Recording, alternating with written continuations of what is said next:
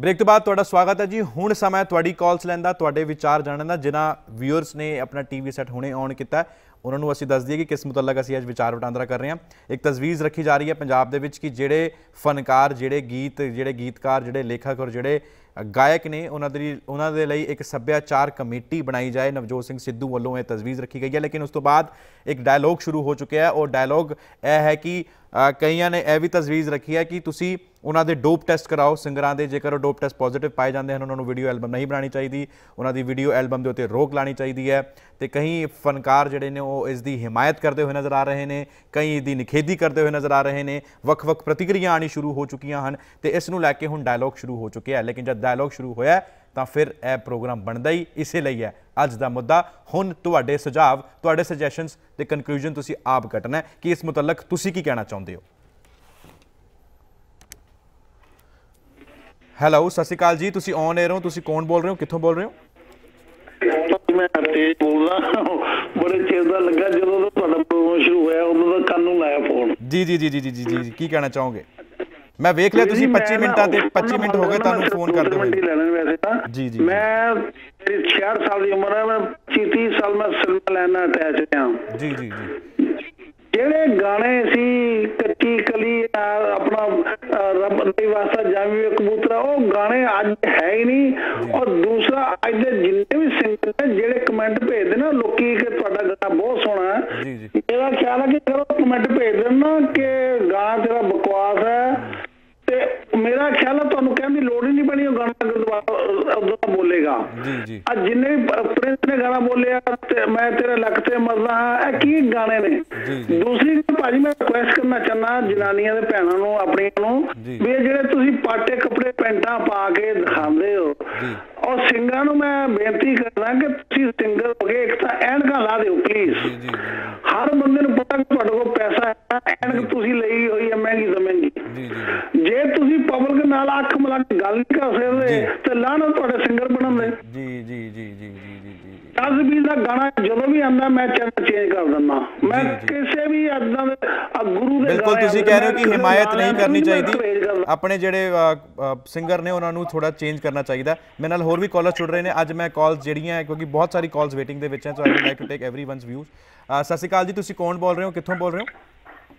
Hello ਸਤਿ ਸ਼੍ਰੀ ਅਕਾਲ ਜੀ ਮੈਂ ਜਸਪਾਲ ਸਿੰਘ ਬੋਲਦਾ ਲੰਡਨ ਤੋਂ। ਜੀ ਜਸਪਾਲ ਜੀ ਕੀ ਕਹਿਣਾ ਚਾਹੋਗੇ?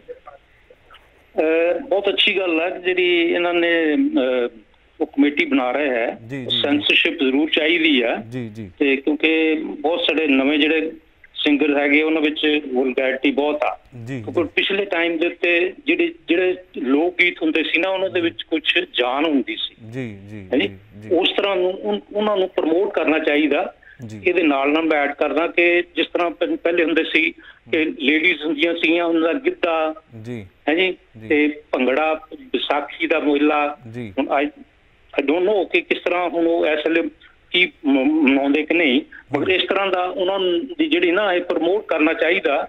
ਨਾਲ ਨਾਲ ਜਿੱਦੇ ਕਮੇਟੀ ਬਣਾਈ ਆ ਉਹਦੇ ਵਿੱਚ ਪਿੰਡਾਂ ਨੂੰ ਉੱਥੇ ਉਹਨਾਂ ਨੂੰ ਉਹ ਕੁਝ ਪੈਸੇ ਦੇਣ। ਜੀ। ਹੈ ਜੀ? ਜੀ। ਜਿਹਦੇ ਨਾਲ ਦੇ ਨਾਲ ਕਿ ਜਿਹੜੇ ਯੰਗਸਟਰ ਹੈਗੇ ਆ ਉਹਨਾਂ ਦਾ ਰੁਝਾਵਾਂ ਦੂਸਰੇ ਪਾਸੋਂ ਇਧਰਲੇ ਪਾਸੇ ਨੂੰ ਹੋਵੇ ਜੀ ਬਿਲਕੁਲ ਬਿਲਕੁਲ ਬਿਲਕੁਲ। ਕਮੇਟੀ ਜਿਹੜੀ ਹੈ ਉਹ ਇਸ ਗੱਲ ਦੇ ਉੱਤੇ ਨਿਗਰਾਨੀ ਰੱਖੇ ਕਿ ਕਿਹੜੀ ਸ਼ਬਦਾਵਲੀ ਜਿਹੜੀ ਹੈ ਉਹਦੀ ਵਰਤੋਂ ਹੋ ਰਹੀ ਹੈ ਗਾਣੇ ਦੇ ਵਿੱਚ ਜਿਹੜੀ ਨਹੀਂ ਹੋ ਰਹੀ। ਬਹੁਤ ਬਹੁਤ ਧੰਨਵਾਦ ਜਸਪਾਲ ਜੀ। ਸ਼ਬਦਾਵਲੀ ਤਾਂ ਠੀਕ ਆ। ਸ਼ਬਦਾਵਲੀ ਤਾਂ ਠੀਕ ਆ ਇੱਕ ਚੀਜ਼ ਉਹ ਆ। ਮਗਰ ਉਹ ਪ੍ਰਮੋਟ ਕਰਨ ਕਿ ਜਿਹੜਾ ਸਾਡਾ ਪੁਰਾਣਾ ਵਿਰਸਾ ਸੀ ਕਲਚਰ ਸੀਗਾ ਉਸ। ਨੂੰ ਕਾਇਮ ਕੀਤਾ ਜਾਵੇ। ਕਰੈਕਟ ਕਰੈਕਟ ਕਰੈਕਟ ਵਾਪਸ ਉਹਨੂੰ ਹੋਣ ਦੇ ਵਿੱਚ ਲਿਆਂਦਾ ਜਾਵੇ। ਬਹੁਤ ਬਹੁਤ ਧੰਨਵਾਦ ਜਸਪਾਲ ਜੀ। ਹੋਰ ਵੀ ਕਾਲਰ ਜੁੜ ਰਹੇ ਨੇ। ਹੈਲੋ ਸਤਿ ਸ਼੍ਰੀ ਅਕਾਲ ਜੀ। ਤੁਸੀਂ ਕੌਣ ਬੋਲ ਰਹੇ ਹੋ? ਕਿੱਥੋਂ ਬੋਲ ਰਹੇ ਹੋ?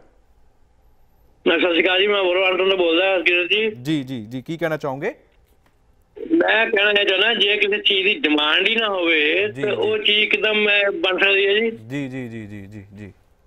ਮੈਂ ਪਹਿਲਾਂ ਪਹਿਲਾਂ ਪ੍ਰੋਡਕਟ ਪ੍ਰੋਡਕਟ ਜਿਹੜਾ ਪ੍ਰੋਡਿਊਸ ਕਰਨਾ ਪੈਂਦਾ ਫੇਰ ਡਿਮਾਂਡ ਵੱਧਦੀ ਉਹਦੀ। Correct correct correct correct correct ਜੀ, ਜਿਹੜੇ ਜਿਹੜੇ ਬੋਡੀਗਾਰਡ ਜਿਹੜੇ ਸਿੰਗਰ ਆ ਇਹਨਾਂ ਕੋਲ 15 15 20 20 ਬੋਡੀਗਾਰਡ ਹੁੰਦੇ ਆਪਣੇ ਕੋਲ ਇਹਨਾਂ ਕੋਲ। ਜੀ ਜੀ ਜੀ ਜੀ। ਤੇ ਜਿਹੜੇ ਘਰ ਵਾਲੇ ਸੱਦਦੇ ਆ 15 20 ਬੰਦੇ ਉਹਨਾਂ ਦੇ ਵੀ ਹੁੰਦੇ ਨਾਲ ਇਹਨਾਂ ਦੇ ਹੈ? ਕਰੈਕਟ ਕਰੈਕਟ ਕਰੈਕਟ ਇਹ ਤਾਂ ਆਪਣਾ ਬਕਵਾਸ ਕਰਕੇ ਆ ਜਾਂਦੇ ਆ ਗੋਲੀਆਂ ਤਾਂ ਬਾਅਦ ਚ ਚੱਲਦੀਆਂ ਜਿਹੜੇ ਉੱਥੇ ਸ਼ਰਾਬ ਪੀ ਕੇ ਚਲਾਉਂਦੇ ਆ। ਬਿਲਕੁਲ ਬਿਲਕੁਲ ਬਿਲਕੁਲ ਬਿਲਕੁਲ ਬਿਲਕੁਲ। ਹੱਲਾ ਸ਼ੇਰੀ ਤਾਂ ਇਹਨਾਂ ਦੀ ਵੱਲੋਂ ਹੀ ਮਿਲਦੀ ਹੈ ਉਸ ਤੋਂ ਬਾਅਦ ਜਾ ਕੇ ਉੱਥੇ ਜਿਹੜਾ ਸ਼ੁਰੂ ਹੁੰਦਾ ਹੈ ਮਾਹੌਲ ਉਹ ਇਹ ਕਹਿ ਕੇ ਆਉਂਦੇ ਆ ਜਨਾਬ ਜੀ ਗਾਣੇ ਇਹ ਗਾਣੇ ਦੇ ਵਿੱਚ ਕਹਿ ਆਉਂਦੇ ਆ ਅਗਲੇ ਸਾਥੀ ਚਲਾ ਆਉਂਦੇ ਆ ਜੀ ਜੀ ਜੀ ਜੀ ਜੀ ਜੀ ਜੀ ਜੀ ਜੀ ਜੀ ਉਹਨਾਂ ਨੇ ਸ਼ਰਾਬ ਪੀਤੀ ਹੁੰਦੀ ਉਹਨਾਂ ਨੂੰ ਹੋਸ਼ ਨਹੀਂ ਹੁੰਦਾ। ਬਿਲਕੁਲ ਬਿਲਕੁਲ ਬਿਲਕੁਲ ਬਿਲਕੁਲ ਜਿਵੇਂ ਹੁਣੇ ਸਾਨੂੰ ਇੱਕ ਸਿੰਗਰ ਕੂਅਰ ਵਿਰਕ ਉਹਨਾਂ ਨੇ ਕਿਹਾ ਕਿ ਇੱਕ ਫਨੈਟਿਕ ਵਰਲਡ ਆ ਅਸੀਂ ਤੇ ਫਨੈਟਿਕ ਚੀਜ਼ ਨੂੰ ਯੂਜ਼ ਕਰਦੇ ਹਾਂ ਲੇਕਿਨ ਅਸੀਂ ਇਹ ਨਹੀਂ ਕਹਿੰਦੇ ਕਿ ਇਹਨੂੰ ਰੀਅਲ ਲਾਈਫ ਦੇ ਵਿੱਚ ਤੁਸੀਂ ਇੰਪਲੀਮੈਂਟ ਕਰੋ ਲੇਕਿਨ ਸਾਡੇ ਵਿਊਅਰਸ ਨਹੀਂ ਸਮਝਦੇ ਫਨੈਟਿਕ ਨੇ ਹੋਣਾ ਹੀ ਚੀਜ਼ਾਂ ਨੂੰ ਨਹੀਂ ਚਾਹੀਦਾ। ਫਨੈਟਿਕ ਹੋਣਾ ਹੀ ਨਹੀਂ ਚਾਹੀਦਾ ਜੀ ਜੀ ਜੀ ਜੀ ਯਹੀ ਤਾਂ ਸਵਾਲ ਬਣਦਾ ਕਿ ਫਨੈਟਿਕ ਵਰਲਡ ਵੀ ਹੁਣ ਤੁਸੀਂ ਦਿਖਾ ਸਕਦੇ ਹੋ ਕਿ ਨਹੀਂ ਦਿਖਾ ਸਕਦੇ ਉਹ ਵੀ ਤਸਵੀਰ ਜਿਹੜੀ ਆ ਉਹ ਵੀ ਸਾਫ਼ ਕਰੋ ਬਹੁਤ ਬਹੁਤ ਧੰਨਵਾਦ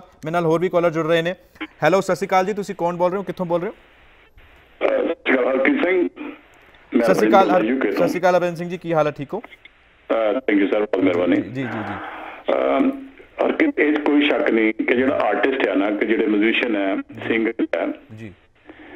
ਇਹ ਇੱਕ ਮਤਲਬ ਯੂ نو ਆਪਣੇ ਪਬਲਿਕ ਦੇ ਯੂਥ ਦੇ ਇੱਕ ਜੀ। ਆਈਡਲਸ ਹੁੰਦੇ ਨੇ Correct, ਹਾਂ, correct. ਇਹਨਾਂ ਨੂੰ ਲੋਕੀ ਫੋਲੋ ਕਰਦੇ ਆ ਠੀਕ ਹੈ correct. ਉਹ ਜਿੱਦਾਂ ਭਾਈ ਸਾਹਿਬ ਨੇ ਕਿਹਾ ਆਪਣੇ ਬਿਰਕ ਸਾਹਿਬ ਨੇ ਜੀ ਕਿ ਵੀ ਤੁਸੀਂ ਉਹ ਕਿਸ ਤਰ੍ਹਾਂ ਬੋਲਦਾ ਕਿਸ ਤਰ੍ਹਾਂ ਡਰੈਸ ਅਪ ਕਰਦਾ ਕਿਸ ਤਰ੍ਹਾਂ ਵਾਕ ਕਰਦਾ ਆਲ ਮੈਨਰਿਜ਼ਮ ਯੂ نو ਇੱਕ ਇੱਕ ਇਹਨਾਂ ਲੋਕਾਂ ਚ ਵੀ ਇਦਾਂ ਹੀ ਆ ਜੀ। ਕਿ ਯੂ نو ਦੇ ਫੋਲੋ them ਹਾਂਜੀ ਜੀ ਜੀ ਇਹਦਾ ਮੁਕਾਜ ਵੀ ਯੂ نو ਕਦਾ ਕਈ ਦਫਾ ਤੁਸੀਂ ਦੇਖੋਗੇ ਨਾ ਕਿ ਫੁੱਟਬਾਲਰ ਹੋਏ ਹੋਰ ਹੋਏ ਜਿਹਨੋਂ ਬੜੇ ਮਤਲਬ ਜਿਹਨੋਂ ਬੜੇ ਉਹਨਾਂ ਕੋ ਗੋਣੇ ਆ ਸਭ ਕੁਝ ਆ। ਪਰ ਕਈ ਦਫਾ ਤੁਸੀਂ ਦੇਖੋਗੇ ਐਮੀ ਸ਼ਾਦੀ ਦੇ ਟੈਟੂਜ਼ ਪਾਏ ਆ ਬਾਕੀ ਯੰਗਸਟਰ ਵੀ ਪਾਈ ਜਾਂਦੇ ਆ ਬਹੁਤ ਬੁਰੇ ਲੱਗਦੇ ਆ। ਹਾਲਾਂਕਿ ਉਹਨਾਂ ਕੋਲ ਬੇਟਨ ਦਾ ਆਰਟ ਹੈ ਕੋਈ ਸ਼ੱਕ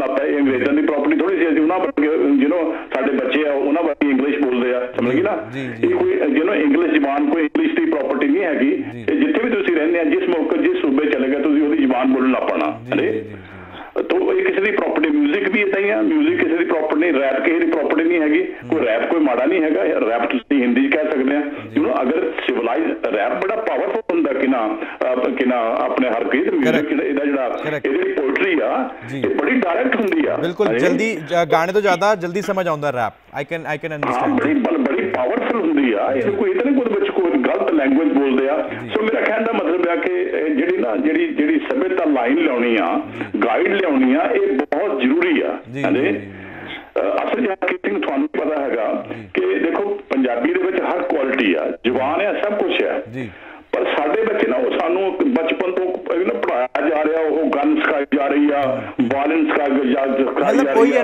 ਕੀ ਦੁਨੀਆ ਕਰਨ ਦੀ ਕੋਸ਼ਿਸ਼ ਕੀਤੀ ਜਾ ਰਹੀ ਹੈ। ਜੇ ਕਰਦਾ ਇਹ ਸ਼ਰਾਬ ਦੀ ਸ਼ਰਾਬ ਨੂੰ ਪ੍ਰਮੋਟ ਕੀਤਾ ਜਾ ਰਿਹਾ. ਜਿਹਨੂੰ ਜਿਹਨੂੰ ਇਹੋ ਜਿਹੀਆਂ ਗੱਲਾਂ ਜਿਹੜੀਆਂ ਹੈਗੀਆਂ ਇਹ ਸਾਨੂੰ ਇਹ ਸਾਨੂੰ ਮਤਲਬ ਨਾ ਸਾਡੀ ਸਭਿਅਤਾ ਨੂੰ ਸਾਡੇ ਨੂੰ ਬਹੁਤ ਮਤਲਬ ਸੱਟ ਵੱਜਦੀ ਆ ਆ ਤੂੰ ਸ਼ਰਾਬ ਨਹੀਂ ਪੀਂਦਾ ਜਾਂ ਤੂੰ ਚਿਕਨ ਨਹੀਂ ਖਾਂਦਾ ਤੂੰ ਸਰਦਾਰ ਨਹੀਂ ਹੈ ਆ ਵੀ ਅੱਜ ਕੱਲ ਵਰਡਸ ਜਿਹੜੀ ਹੈ ਡਿਕਸ਼ਨਰੀ ਦੇ ਵਿੱਚ ਆ ਗਈ ਹੈ ਲੋਕਾਂ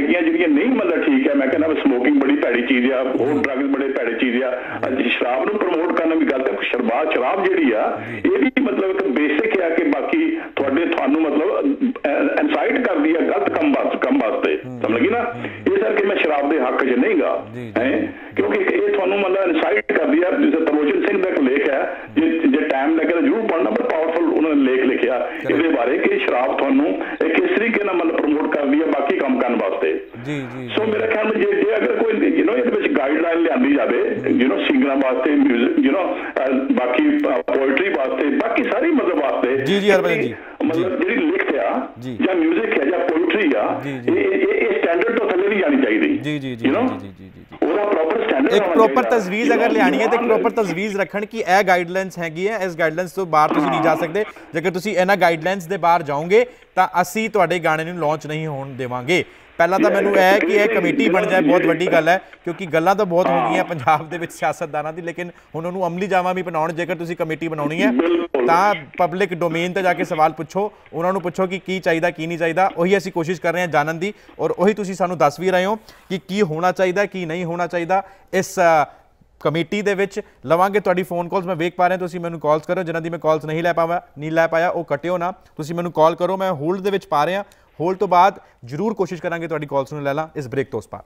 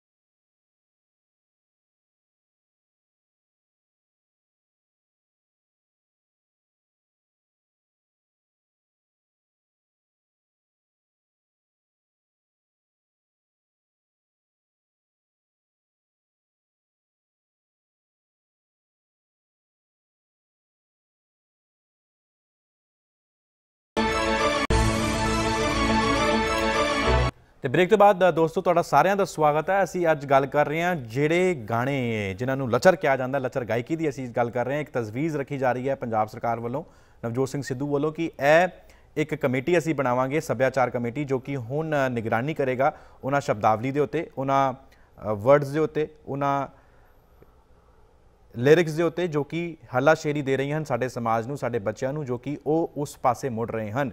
ਜੋ ਕਿ ਅੱਜ ਕੱਲ ਦੇ ਗਾਣੇ ਚੱਲ ਰਹੇ ਹਨ। ਉਹ ਵੀ ਮੈਂ ਦਿਖਾਵਾਂਗਾ ਤੁਹਾਨੂੰ ਜਿਹੜੇ ਗਾਣਿਆਂ ਨੇ ਅੱਜ ਕੱਲ ਆਪਣੇ ਸਮਾਜ ਦੇ ਵਿੱਚ ਜਗ੍ਹਾ ਬਣਾਈ ਹੋਈ ਹੈ। ਜਿਸ ਤਰੀਕੇ ਨਾਲ ਉਹ ਐਂਟਰ ਹੋ ਰਹੇ ਨੇ ਉਸੇ ਪਾਸੇ ਸਾਡੇ ਬੱਚਿਆਂ ਨੂੰ ਵੀ ਮੋੜ ਰਹੇ ਨੇ। ਲੇਕਿਨ ਕਾਲਸ ਮੈਨੂੰ ਬਹੁਤ ਸਾਰੀਆਂ ਆ ਰਹੀਆਂ ਹਨ।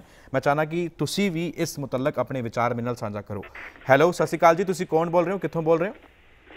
ਹਾਂਜੀ ਹਰਕੀਰਤ ਸਿੰਘ ਜੀ ਮੈਂ ਦਾਸ ਗੁਰਦੇਵ ਸਿੰਘ ਭੋਗਲ ਬੋਲ ਰਿਹਾ ਯੂਕੇ ਤੋਂ। ਵਾਹਿਗੁਰੂ ਜੀ ਕਾ ਖਾਲਸਾ ਵਾਹਿਗੁਰੂ ਜੀ ਕੀ ਫਤਿਹ। ਪੋਗਲ ਜੀ ਠੀਕ ਹੋ? ਇਹ ਚੜ੍ਹਦੀ ਕਲਾ ਅੱਧਾ ਘੰਟਾ ਪੂਰਾ ਹੋ ਗਿਆ 31 ਮਿੰਟ ਹੋ ਗਿਆ ਵੇਟ ਕਰਦਿਆਂ ਨੂੰ। ਜੀ ਜੀ ਜੀ ਜੀ ਪੋਗਲ ਜੀ ਬਹੁਤ ਕਾਲਸ ਵੇਟਿੰਗ ਦੇ ਵਿੱਚ ਹੈ। ਕੀ ਕਹਿਣਾ ਚਾਹੋਗੇ? ਫਰਮਾਓ। ਹਾਂ ਮੈਂ ਤੇ ਦੋ ਚਾਰ ਗੱਲਾਂ ਕਰਨੀਆਂ। ਮੈਂ ਤੇ ਸਿਰਫ ਇਹ ਕਹਿਣਾ ਭਈ ਤੁਹਾਡੇ ਜਿਹੜੇ ਹਮ ਜਮਾਤੀ ਆਏ ਸੀ ਨਾ ਜੀ ਜੀ ਜੀ। ਉਹ ਸਿੱਖੀ ਸਰੂਪ ਵਿੱਚ ਉਹਨਾਂ ਨੇ ਬੜੀਆਂ ਅੱਛੀਆਂ ਗੱਲਾਂ ਕੀਤੀਆਂ। ਮੈਂ ਵੈਸੇ ਬਹੁਤ ਪਸੰਦ ਕਰਦਾ ਆਪੋ ਆਪੋ ਆਪਣੀ ਪਸੰਦ ਆ ਕੋਈ ਜਿਹੜੇ ਜਿਹੜਾ ਜਿਹੜਾ ਜਿਹੜਾ ਜਿਹੜਾ ਗਾਇਕ ਦਸਤਾਰ ਕੇ ਜਿਹੜਾ ਸਾਫ਼ ਸੁਥਰੇ ਗੀਤ ਗਾਉਂਦਾ ਉਹ ਦੋ ਕੰਮ ਕਰਦਾ ਇੱਕੋ ਵੇਲੇ।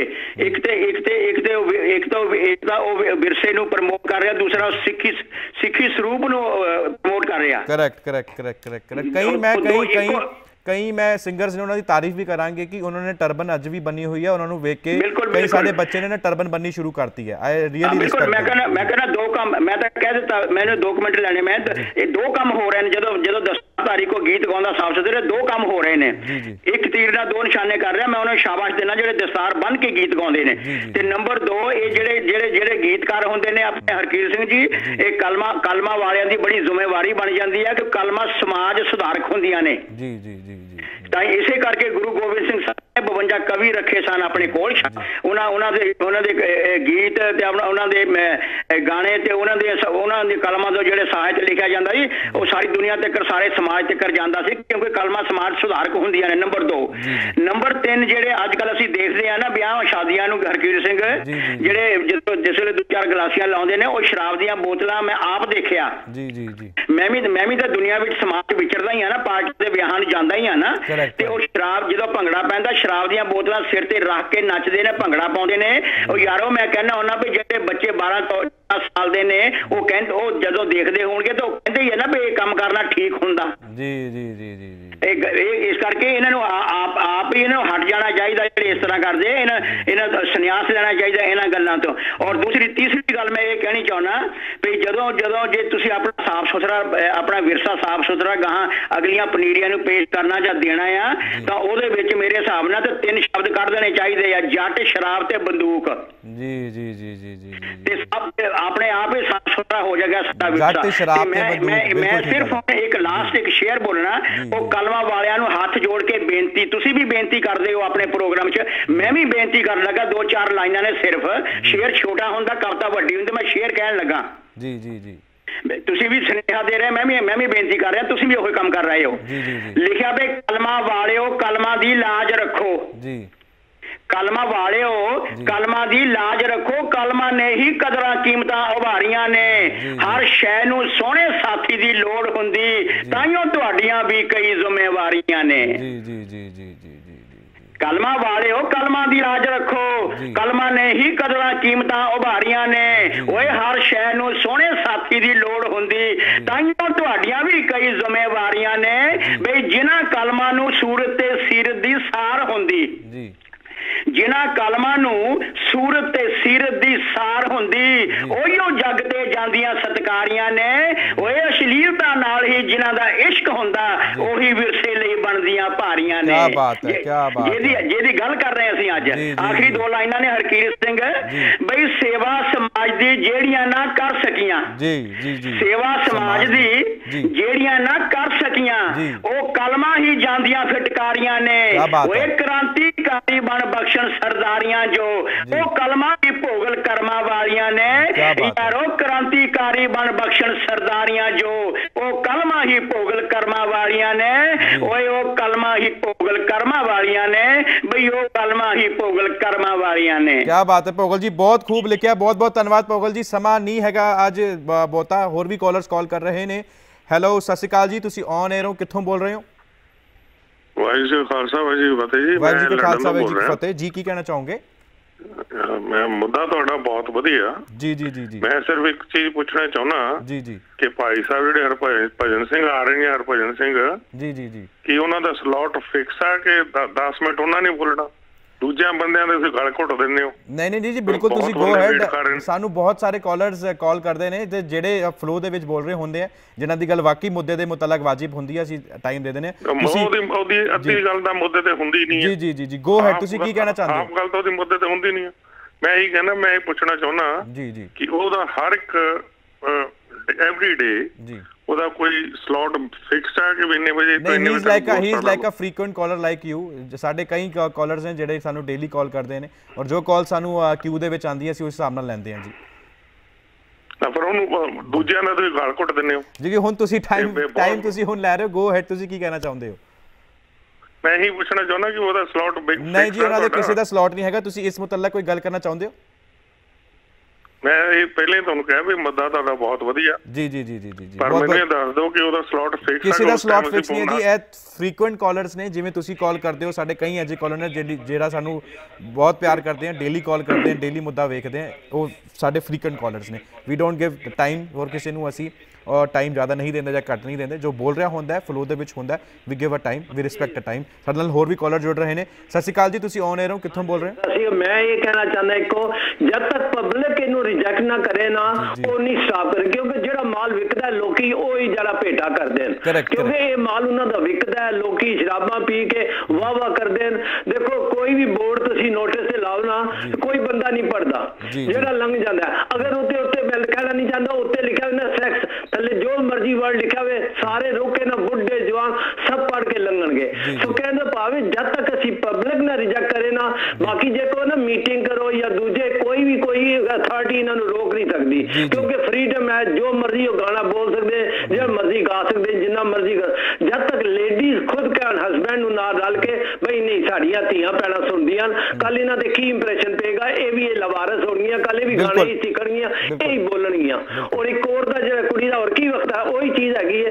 ਇਹ ਸਾਡੀ ਜਦ ਤੱਕ ਪਬਲਿਕ ਰਿਜੈਕਟ ਨਾ ਕਰੇ ਯੂ ਕਾਂਟ ਸਟਾਪ them ਇਹ ਮੈਂ 100% ਕਹਿਣਾ ਕਿਉਂਕਿ ਉਹਨਾਂ ਨੂੰ ਵੀ ਫਿਰ ਪਤਾ ਕਿੰਨੇ ਕਿੰਨੇ ਹਜ਼ਾਰ ਪਾਉਂਡ ਲੈਂਦੇ ਨੇ ਔਰ ਇਸ ਗੱਲ ਬੋਲਣ ਦਾ ਸਿਰ ਉਹ ਗੰਦੇ ਲਫ਼ਜ਼ ਬੋਲਣ ਦਾ Correct. People like it that's it ਬਿਲਕੁਲ ਮੈਂ ਵੇਖਿਆ ਮੈਂ ਵੇਖਿਆ। ਕੀ ਸੁਣ ਰਹੇ ਹਾਂ। ਬਹੁਤ ਬਹੁਤ ਧੰਨਵਾਦ ਜੀ। ਮੈਂ ਵੇਖਿਆ ਕਿ ਕਈ ਸਾਡੇ ਹੀ ਗਲਤੀਆਂ ਹੈਗੀਆਂ ਇਹਨਾਂ ਪ੍ਰਮੋਟਰਾਂ ਨੂੰ ਅਸੀਂ ਪ੍ਰ- ਇਹਨਾਂ ਗਾਇਕਾਂ ਨੂੰ ਅਸੀਂ ਹੀ ਪ੍ਰਮੋਟ ਕਰਦੇ ਹਾਂ, ਆਪਣੇ ਮੁਲਕਾਂ ਦੇ ਵਿੱਚ ਬੁਲਾਉਂਦੇ ਹਾਂ ਕਨਸਰਟ ਕਰਦੇ ਹਾਂ ਵੱਡੇ ਵੱਡੇ ਲੇਕਿਨ ਕਿਤੇ ਨਾ ਕਿਤੇ ਸਾਨੂੰ ਇਹ ਵੀ ਸੋਚਣਾ ਚਾਹੀਦਾ ਕਿ ਉਹ ਚੀਜ਼ ਪ੍ਰਮੋਟ ਕਰੀਏ। ਹੁਣ ਕਈ ਜਿਹੜੇ ਕਨਸਰਟ ਹੋਏ ਨੇ ਚਾਹੇ ਉਹ ਯੂਕੇ ਦੇ ਵਿੱਚ ਹੋਣ ਯੂਐਸਏ ਦੇ ਵਿੱਚ ਕੈਨੇਡਾ ਦੇ ਵਿੱਚ, ਤਾਂ ਅਸੀਂ ਕਿਤੇ ਨਾ ਕਿਤੇ ਇਹ ਜ਼ਿੰਮੇਵਾਰੀ ਨਿਭ- ਨਿਭਾਈਏ ਕਿ ਉਹਨਾਂ ਫਨਕਾਰਾਂ ਨੂੰ ਬੁਲਾਈਏ ਜਾਂ ਫਿਰ ਉਹਨਾਂ, ਸ- ਗਾਇਕਾਂ ਨੂੰ ਬੁਲਾਈਏ ਕਿ ਜੋ ਵਾਕਈ ਹੀ ਸੋਚ ਰਹੇ ਹਨ ਵਿਰਸੇ ਬਾਰੇ ਵਾਕਈ ਹੀ ਜੋ ਸੱਭਿਆਚਾਰ ਨੂੰ ਜਿਨ੍ਹਾਂ ਨੇ ਸਾਂਭ ਕੇ ਰੱਖਿਆ ਹੋਇਆ ਹਜੇ ਤੱਕ ਅਸੀਂ ਉਹਨੂੰ ਪ੍ਰਮੋਟ ਕਰ ਸਕਦੇ ਹਾਂ। ਇਹ ਕਹਿਣਾ ਸੀਗਾ ਸਾਡੇ ਕਾਲਰ ਦਾ। ਸਾਡੇ ਨਾਲ ਹੋਰ ਵੀ ਕਾਲਰ ਜੁੜ ਰਹੇ ਹਨ ਜਾਣਨ ਦੀ ਕੋਸ਼ਿਸ਼ ਕਰਦੇ ਹਾਂ। ਉਹ ਕੀ ਕਹਿਣਾ ਚਾਹੁੰਦੇ ਨੇ? ਸਤਿ ਸ਼੍ਰੀ ਅਕਾਲ ਜੀ ਤੁਸੀਂ ਔਨ 에ਅਰ ਹੋ? ਤੁਸੀਂ ਕੌਣ ਬੋਲ ਰਹੇ ਹੋ? ਕਿੱਥੋਂ ਬੋਲ ਰਹੇ ਹੋ? ਮੈਂ ਡਾਕਟਰ ਪੀਸ਼ ਮਲਹੋਤਰਾ ਬੋਲਦਾ ਹਾਂ ਬਰਮਿੰਗਮ ਤੋਂ। ਜੀ ਡਾਕਟਰ ਮਲਹੋਤਰਾ ਕੀ ਕਹਿਣਾ ਚਾਹੋਗੇ? ਭਾਜੀ ਯਾਨੀ ਕਿ ਜਿਹੜਾ ਸਵਾਲ ਤੁਸੀਂ ਉਠਾਇਆ ਹੈਗਾ ਇਹ ਬਹੁਤ ਹੀ ਜ਼ਿਆਦਾ ਇੰਪੋਰਟੈਂਟ ਹੈਗਾ। ਇਹਦੇ ਵਿੱਚ ਤਿੰਨ ਚਾਰ ਜਨ ਕੇ ਨੁਕਤੇ ਕਹਿਣਾ ਮੈਂ ਕਰਨੇ ਚਾਹੁੰਦਾ ਇੱਕ ਤਾਂ ਮੈਂ ਇਸ ਦੇ ਵੈਲਕਮ ਕਰਦਾ ਜੇ ਪੰਜਾਬ ਗਵਰਨਮੈਂਟ ਜਿਹੜੀ ਆ ਉਹ ਕੋਈ ਇਹੋ ਜਿਹਾ ਸੈਂਸਰ ਬੋਰਡ ਕਿ ਬਣਾਉਂਦੀ ਆ ਤੇ ਉਹਦੇ ਤੇ ਪੂਰੀ ਤਰ੍ਹਾਂ ਉਹਨੂੰ ਮੋਨਿਟਰਿੰਗ ਕਰਦੀ ਹੈ ਪੂਰੀ ਤਰ੍ਹਾਂ ਉਹਨੂੰ ਰਿਵਿਊ ਵੀ ਕਰਦੀ ਹੈ ਤੇ ਉਹ ਤੇ ਐਕਟਿੰਗ ਕਰਦੀ ਹੈ। ਇਹ ਬਹੁਤ ਜ਼ਿਆਦਾ ਜ਼ਰੂਰੀ ਹੈ। ਜਿਸ ਤਰ੍ਹਾਂ ਅਸੀਂ ਫਿਲਮਾਂ ਦੇ ਲਈ ਸੈਂਸਰ ਬੋਰਡ ਬਣਾਉਂਦੇ ਹੈਗੇ ਸੁਣ ਲਿਆ ਵੀ ਜਿਹੜਾ ਗਾਣੇ ਹੈਗੇ ਸੰਗੀਤ ਹੈਗਾ ਉਹ। ਕਿਉਂਕਿ ਉਹਦਾ ਬਹੁਤ ਵੱਡਾ ਅਸਰ ਹੈਗਾ. ਸਾਡਾ ਸਾਰਾ ਗੁਰੂ ਗੁਰੂ ਗ੍ਰੰਥ ਸਾਹਿਬ ਯਾਨੀ ਕਿਹੜਾ ਹੈਗਾ ਉਹ ਸੰਗੀਤ ਵਿੱਚ ਲਿਖਿਆ ਹੈਗਾ ਪੋਇਟਰੀ ਵਿੱਚ ਲਿਖਿਆ ਹੈਗਾ. ਤੇ ਬਹੁਤ ਸਾਰੇ ਦੁਨੀਆ ਵਿੱਚ ਪੋਏ ਹੋਏ ਹੈਗੇ ਪਾਬਲੋ ਨਰੂਦਾਰ ਯਾਨੀ ਕਿ ਜਾਂ ਸਾਡਾ ਵੀ ਜਿਹੜਾ ਹੈਗਾ ਪਾਸ਼ ਹੈਗਾ ਯਾਨੀ ਕਿ ਹੋਰ ਬਹੁਤ ਸਾਰੇ ਯਾਨੀ ਕਿ ਕਰਤਾਰ ਸਿੰਘ ਸਰਾਭੇ ਹੋਣਾ ਯਾਨੀ ਕਿ ਜਿਹੜੀਆਂ ਕਵਿਤਾਵਾਂ ਲਿਖੀਆਂ ਹੈਗੀਆਂ। ਉਹਦਾ ਯੂਥ ਤੇ ਤੇ ਉਹਦਾ ਸਮਾਜ ਤੇ ਬਹੁਤ ਵੱਡਾ ਅਸਰ ਪੈਂਦਾ। ਬਿਲਕੁਲ ਪੈਂਦਾ ਜੀ, ਅਸੀਂ। ਨੰਦਲਾਲ ਜੇ ਅਸੀਂ ਨੰਦਲਾਲ ਨੂਰਪੁਰੀ ਦੇ ਗਾਣੇ ਸੁਣੀਏ ਜਿਹੜੇ ਕਿ ਜਿਹੜੇ ਸਾਡੇ ਸਿੰਦਰ ਕੌਰ ਨੇ ਗਾਏ ਹੈਗੇ ਪ੍ਰਕਾਸ਼ ਕੌਰ ਨੇ ਗਾਏ ਅੱਜ ਵੀ ਜੀਂਦ ਹੈ ਉਹ। ਅੱਜ ਵੀ। ਆਸਾ ਸਿੰਘ ਮਸਤਾਨਾ ਦੇ ਗਾਣੇ ਸਾਡਾ ਦਿਲ ਕਰਦਾ ਸੁਣਨ ਨੂੰ। ਅੱਜ ਵੀ ਯਾਨੀ ਕਿ ਜਮਲਾ ਜੱਟ ਦੇ ਗਾਣੇ ਸੁਣਦੇ ਹਾਂ ਤਾਂ ਬੜਾ ਯਾਨੀ ਕਿ ਸਾਨੂੰ ਆਨੰਦ ਆਉਂਦਾ ਹੈ। ਇਸ ਕਰਕੇ ਜਾਂ ਜਿਹੜੀ ਸ਼ਿਵ ਕੁਮਾਰ ਬਟਾਲਵੀ ਦੀ ਪੋਇਟਰੀ ਹੈਗੀ ਆ ਉਹ ਅੱਜ ਵੀ ਜਿਹੜੇ ਜਿਹੋ ਜਿਹੇ ਲਫ਼ਜ਼ ਉਹਨੇ ਵਰਤੇ ਹੈਗੇ ਆ ਮੈਂ ਅਸਲ ਵਿੱਚ ਯਾਨੀ ਕਿ ਜਾਂ ਬਾਰਸ ਦੀ ਕਿ ਪੋਇਟਰੀ ਜਿਹੜੀ ਹੈ ਸਾਨੂੰ ਅੱਜ ਵੀ ਮਾਣ ਹੁੰਦਾ ਕਿ ਸਾਡੇ ਪੰਜਾਬੀ ਵਿੱਚ ਇਹੋ ਜਿਹੇ ਯਾਨੀ ਕਿ ਵਧੀਆ ਪੋਇਟ ਹੋਏ ਆ। ਕਿਉਂਕਿ ਜਿਹੜੀ ਪੋਇਟਰੀ ਹੈਗੀ ਉਹਦਾ ਬਹੁਤ ਵੱਡਾ ਯੂਥ ਯਾਨੀ ਕਿ ਬਹੁਤ ਛੇਤੀ ਅਸਰ ਪੈਂਦਾ ਹੈਗਾ. ਇਹ ਕੁਝ ਯਾਨੀ ਕਿ ਪੋਇਟਾਂ ਨੇ ਦੁਨੀਆ ਭਰ ਵਿੱਚ ਰੈਵੋਲੂਸ਼ਨ ਵੀ ਲਿਆਂਦੇ ਹੈ ਜਿਹਦੇ ਵਿੱਚ ਕਿ। ਬਹੁਤ ਸਾਰੇ ਕਾਲੇ ਪੋਇਟ ਵੀ ਹੈ ਜਾਂ ਕਿ ਜਾਂ ਇੱਥੇ ਵੈਸਟਰਨ ਵਰਲਡ ਦੇ ਵਿੱਚ ਵੀ ਕੁਝ ਇਹੋ ਜਿਹਾ। ਗਾਇਕ ਹੈਗੇ ਆ। ਤੁਹਾਡੇ ਯਾਨੀ ਕਿ ਮਨ ਨੂੰ ਇਹੋ ਜਿਹਾ ਟੁੰਬਦੇ ਹੈਗੇ ਆ ਤੁਸੀਂ ਤੁਹਾਡਾ ਯਾਨੀ ਕਿ ਰੋਣ ਨਿਕਲ ਜਾਂਦਾ ਲੈ ਵੀ ਹੈ ਪੋਇਟਰੀ ਯਾਨੀ ਕਿ ਐਡਾ ਵੱਡਾ ਉਹਦਾ ਅਸਰ ਹੈਗਾ ਤੁਹਾਡਾ ਉਹ ਜੋ ਤੁਸੀਂ ਸੁਣਦੇ ਹੈਗੇ ਉਸ 뮤직 ਨੂੰ ਤੁਸੀਂ। ਸਰਸ਼ਾਰ ਹੋਏ ਨੇ ਤੇ। ਸ਼ਰਮ ਵਾਲੀ ਗੱਲ ਹੈ ਜਿਸ ਜਨ ਕਿ ਪੰਜਾਬੀ ਸਾਡੀ ਗਾਇਕੀ ਦੇ ਵਿੱਚ ਖਾਸ ਕਰਕੇ ਇੱਥੇ ਇੰਗਲੈਂਡ ਦੇ ਵਿੱਚ ਜਨ ਕਿ ਸਾਡੇ ਕੁਝ ਗਾਇਕਾਂ ਨੇ ਜਿਹੜਾ ਹੈਗਾ ਜਾਂਚ-ਪਾਤ ਨੂੰ ਬਹੁਤ ਪ੍ਰਮੋਟ ਕੀਤਾ ਹੈਗਾ। ਉਹਨਾਂ ਨੇ ਜੱਟਵਾਦ ਨੂੰ ਬਹੁਤ ਪ੍ਰਮੋਟ ਕੀਤਾ ਹੈਗਾ। ਬਿਲਕੁਲ ਬਿਲਕੁਲ। ਮੈਂ ਦਰਸ਼ਕਾਂ ਨੂੰ ਦਿਖਾਣਾ ਚਾਹੂੰਗਾ ਕਿ ਕਿਹਨਾਂ ਗਾਣਿਆਂ ਦੀ ਅਸੀਂ ਗੱਲ ਕਰ ਰਹੇ ਹਾਂ। ਮੈਂ ਦਰਖਾਸਤ ਕਰੂੰਗਾ ਟੀਮ ਨੂੰ ਕਿ ਦਿਖਾਉਣ ਕਿਹਨਾਂ ਗਾਣਿਆਂ ਦੇ ਉੱਤੇ ਅਸੀਂ ਗੱਲ ਕਰ ਰਹੇ ਹਾਂ। ਜਿਹੜੇ ਅੱਜ ਸਮਾਜ ਦੇ। ਵਿੱਚ ਹਿੱਸਾ ਬਣ ਰਹੇ ਨੇ। ਮੈਂ ਜ਼ਰੂਰ ਆਪਣੀ ਟੀਮ ਨੂੰ ਦਰਖਾਸਤ ਜਾਨ ਕਿ ਮੈਂ ਗੱਲ ਗੱਲ ਆਪਣੇ ਛੋਟੇ ਭਾਈ ਗੱਲ ਮੈਂ ਇੱਥੇ ਕਿ ਫਿਨਿਸ਼ ਕਰਨੀ ਚਾਹੁੰਦਾ ਸੀਗਾ ਲੈ ਵੀ ਜੀ। ਕੁਝ ਜਾਨ ਕਿ ਸਾਡੇ ਜਿਹੜੇ ਗਾਇਕ ਇੱਥੇ ਹੈਗੇ ਨਾ ਉਹ। ਇਹੋ ਜਿਹਾ ਗਾਇਕ ਹੈ ਜਿਹੜਾ ਕਿ ਇਹੋ ਜਿਹਾ ਨੂੰ ਬਹੁਤ ਜ਼ਿਆਦਾ ਪ੍ਰਮੋਟ ਕਰਦੇ ਦੂਜੀ ਡੋਪਿੰਗ ਦੀ ਜਿਹੜੀ ਗੱਲ ਹੈ ਕਿ ਇਹਨੇ ਡੋਪਿੰਗ ਦੇ ਟੈਸਟ ਕਿਉਂ ਨਹੀਂ ਹੋਣੇ ਚਾਹੀਦੇ ਇਹਨਾਂ। ਦੇ ਯਾਨੀ ਕਿ ਟੈਸਟ ਜਿਹੜੇ ਹੈਗੇ ਆ. ਇਹਦੇ ਬਾਰੇ ਜ਼ਰੂਰ ਹੋਣੇ ਚਾਹੀਦੇ ਆ. ਤੇ ਮੈਂ ਸਮਝਦਾ ਵੀ ਸਮਾਜ ਨੂੰ ਵੀ ਮੈਂ ਇੱਥੇ ਆਮ ਹੀ ਕਹਿੰਦਾ ਹੁੰਦਾ ਤੁਸੀਂ ਰੇਡੀਓ ਟੈਲੀਵਿਜ਼ਨ ਤੇ ਜਦੋਂ ਇਹੋ ਜਿਹੇ ਗਾਣੇ ਆਉਂਦੇ ਆ ਲੱਕ 20 ਦੇ ਫਨਜ਼ਮ ਕਹਾਣੀ ਵੀ ਕੀ ਉਹ ਆਪਣੀ ਭੈਣ ਦੀ ਗੱਲ ਕਰ ਰਿਹਾ ਹੈ ਕਿ ਜਾਂ ਆਪਣੀ ਕੁੜੀ ਦੀ ਗੱਲ ਕਰ ਰਿਹਾ ਹੈ ਸਹੀ ਗੱਲ ਹੈ ਜੀ ਤੁਹਾਨੂੰ ਠੋਕ ਵੀ ਕਿੰਨੂੰ ਰਿਹਾ ਹੈ ਔਰ ਜੀ ਬਿਲਕੁਲ ਬਿਲकुल ਕਿਤੇ ਲਈ ਹਥਿਆਰ ਚੱਕ ਰਿਹਾ? ਬਹੁਤ ਬਹੁਤ ਧੰਨਵਾਦ ਡਾਕਟਰ ਸਾਹਿਬ। ਤੁਸੀਂ ਗੱਲ ਰੱਖੀ। ਮੈਂ ਦਿਖਾਣਾ ਚਾਹਾਂਗਾ ਕਿ ਕਿਹਨਾਂ ਦੇ ਉੱਤੇ ਅਸੀਂ ਗੱਲ ਕਰ ਰਹੇ ਹਾਂ ਔਰ ਕਿਹਨਾਂ ਦੇ ਉੱਤੇ ਰੋਕ ਲੱਗਣੀ ਚਾਹੀਦੀ ਹੈ। ਇਹ ਜਿਹੜੀ ਤਜਵੀਜ਼ ਹੈ ਹੁਣ ਕਮੇਟੀ ਵੱਲੋਂ ਖੈਰ ਤੈਅ ਹੋਏਗੀ ਲੇਕਿਨ ਅਸੀਂ ਜ਼ਰੂਰ ਦਿਖਾਣਾ ਚਾਹਾਂਗੇ ਇੱਕ ਵਾਰੀ।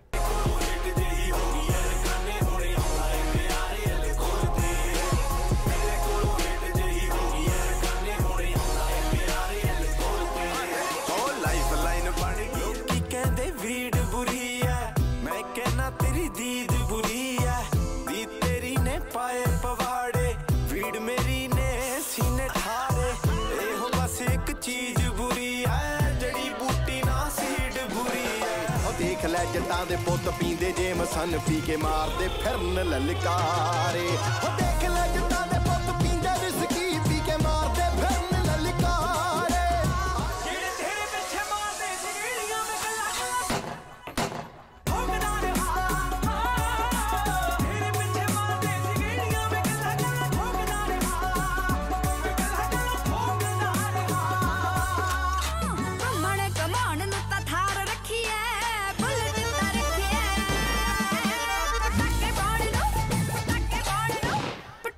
ਤੇ ਅਜੇ ਕਈ ਸੌਂਗਸ ਹਨ ਜਿਹੜੇ ਕਿ ਅੱਜ ਕੱਲ ਸੁਨੇਹਾ ਦੇ ਰਹੇ ਨੇ ਸਾਡੀ ਨਵੀਂ ਪਨੀਰੀ ਨੂੰ, ਯੂਥ ਨੂੰ, ਤੇ ਅਜੇ ਕਈ ਹੋਰ ਵੀ ਸੌਂਗਸ ਹਨ। ਬਹੁਤ ਬੇਸ਼ੁਮਾਰ YouTube ਦੇ ਤੁਸੀਂ ਚਲੇ ਜਾਓ ਤਾਂ ਤੁਹਾਨੂੰ ਖਜ਼ਾਨਾ ਮਿਲੇਗਾ ਇਹਨਾਂ ਸੌਂਗਸ ਦਾ। ਲੇਕਿਨ ਮੈਂ ਜਾਨਣਾ ਚਾਹੁੰਦਾ ਕਿ ਤੁਸੀਂ ਇਸ ਮੁਤਲਕ ਕੀ ਕੁਝ ਸਾਡੇ ਨਾਲ ਵਿਚਾਰ ਸਾਂਝੇ ਕਰਨੇ ਚਾਹੁੰਦੇ ਹੋ। ਹੈਲੋ ਸਤਿ ਸ਼੍ਰੀ ਅਕਾਲ ਜੀ, ਤੁਸੀਂ ਔਨ 에ਅਰ ਹੋ? ਤੁਸੀਂ ਕੌਣ ਬੋਲ ਰਹੇ ਹੋ? ਕਿੱਥੋਂ ਬੋਲ ਰਹੇ ਹੋ?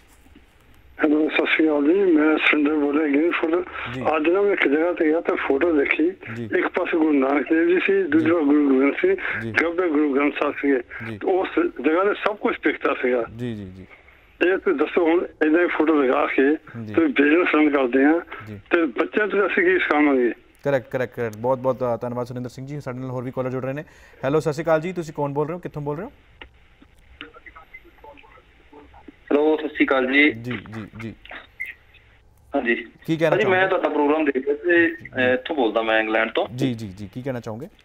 ਮੇਰਾ ਨਾਮ ਬਲਵਿੰਦਰ ਸਿੰਘ ਚਾਹਲ। ਜੀ ਚਾਹਲ ਜੀ ਕੀ ਕਹਿਣਾ ਚਾਹੋਗੇ? ਬਿਲਕੁਲ ਜੀ। ਅਸੀਂ ਪਿੱਛੇ ਜੇ ਨਾਈਟ ਕਰਵਾਈ ਇੱਕ ਗੁਰਮੀਤ ਮੀਤ ਦੀ। ਜੀ ਜੀ ਜੀ। ਪੰਜਾਬੀ ਫੋਕ ਦੇ ਉੱਤੇ ਪੰਜਾਬੀ ਨਾਲ ਮਿਲ ਕੇ। ਜੀ ਜੀ ਜੀ ਜੀ। ਤੇ ਸਾਡਾ ਸੁਨੇਹਾ ਇਹ ਸੀਗਾ ਕਿ ਲੋਕਾਂ ਨੂੰ ਪੰਜਾਬੀ ਗਾਇਕੀ ਦੇ ਨਾਲ ਜੋੜਿਆ ਜਾਵੇ। ਤੇ ਲੋਕਾਂ ਦਾ ਹੰਗਾਰਾ ਸਾਨੂੰ ਇੰਨਾ ਵਧੀਆ ਮਿਲਿਆ ਜੀ। ਲੋਕ ਚੰਗਾ 뮤직 ਅਜੇ ਵੀ ਸੁਣਨਾ ਚਾਹੁੰਦੇ ਬਿਲਕੁਲ ਚਾਹੁੰਦੇ ਨੇ। ਮੈਂ ਦੇਖਿਆ ਕਿ ਮੈਂ ਤਾਰੀਫ ਵੀ ਕਰਾਂਗਾ ਕਈ ਪ੍ਰਮੋਟਰਸ ਦੀ ਜੋ ਕਿ ਪੰਜਾਬ ਦੇ ਵਿੱਚ ਸੱਭਿਆਚਾਰ ਮੇਲਾ ਸੱਭਿਆਚਾਰਕ ਸਾਂਝ ਨੂੰ ਔਰ ਅੱਜ ਵੀ ਹੱਲਾਸ਼ੇਰੀ ਦੇ ਰਹੇ ਨੇ। ਔਰ ਮੈਂ ਵੇਖਿਆ ਕਿ ਜਿੰਨੀ ਭੀੜ ਉਸ ਕਨਸਰਟ ਦੇ ਵਿੱਚ ਨਹੀਂ ਹੁੰਦੀ ਔਰ ਉਸ ਤੋਂ ਜ਼ਿਆਦਾ ਕਿਉਂਕਿ ਉਸ ਭੀੜ ਪੇਰੈਂਟਸ ਦੀ ਹੁੰਦੀ ਹੈ ਮਾਪਿਆਂ ਦੀ ਹੁੰਦੀ ਹੈ ਫੈਮਿਲੀ ਦੀ ਭੀੜ ਹੁੰਦੀ ਹੈ ਜਿਹਦੇ ਵਿੱਚ ਤੁਸੀਂ ਅ, ਘਰ ਦੇ ਸਾਰੇ ਮੈਂਬਰਸ ਨੂੰ ਲਿਜਾ ਸਕਦੇ ਹੋ। ਕਰੈਕਟ ਅਸੀਂ ਅਸੀਂ ਆਸ ਰੱਖੀ ਸੀ ਕਿ ਸਾਨੂੰ 200 ਬੰਦਾ ਹੋ ਜਵੇ ਸਾਡੇ ਵਾਸਤੇ ਤਾਂ ਬਹੁਤ ਆ। ਪਰ ਸਾਡਾ 400 ਤੋਂ ਉੱਪਰ ਹਾਲ ਭਰ ਗਿਆ ਸੀ। ਜੀ ਦੇਖ ਲਓ ਦੇਖ ਲਓ ਦੇਖ ਲਓ ਦੇਖ ਲਓ। ਅੱਜ ਵੀ ਹੈ ਜਨੂਨ। ਪੰਜਾਬੀ ਸਾਥ ਵੱਲੋਂ ਮੋਤਾ ਸਿੰਘ ਹੋਣਾ ਨੇ ਜੀ। ਕਾਫੀ ਕੋਸ਼ਿਸ਼ ਕੀਤੀ ਤੇ ਕੁਝ ਅਸੀਂ ਨਾਲ ਉਹਨਾਂ ਦੇ ਹੋ ਕੇ ਜੋ ਪ੍ਰੋਗਰਾਮ ਕਰਵਾਇਆ ਸਾਨੂੰ ਉਹਨਾਂ ਨੇ ਸਪੋਰਟ ਕੀਤਾ ਨਾ। ਜੀ ਜੀ ਜੀ ਪਰ ਅੱਜ ਜਿਹੜੀ ਸਾਡੀ ਗਾਇਕੀ ਦੀ ਨਗਾਰ ਆਉਣ ਦਾ ਕਾਰਨ ਮੁੱਖ ਕਾਰਨ ਕੀ ਆ ਕਿ ਜਿਹੜੀ ਸਾਡੀ ਨਵੀਂ ਪੀੜ੍ਹੀ ਆ ਨਾ ਉਹ ਇੱਕਦਮ ਸਟਾਰ ਬਣਨਾ ਚਾਹੁੰਦੀ ਆ। Correct correct one one night ਚ they want to become superstar ਜੀ ਜੀ ਜੀ। ਬਸ ਅਸੀਂ ਬੜਾ ਸ਼ਾਰਟਕਟ ਲੈ ਕੇ ਆਪਣੇ ਆਪ ਨੂੰ ਟੌਪ ਤੇ ਜਾਣਾ ਚਾਹੁੰਦੇ ਆ ਕਰੈਕਟ ਕਰੈਕਟ ਕਰੈਕਟ ਜੀ। ਠੀਕ ਹੈ। ਮੈਂ ਹੋਰ ਜ਼ਿਆਦਾ ਨਹੀਂ ਕਹਿਣਾ ਚਾਹੁੰਦਾ ਕਿਉਂਕਿ ਸਾਰੇ ਮੇਰੇ ਤੋਂ ਜ਼ਿਆਦਾ ਸੀਨੀਅਰ ਤੁਹਾਡੇ ਜਿਹੜੇ ਬੁਲਾਰੇ ਸੀਗੇ ਬੋਲ ਕੇ ਗਏ ਆ। ਬਹੁਤ ਵਧੀਆ ਵਿਚਾਰ ਦਿੱਤੇ ਸਾਰਿਆਂ ਨੇ। ਜੀ ਜੀ ਜੀ ਜੀ। ਪਰ ਸਾਨੂੰ ਆਪਣੇ ਵਿਰਸੇ ਵੱਲ ਆਪਣੇ ਇਤਿਹਾਸ ਵੱਲ ਤੇ ਆਪਣੀ ਵਿਰਾਸਤ ਵੱਲ ਥੋੜੀ ਜਿਹੀ ਝਾਤੀ ਮਾਰਨੀ ਚਾਹੀਦੀ ਹੈ ਜਿਹੜੇ ਸਾਡੇ ਪ੍ਰਮੋਟਰ ਆ ਜਾਂ ਸਾਡੇ ਟੀਵੀ ਪ੍ਰੋਗਰਾਮ ਦੇ ਪ੍ਰੈਜ਼ੈਂਟਰ ਆ ਜੀ ਜੀ। ਉਹਨਾਂ ਦੀ ਜ਼ਿੰਮੇਵਾਰੀ ਜ਼ਿਆਦਾ ਵੱਧਦੀ ਹੈ ਕਿਉਂਕਿ। ਜ਼ਿੰਮੇਵਾਰ ਲੋਕਾਂ ਦਾ ਕੰਮ ਆ। ਕਰੈਕਟ ਕਰੈਕਟ ਕਰੈਕਟ ਆਪਣੀ ਆਪਣੀ ਜ਼ਿੰਮੇਵਾਰੀ ਨੂੰ ਸਮਝਣ। ਔਰ ਇੱਕ ਸੁਨੇਹਾ ਦੇਣ। ਜਿਹਦੇ ਨਾਲ ਇੱਕ ਸਕਾਰਾਤਮਕ ਜਿਹੜੀ ਸੋਚ ਆ, ਉਹ ਸ਼ੁਰੂ ਹੋ ਚੁੱਕੀ ਹੈ ਔਰ ਨਕਾਰਾਤਮਕ ਵਿਚਾਰ ਜਿਹੜੇ ਨੇ, ਉਹ ਖਤਮ ਹੋ ਚੁੱਕੇ। ਮੈਂ ਇੱਕ ਛੋਟਾ ਜਿਹਾ ਸਿਰਫ ਐਗਜ਼ਾਮਪਲ ਤੁਹਾਨੂੰ ਦੇਣਾ ਚਾਹਨਾ ਮੈਂ ਹਾਲ ਫਿਲਹਾਲ ਦੇ ਵਿੱਚ ਕਿਸੇ ਆਪਣੇ ਰਿਸ਼ਤੇਦਾਰ ਦੇ ਘਰ ਗਿਆ ਸੀਗਾ। ਮੈਂ ਪੁੱਛਿਆ, ਬੱਚੇ ਕਿੱਥੇ ਨੇ? ਕਹਿੰਦੇ, ਬੱਚੇ ਬੇਸਮੈਂਟ ਦੇ ਵਿੱਚ ਨੇ, ਉਹਨਾਂ ਦੇ ਘਰ ਦੇ ਵਿੱਚ ਪਾਰਟੀ ਚੱਲ ਰਹੀ ਸੀ। ਮੈਂ ਕਿਹਾ, ਕਿਉਂ ਬੱਚਿਆਂ ਨੂੰ ਤੁਸੀਂ ਕਿਉਂ ਨਹੀਂ ਬੁਲਾਇਆ? ਕਹਿੰਦੇ, ਅਸੀਂ ਬੱਚਿਆਂ ਨੂੰ ਇਸ ਇਸ ਪਾਰਟੀ ਦਾ ਯਾਨੀ ਕਿ ਜਿੱਥੇ ਸ਼ਰਾਬ ਸ਼ਰੂਬ ਚੱਲ ਰਹੀ ਸੀਗੀ, ਉਹਦਾ ਹਿੱਸਾ ਨਹੀਂ ਬਣਾਉਂਦੇ। ਅਸੀਂ ਨਹੀਂ ਚਾਹੁੰਦੇ ਕਿ ਉਹ ਘਰ ਦੇ ਵਿੱਚ ਜਿਹੜਾ ਇੱਕ ਸੁਨੇਹਾ ਹੈ, ਉਹਨਾਂ ਨੂੰ ਆ ਜਾ ਸਕੇ ਕਿ ਔਰ ਕੱਲ ਨੂੰ ਉਹ ਵੀ ਆਪਣੀ ਨਿੱਜੀ ਜ਼ਿੰਦਗੀ ਦੇ ਵਿੱਚ ਇਸ ਦਾ ਸੇਵਨ ਕਰਨ। ਤੇ ਮੈਂ ਤੇ ਸੁਣ ਕੇ ਹੈਰਾਨ ਵੀ ਹੋਇਆ ਕਿ ਇੱਕ ਪਾਸੇ ਤੁਸੀਂ ਸ਼ਰਾਬ ਪੀ ਵੀ ਰਹੇ ਹੋ, ਲੇਕਿਨ ਦੂਜੇ ਪਾਸੇ ਤੁਸੀਂ ਆਪਣੇ ਬੱਚਿਆਂ ਬਾਰੇ ਵੀ ਸੋਚਿਆ ਹੋਇਆ। ਤੇ ਆਪਣੇ ਆਪਣੇ ਵਿਚਾਰ ਨੇ, ਆਪਣੇ ਆਪਣੇ ਤਰਕ ਘਰ ਦੇ ਵਿੱਚ ਲੋਕਾਂ ਨੇ ਸ਼ੁਰੂ ਕੀਤੇ ਹੋਏ ਨੇ, ਤੇ ਇੱਕ ਮੁਹਿੰਮ ਜਿਹੜੀ ਆ ਉਹ ਘਰ ਤੋਂ ਹੀ ਸ਼ੁਰੂ ਹੁੰਦੀ ਹੈ। ਲੇਕਿਨ ਅਸੀਂ ਇਹੀ ਕਹਿਣਾ ਚਾਹਾਂਗੇ ਕਿ ਜਿਹੜਿਆ ਹੁਣ ਕਮੇਟੀ ਬਣਾਈ ਜਾ ਰਹੀ ਹੈ, ਇਹਦੀ ਤਜਵੀਜ਼ ਜਿਹੜੀ ਆ, ਉਹ ਪਬਲਿਕ ਡੋਮੇਨ ਦੇ ਵਿੱਚ ਸਾਫ਼ ਕੀਤੀ ਜਾਵੇ ਕਿ ਇਹ ਅਸੀਂ ਰੱਖਾਂਗੇ ਅਸੀਂ ਨਹੀਂ ਰੱਖਾਂਗੇ। ਅੱਜ ਦੇ ਮੁੱਦੇ ਦੇ ਵਿੱਚ ਤੁਹਾਨੂੰ ਜਿਹੜੇ ਸਾਡੇ ਵਿਚਾਰ ਨੇ ਔਰ ਜਿਹੜੀ ਸਾਡੀ ਗੱਲਾਂ ਨੇ ਔਰ ਜਿਹੜਾ ਅੱਜ ਅਸੀਂ ਮੁੱਦਾ ਚੁੱਕਿਆ, ਅੱਛਾ ਲੱਗਿਆ ਹੋਣਾ ਤਾਂ ਤੁਸੀਂ info@justbroadcasting.com harkirat@justbroadcasting.com ਦੇ ਉੱਤੇ ਤੁਸੀਂ ਲਿਖ ਕੇ ਭੇਜ ਸਕਦੇ ਹੋ। ਔਰ ਜੇਕਰ ਤੁਸੀਂ ਚਾਹੁੰਦੇ ਹੋ ਅਜੇ ਹੋਰ ਵੀ ਮੁੱਦੇ ਤੁਹਾਡੇ ਸਾਹਮਣੇ ਲਿਆਏ ਜਾਣ, ਤਾਂ ਤੁਸੀਂ ਉਹ ਵੀ ਮੈਨੂੰ ਲਿਖ ਕੇ ਭੇਜ ਸਕਦੇ ਹੋ। ਅੱਜ ਮੇਰੇ ਕੋਲ ਸਮਾਂ ਬਹੁਤਾ ਨਹੀਂ ਹੈਗਾ। ਮੈਂ ਰੀਅਲੀ ਅਪੋਲੋਜਾਈਜ਼ ਕਰਦਾ ਉਹਨਾਂ ਕਾਲਰਸ ਨੂੰ ਜਿਨ੍ਹਾਂ ਨੇ ਮੈਨੂੰ ਕਾਲ ਕੀਤੀ ਹੈ, ਜਿਨ੍ਹਾਂ ਦੀ ਮੈਂ ਕਾਲਸ ਨਹੀਂ ਚੱਕ ਪਾਇਆ ਬਹੁਤ ਬਹੁਤ ਧੰਨਵਾਦ ਸਤਿ ਸ੍ਰੀ ਅਕਾਲ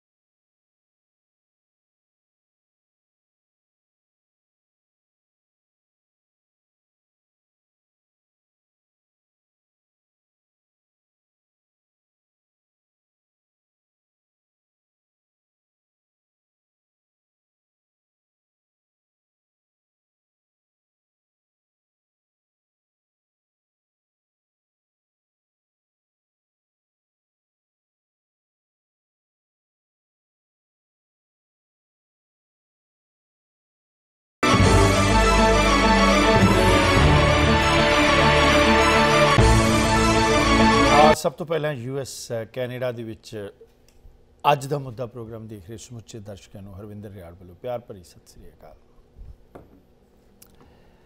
ਵੱਖ-ਵੱਖ ਵਿਸ਼ਿਆਂ ਦੇ ਉੱਤੇ ਅਸੀਂ ਪ੍ਰੋਗਰਾਮ ਜਿਹੜੇ ਆ, ਉਹ ਤੁਹਾਡੀ ਖidmat ਦੇ ਵਿੱਚ ਲੈ ਕੇ ਆਉਨੇ ਆ ਔਰ ਮੈਂ ਇੱਕ ਗੱਲ ਜ਼ਰੂਰ ਤੁਹਾਡੇ ਨਾਲ ਇੱਕ ਵਾਅਦਾ ਕੀਤਾ ਵੀ ਅਸੀਂ ਡੋਮੈਸਟਿਕ ਪੱਧਰ ਦੇ ਉੱਤੇ, ਜਿਸ ਮੁਲਕ ਦੇ ਵਿੱਚ ਅਸੀਂ ਰਹਿੰਦੇ ਆ ਜਿਹੜੀ ਧਰਤੀ ਦੇ ਉੱਤੇ ਅਸੀਂ ਰਹਿੰਦੇ ਆ ਉਹਨਾਂ ਦੇ ਉੱਤੇ ਵੀ ਵਿਸ਼ੇਸ਼ ਵਿਸ਼ੇ ਜਿਹੜੇ ਆ, ਉਹ ਜ਼ਰੂਰ ਲੈ ਕੇ ਆਇਆ ਕਰੀਏ।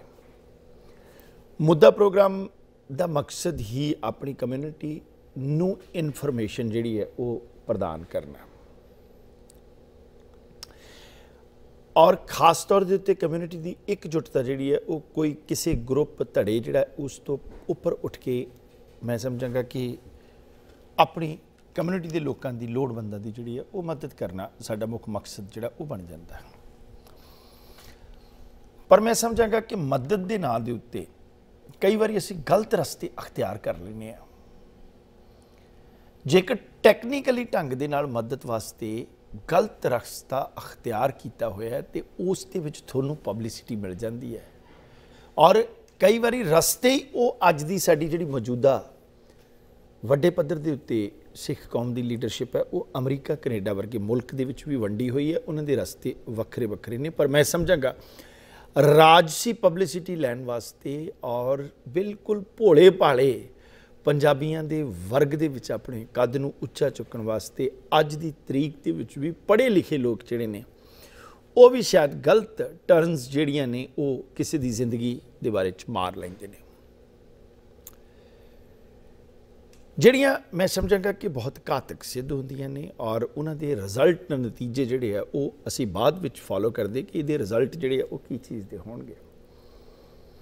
ਅੱਜ ਦੀ ਤਰੀਕ ਦੇ ਵਿੱਚ ਵੱਡੇ ਪੱਧਰ ਦੇ ਉੱਤੇ ਕਈ ਵਾਰੀ ਮੈਂ ਸਮਝਾਂਗਾ ਕਿ ਹਰ ਗੱਲ ਨੂੰ ਧਰਮ ਦੇ ਨਾਲ ਜੋੜ ਦਿੱਤਾ ਜਾਂਦਾ ਹੈ। ਹਰ ਛੋਟੀ ਤੋਂ ਛੋਟੀ ਗੱਲ ਜਿਹੜੀ ਹੈ ਉਹ ਲੋਕਾਂ ਨੂੰ ਪ੍ਰਭਾਵਿਤ ਕਰਨ ਵਾਸਤੇ, ਲੋਕਾਂ ਦੇ ਮਨ ਅੰਦਰ ਸਿੰਪਥੀ ਪੈਦਾ ਕਰਨ ਵਾਸਤੇ ਜਾਂ ਕਿਸੇ ਹਿੱਸੇ ਦੇ ਅੰਦਰ ਭੜਕਾਟ ਪੈਦਾ ਕਰਨ ਵਾਸਤੇ, ਮਤਲਬ ਇਸ ਤਰ੍ਹਾਂ ਦੀਆਂ ਚੀਜ਼ਾਂ ਜਿਹੜੀਆਂ ਨੇ, ਅੱਜ ਸਾਡੇ ਧਰਮਾਂ ਦੇ ਨਾਂ ਦੇ ਉੱਤੇ ਔਰ ਬਹੁਤ ਵਧੀਆ ਚਿਹਰਿਆਂ ਦੇ ਨਾਲ ਦੁਕਾਨਾਂ ਜਿਹੜੀਆਂ ਨੇ, ਉਹ ਖੁੱਲੀਆਂ ਹੋਈਆਂ ਨੇ।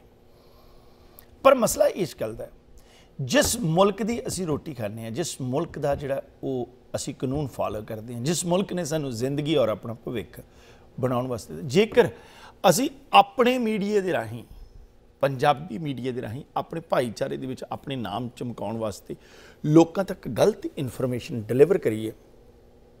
ਕੰਟਰੀ ਬਾਰੇ ਸਿਸਟਮ ਬਾਰੇ। ਤਾਂ ਮੇਰਾ ਖਿਆਲ ਹੈ ਕਿ ਫਿਰ ਉਹ ਧਰਤੀ ਜਿਹੜੀ ਹੈ, ਉਹ ਮੁਆਫ ਨਹੀਂ ਕਰਦੀ। ਔਰ ਇਹ ਕੋਈ ਵੀ ਇਸ ਤਰ੍ਹਾਂ ਦੀ ਗਲਤਫਹਿਮੀ, ਮੈਂ ਤੁਹਾਨੂੰ ਦੱਸਾਂਗਾ ਕਿ ਜਿੱਥੇ ਨਸਲੀ ਵਿਤਕਰਿਆਂ ਦੀਆਂ ਕਈ ਗੱਲਾਂ ਹੁੰਦੀਆਂ ਨੇ, ਪਰ ਮੈਂ ਸਮਝਾਂਗਾ ਨਸਲੀ ਵਿਤਕਰਿਆਂ ਦੀਆਂ ਗੱਲਾਂ ਹਰ ਥਾਂ ਦੇ ਉੱਤੇ ਹੁੰਦੀਆਂ ਨੇ। ਕੀ ਅੱਜ ਜੇ ਅਮਰੀਕਾ ਦੇ ਵਿੱਚ ਦੋ ਬੰਦਿਆਂ ਨਾਲ ਕੋਈ ਨਸਲੀ ਵਿਤਕਰਾ ਹੋਇਆ ਤੇ ਕੀ ਅਸੀਂ ਇਸ ਗੱਲ ਨੂੰ ਛੱਡ ਦਈਏ ਕਿ ਇਹ ਅਸੀਂ ਸਾਡੇ ਆਪਣੇ ਮੁਲਕ ਦੇ ਵਿੱਚ, ਇੰਡੀਆ ਦੇ ਵਿੱਚ ਕੇਸ ਵੱਡੇ ਪੱਧਰ ਦੇ ਉੱਤੇ ਨਸਲੀ ਵਿਤਕਰਾ ਹੋ ਰਿਹਾ?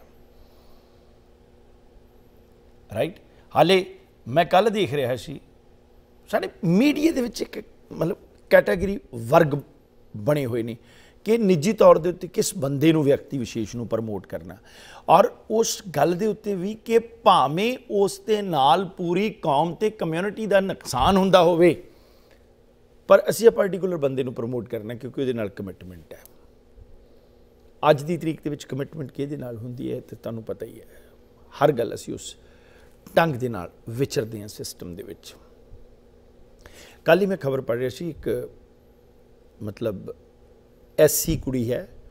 ਉਹਨੇ ਪੀਟੀ ਊਸ਼ਾ ਦਾ ਤੇ ਮਿਲਖਾ ਸਿੰਘ ਦਾ ਰਿਕਾਰਡ ਬ੍ਰੋਕ ਕੀਤਾ ਦੌੜ ਦੇ ਵਿੱਚ। ਪਰ ਉਹਨੂੰ ਮੀਡੀਆ ਦੇ ਵਿੱਚ ਤਾਂ ਨਹੀਂ ਉਭਾਰਿਆ ਗਿਆ। ਫਿਰ ਗੱਲ ਤਾਂ ਇਹੀ ਹੋਏਗੀ ਕਿ ਡਿਸਕ੍ਰਿਮੀਨੇਸ਼ਨ ਹੈ। ਰਾਈਟ ਹਰ ਜਗ੍ਹਾ ਦੇ ਉੱਤੇ ਨਸਲੀ ਵਿਤਕਰਾ ਜਿਹੜਾ, ਉਹ ਅੱਜ ਦੀ ਤਰੀਕ ਦੇ ਵਿੱਚ ਹੋ ਰਿਹਾ। ਪਰ ਜੇਕਰ ਉਹਦੇ ਹੱਲ ਸਾਰਥਕ ਰੂਪ ਦੇ ਵਿੱਚ ਲੱਭਣ ਦੀ ਅਸੀਂ ਗੱਲ ਕਰੀਏ ਤਾਂ ਫਿਰ ਮੇਰਾ ਖਿਆਲ ਹੈ ਕਿ ਆਪਣੀਆਂ ਤਸਵੀਰਾਂ, ਆਪਣੀਆਂ ਫੋਟੋ, ਆਪਣੀਆਂ ਅਖਬਾਰਾਂ ਦੇ ਵਿੱਚ ਖਬਰਾਂ, ਆਪਣੀਆਂ ਟੈਲੀਵਿਜ਼ਨ ਦੇ ਵਿੱਚ ਸਟੇਟਮੈਂਟਾਂ ਜਿਹੜੀਆਂ ਉਹ ਤੁਹਾਨੂੰ ਨਹੀਂ ਦੇਣੀਆਂ ਪੈਣਗੀਆਂ। ਮੈਂ ਹਾਲੀਆ ਮਿਸਾਲ ਜਿਹੜੀ ਉਹ ਅੱਜ ਵਿਸ਼ੇਸ਼ ਪ੍ਰੋਗਰਾਮ ਕਰ ਰਿਹਾ ਕਿ ਪਿਛਲੇ ਦਿਨਾਂ ਦੇ ਵਿੱਚ ਤੁਸੀਂ ਤਕਰੀਬਨ ਤਕਰੀਬਨ ਛਪਣ ਵਾਲੀਆਂ ਜਿਹੜੀਆਂ ਅਖਬਾਰਾਂ ਨੇ ਦੇਸ਼ ਵਿਦੇਸ਼ ਦੇ ਵਿੱਚ, ਉਹਨਾਂ ਦੇ ਵਿੱਚ ਚਟਪਟੀਆਂ ਖਬਰਾਂ ਵੱਡੇ ਪੱਧਰ ਦੇ ਉੱਤੇ ਇਹ ਤੁਹਾਨੂੰ ਦੇਖਣ ਨੂੰ ਮਿਲੀਆਂ ਹੋਣਗੀਆਂ ਕਿ ਔਰੇਗਨ ਦੀ ਜਿਹੜੀ ਇੱਕ ਜੇਲ੍ਹ ਹੈ ਸਿਆਟਲ ਦੇ ਕੋਲੇ ਵਾਸ਼ਿੰਗਟਨ ਸਟੇਟ ਦੇ ਵਿੱਚ ਪੈਂਦੀ ਹੈ। ਔਰੇਗਨ ਦੀ ਜੇਲ੍ਹ ਦੇ ਵਿੱਚ 52 ਜਿਹੜੇ ਹੈ, ਉਹ ਇੰਡੀਅਨ ਪਾਪ, ਪੰਜਾਬੀ ਮੁੰਡੇ ਕੈਦ ਹੈ। ਔਰ ਉੜਦੀ ਉੜਦੀ ਕਿਤੇ ਇਹ ਵੀ ਖਬਰ ਆ ਗਈ ਕਿ ਉੱਥੇ 52 ਜਿਹੜੇ ਨੇ, ਉਹਨਾਂ ਨੂੰ ਸੰਗਲਾਂ ਨਾਲ ਬੰਨਿਆ ਹੋਇਆ। ਹੁਣ ਤੁਸੀਂ ਇੱਕ ਗੱਲ ਦੇਖੋ ਕਿ ਕਦੇ ਅਮਰੀਕਾ ਦੇ ਵਿੱਚ ਇਹ ਗੱਲ ਹੋਈ ਹੈ ਕਿ ਕਿਸੇ ਬੰਦੇ ਨੂੰ ਜੇਲ੍ਹ ਦੇ ਵਿੱਚ ਵੀ ਮਤਲਬ ਮੈਂ ਸਮਝਾਂਗਾ ਕਿ ਉਹਦੇ ਨਾਲ ਮਨੁੱਖੀ ਅਧਿਕਾਰਾਂ ਦੀ ਉਲੰਘਣਾ ਹੋਵੇ। ਬਿਲਕੁਲ ਨਹੀਂ। ਔਰ ਇਸ ਇਹ ਖਬਰ ਪਹਿਲਾਂ ਪਤਾ ਨਹੀਂ ਕਿਸ ਬੰਦੇ ਨੇ ਜਨਰੇਟ ਕਰ ਦਿੱਤੀ, ਇਹ ਗਲਤ ਜਿਹੜੀ ਸੀ ਖਬਰ ਸੀ। ਉਸ ਦੇ ਉੱਤੇ ਬਵੇਲਾ ਵੀ ਹੋਇਆ ਔਰ ਕਈ ਲੋਕ ਜਿਹੜੇ ਸੀ ਉਹ ਆਪਣੀ ਰਾਜਨੀਤੀ, ਸਿਆਸੀ ਸੂਝ-ਬੂਝ ਔਰ ਬਕਾਇਦਾ ਤੌਰ ਦੇ ਉੱਤੇ ਤਮਗੇ, ਚਿਹਰੇ, ਅਖਬਾਰਾਂ, ਮੀਡੀਆ ਦੇ ਵਿੱਚ ਚਮਕਾਉਣ ਵਾਸਤੇ ਕਈਆਂ ਦੇ ਕੋਈ ਰਿਸ਼ਤੇਦਾਰ ਵੀ ਹੋਣਗੇ ਔਰ ਮੇਰਾ ਖਿਆਲ ਕਿ ਕੋਈ ਇਸ ਤਰ੍ਹਾਂ ਦੀ ਵੀ ਹੋਈ ਕਿ ਇੱਕ ਐਜੀਟੇਸ਼ਨ ਜੇਲ੍ਹ ਦੇ ਬਾਹਰ ਜਾਂ ਉਹ ਨੌਜਵਾਨਾਂ ਵਾਸਤੇ ਜਾਂ ਉਹਨਾਂ ਨੂੰ ਅਸੀਂ ਗ੍ਰੰਥੀ ਅੰਦਰ ਭੇਜਣਾ। ਹੁਣ ਅਮਰੀਕਾ ਦੀਆਂ ਜੇਲ੍ਹਾਂ ਕਾਨੂੰਨ ਮੁਤਾਬਕ ਚੱਲਦੀਆਂ ਨੇ ਭਾਵੇਂ 5000 ਬੰਦੇ ਦਾ ਐਜੀਟੇਸ਼ਨ ਭਾਵੇਂ 20000 ਦਾ। ਕਿਸੇ ਜੇਲ੍ਹ ਮੋਰੇ ਐਜੀਟੇਸ਼ਨ ਤੁਸੀਂ ਕਰਦੇ ਹੋ ਪਰ ਕਾਨੂੰਨ ਦੇ ਅਨੁਸਾਰ ਤੁਹਾਡੀ ਇੱਕ ਵੀ ਗੱਲ ਨਹੀਂ ਮੰਨੀ ਜਾਏਗੀ ਕਿਉਂਕਿ ਇਹ ਮੁਲਕ ਕਾਨੂੰਨ ਦੇ ਨਾਲ ਚੱਲਦਾ ਹੈ। ਤੇ ਜੇ ਅਸੀਂ ਉਹ ਗਲਤ ਰਸਤੇ ਇਖਤਿਆਰ ਕਰਾਂਗੇ ਤੇ ਹੋ ਸਕਦਾ ਇਸ ਗੱਲ ਦੇ ਨਾਲ ਸਾਡੇ ਜਿਹੜੇ ਉਹ ਬੰਦੇ ਆ, ਉਹ ਨੁਕਸਾਨ ਉਹਨਾਂ ਦਾ ਹੋਵੇ। ਹੁਣ ਇਹ ਗੱਲ ਉੱਭਰ ਕੇ ਸਾਹਮਣੇ ਆ ਗਈ ਵੀ ਨਹੀਂ ਜੀ, ਉਹ ਬਿਲਕੁਲ ਗਲਤ ਨਹੀਂ। ਗਲਤ ਹੈ, ਗੱਲ ਗਲਤ ਹੈ। ਅੱਜ ਉਹ ਉੱਭਰ ਕੇ ਆ ਗਈ ਗੱਲ। ਇੱਕ ਨੌਜਵਾਨ, ਮੈਂ ਜਿਹਦਾ ਨਾਂ ਨਹੀਂ ਲਵਾਂਗਾ, ਉਹ ਔਰੇਗਨ ਦੀ ਜੇਲ੍ਹ ਦੇ ਵਿੱਚੋਂ ਆਇਆ, ਉਹ ਕਹਿੰਦਾ ਜੀ, ਬਿਲਕੁਲ ਨਹੀਂ, ਉੱਥੇ ਇਦਾਂ ਦੀ ਕੋਈ ਗੱਲ। ਉਹ ਨੌਜਵਾਨ ਨੇ ਆਪਣੀ ਆਪ ਕਹਾਣੀ ਦੱਸੀ ਜੀ 22 ਦਿਨਾਂ ਬਾਅਦ, ਮੈਂ 22 ਦਿਨ ਜੇਲ੍ਹ 'ਚ ਰਿਹਾ, ਜਦੋਂ ਸਾਡੇ ਪੰਜਾਬੀ ਬਾਰਡਰ ਟੱਪ ਕੇ ਇੱਧਰ ਦਾਖਲ ਹੁੰਦੇ ਨੇ, ਤਾਂ ਮੈਂ ਸਮਝਾਂਗਾ ਸਾਰਾ ਜ਼ੋਖਮ ਉਹਨਾਂ ਦਾ ਖਤਮ ਹੋ ਜਾਂਦਾ, ਭਾਵੇਂ ਉਹ ਜੇਲ੍ਹ 'ਚ ਹੀ ਆ ਜਾਂਦੇ ਨੇ। ਕਾਨੂੰਨ ਹੈ ਉਹਨਾਂ ਨੂੰ ਜੇਲ੍ਹ ਦੇ ਵਿੱਚ ਲੈ ਕੇ ਜਾਣਾ ਔਰ ਉਸ ਜੇਲ੍ਹ ਦੇ ਵਿੱਚੋਂ ਫਿਰ ਉਹਨਾਂ ਦੇ ਬਾਉਂਡ ਹੋ ਕੇ ਬਾਉਂਡ ਭਰ ਕੇ ਬਕਾਇਦਾ ਤੌਰ ਦੇ ਉੱਤੇ ਉਹਨਾਂ ਨੂੰ, ਉਹਨਾਂ ਦੀ ਪਛਾਣ ਹੁੰਦੀ ਹੈ ਵੀ ਆਹ ਬੰਦਾ ਹੈ, ਉਹਦਾ ਬਾਉਂਡ ਭਰਿਆ, ਆਹ ਉਹਦਾ ਰਿਸਪੌਂਸੀਬਲ ਹੈ, ਵਕੀਲ ਦੇ ਰਾਹੀਂ ਉਹਨਾਂ ਦੀ ਬੇਲ ਹੋ ਜਾਂਦੀ ਹੈ। ਔਰ ਹਰ ਇੱਕ ਵਿਅਕਤੀ ਜਿਹੜਾ ਬਾਰਡਰ ਟੱਪ ਕੇ ਆਉਣ ਵਾਲਾ, ਅਮਰੀਕਾ ਦੇ ਵਿੱਚ ਦਾਖਲ ਹੋਣ ਵਾਲਾ, ਰਾਜਸੀ ਸ਼ਰਨ ਵਾਸਤੇ ਪੋਲੀਟੀਕਲ ਅਸਾਈਲਮ ਵਾਸਤੇ ਉਹ ਅਮਰੀਕਾ ਦੇ ਵਿੱਚ ਪੈਰ ਧਰਦੇ ਨੇ। ਔਰ ਹਰ ਪੋਲੀਟੀਕਲ ਅਸਾਈਲਮ ਲੈਣ ਵਾਲੇ ਦੀ ਕਹਾਣੀ ਜੋ ਮਰਜ਼ੀ ਹੋਵੇ, ਔਰ ਉਹ ਕਹੇਗਾ ਕਿ ਭਾਰਤ ਦੇ ਵਿੱਚ ਇੰਡੀਆ ਦੇ ਵਿੱਚ ਇਸ ਜਗ੍ਹਾ ਦੇ ਉੱਤੇ ਸਾਡੇ ਤੇ ਤਸ਼ੱਦਦ ਬਹੁਤ ਹੋਇਆ ਸਾਨੂੰ ਇਸ ਗੱਲ ਨਾਲ ਕੀ ਲੈਣਾ ਦੇਣਾ ਹੈ? ਕਿ ਜੇਕਰ ਕਿਸੇ ਵੀ ਢੰਗ ਦੇ ਨਾਲ ਅੱਜ ਪੋਲੀਟੀਕਲ ਅਸਾਈਲਮ ਗ੍ਰਾਂਟ ਹੋ ਕੇ ਸਾਡੇ ਪੰਜਾਬੀ ਜਿਹੜੇ ਨੇ ਜਿੱਥੇ ਨਸ਼ਿਆਂ ਦੀ ਮਾਰ ਪੈ ਰਹੀ ਹੈ, ਜਿੱਥੇ ਦਲਦਲ ਦੇ ਵਿੱਚ ਧਸ ਰਹੇ ਨੇ, ਕੋਈ ਜੌਬ ਨਹੀਂ, ਕੋਈ ਨੌਕਰੀ ਨਹੀਂ ਉਸ ਕੰਟਰੀ ਦੇ ਵਿੱਚ, ਸਾਡੀ ਦੇ ਵਿੱਚ। ਔਰ ਜੇਕਰ ਉੱਥੋਂ ਦੇ ਨੌਜਵਾਨ ਇੱਥੇ ਆ ਕੇ ਆਪਣਾ ਭਵਿੱਖ ਜਿਹੜਾ ਉਹ ਸੈਟਲ ਕਰਨਾ ਚਾਹੁੰਦੇ ਆ, ਤਾਂ ਮੈਂ ਸਮਝਾਂਗਾ ਕਿ ਉੱਥੇ ਸਾਨੂੰ ਸਹੀ ਕਦਮ ਚੱਕਣਾ ਪਏਗਾ। ਕਦਮ ਕਿੱਥੇ ਗਲਤ ਚੱਕੇ ਗਏ, ਇਹ ਦੱਸਾਂਗਾ ਮੈਂ ਤੁਹਾਨੂੰ। ਪਰ ਮੈਨੂੰ ਲੈਣਾ ਪਏਗਾ ਇੱਕ ਛੋਟਾ ਜਿਹਾ ਬ੍ਰੇਕ ਪ੍ਰੋਗਰਾਮ ਔਰ ਆਪਣੀ ਗੱਲਬਾਤ ਨੂੰ ਕੰਟੀਨਿਊ ਜਾਰੀ ਰੱਖਦਾ। ਮਿਲਦੇ ਛੋਟੇ ਜਿਹੇ ਬ੍ਰੇਕ ਤੋਂ ਬਾਅਦ।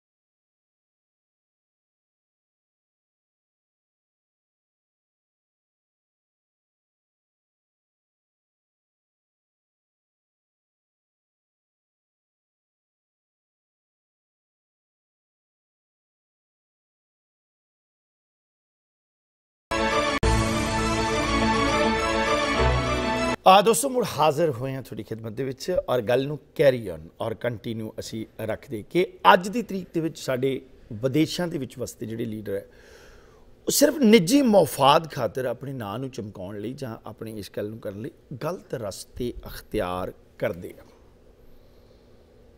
ਔਰ ਦੂਜੇ ਸ਼ਬਦਾਂ ਦੇ ਵਿੱਚ ਮੈਂ ਇੱਕ ਗੱਲ ਜ਼ਰੂਰ ਕਹਾਂਗਾ। ਅੱਜ ਕੈਨੇਡਾ ਔਰ ਅਮਰੀਕਾ ਦੇ ਵਿੱਚ ਸਿੱਖ ਕੌਮ ਦੀ ਵੱਧ ਰਹੀ ਤਾਕਤ ਸਿੱਖ ਕੌਮ ਦਾ ਵੱਧ ਰਿਹਾ ਮਾਣ, ਇੱਜ਼ਤ ਜਿਹੜਾ ਉਹ ਜਿੰਨੀ ਕੁੱਟ ਸਿੱਖ ਕੌਮ ਨੂੰ 1947 ਤੋਂ ਬਾਅਦ ਪੰਜਾਬ ਦੀ ਧਰਤੀ ਤੇ ਜਾਂ ਹਿੰਦੁਸਤਾਨ ਦੇ ਵਿੱਚ ਪਈ ਹੈ, ਮੇਰਾ ਖਿਆਲ ਹੈ ਕਿ ਕਿਸੇ ਕੌਮ ਨੂੰ ਪਈ ਹੋਏਗੀ। ਸਭ ਤੋਂ ਵੱਡੇ ਪੱਧਰ ਦੇ ਉੱਤੇ ਜ਼ੁਲਮ ਜਿਹੜਾ ਸਾਡੇ ਆਪਣੇ ਮੁਲਕ ਦੇ ਵਿੱਚ ਆਪਣੇ ਹੀ ਮੁਲਕ ਦੇ ਵਿੱਚ ਇਹ ਬਹੁਤ ਵੱਡਾ ਜ਼ੁਲਮ ਹੋਇਆ ਪਰ ਮੈਂ ਸਮਝਾਂਗਾ ਕਿ ਸਭ ਕੁਝ ਗਵਾ ਬੈਠੇ ਉਜਾੜ ਚੁੱਕੇ, ਧਾਰਮਿਕ ਸਥਾਨਾਂ ਨੂੰ ਅੱਗਾ ਤੱਕ ਲੱਗ ਗਈਆਂ ਨਸਲ ਕੁਸ਼ੀ ਹੋਈ ਇਨਡਾਇਰੈਕਟਲੀ ਅੱਜ ਵੀ ਹੋ ਰਹੀ ਹੈ, ਪਰ ਮੈਂ ਸਮਝਾਂਗਾ ਕਿ ਉਸ ਤੋਂ ਬਾਅਦ ਜੇਕਰ ਵਿਦੇਸ਼ੀ ਧਰਤੀ ਦੇ ਉੱਤੇ ਮਿਹਨਤ ਮੁਸ਼ਕਲ ਕਰਕੇ ਸਿੱਖ ਕੌਮ ਨੇ ਅੱਜ ਆਪਣਾ ਨਾਂ ਉੱਚਾ ਕੀਤਾ ਕੈਨੇਡਾ ਦੀ ਧਰਤੀ ਦੇ ਉੱਤੇ, ਜੋ ਸਲੂਕ ਸਾਡੇ ਇੱਕ ਸਿੱਖ ਕੈਨੇਡਾ ਦੀ ਧਰਤੀ ਤੋਂ ਗਏ, ਸਿੱਖ ਮੈਂ ਸਮਝਾਂਗਾ ਕਿ ਰੱਖਿਆ ਮੰਤਰੀ ਦੇ ਨਾਲ ਉਸ ਕੰਟਰੀ ਦੇ ਵਿੱਚ ਕੀਤਾ ਗਿਆ। ਉਹਦੀ ਸਾਨੂੰ ਮਿਸਾਲ ਕਦੇ ਵੀ ਭੁੱਲਣੀ ਨਹੀਂ ਚਾਹੀਦੀ, ਪਰ ਮੈਂ ਸਮਝਾਂਗਾ ਕਿ ਹਰ ਕੰਟਰੀ ਦੇ ਵੀ ਆਪਣੇ ਅਸੂਲ ਹੁੰਦੇ ਨੇ। ਉਹਨਾਂ ਨੇ ਸਾਡੇ ਰੂਪ ਦੇ ਵਿੱਚ, ਸਾਡੇ ਧਰਮ ਦੇ ਵਿੱਚ ਬਹੁਤ ਹੀ ਖੂਬਸੂਰਤ ਆਮ ਸਿੱਖਾਂ ਨਾਲੋਂ ਵੀ ਸੋਹਣੇ ਸਜਾ ਕੇ ਜਿਹੜੇ ਲੋਕ ਹੈ, ਉਹ ਇਨਡਾਇਰੈਕਟਲੀ ਜਿਹੜੇ ਨੇ, ਉਹ ਸਾਡੀ ਕੌਮ ਦੇ ਵਿੱਚ ਹੀ ਵਾੜ ਦਿੱਤੇ, ਜਿਹੜਾ ਕਿ ਬਹੁਤ ਵੱਡਾ ਨੁਕਸਾਨ ਹੋ ਰਿਹਾ। ਜਿਨ੍ਹਾਂ ਨੂੰ ਅਸੀਂ ਮਤਲਬ ਸ- ਅਸੀਂ ਜਾਣਦੇ ਹੋਏ ਵੀ ਮੂੰਹ ਖੋਲਣ ਵਾਸਤੇ ਤਿਆਰ ਨਹੀਂ ਉਹਨਾਂ ਲੋਕਾਂ ਵਾਸਤੇ।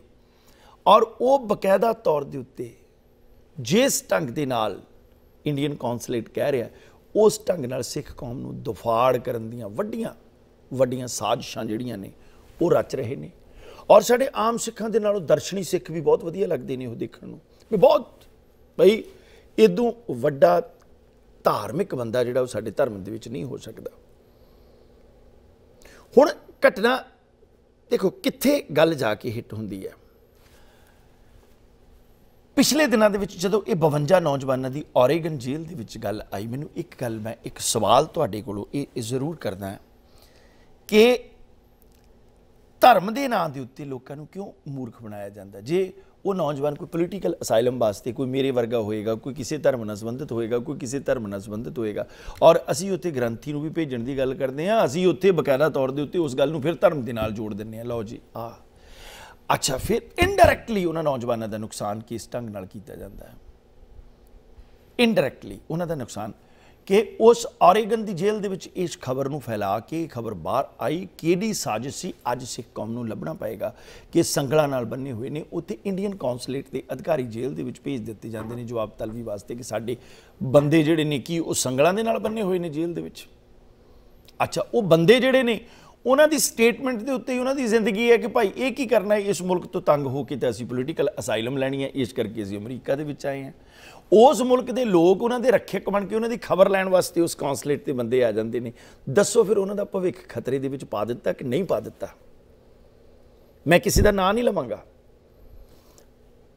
ਅਸਲ ਗੱਲ ਕੀ ਹੈ? ਸਿੱਖਾਂ ਨੂੰ ਤਾਰਪੀਡੋ ਕਰਨ ਵਾਸਤੇ, ਸਿੱਖਾਂ ਦਾ ਨੁਕਸਾਨ ਕਰਨ ਵਾਸਤੇ ਬਕਾਇਦਾ ਤੌਰ ਦੇ ਉੱਤੇ ਉਹਨਾਂ ਬੰਦਿਆਂ ਨੇ ਅੰਬੈਸੀ ਦੇ ਬੰਦੇ ਅੰਦਰ ਭੇਜ ਦਿੱਤੇ।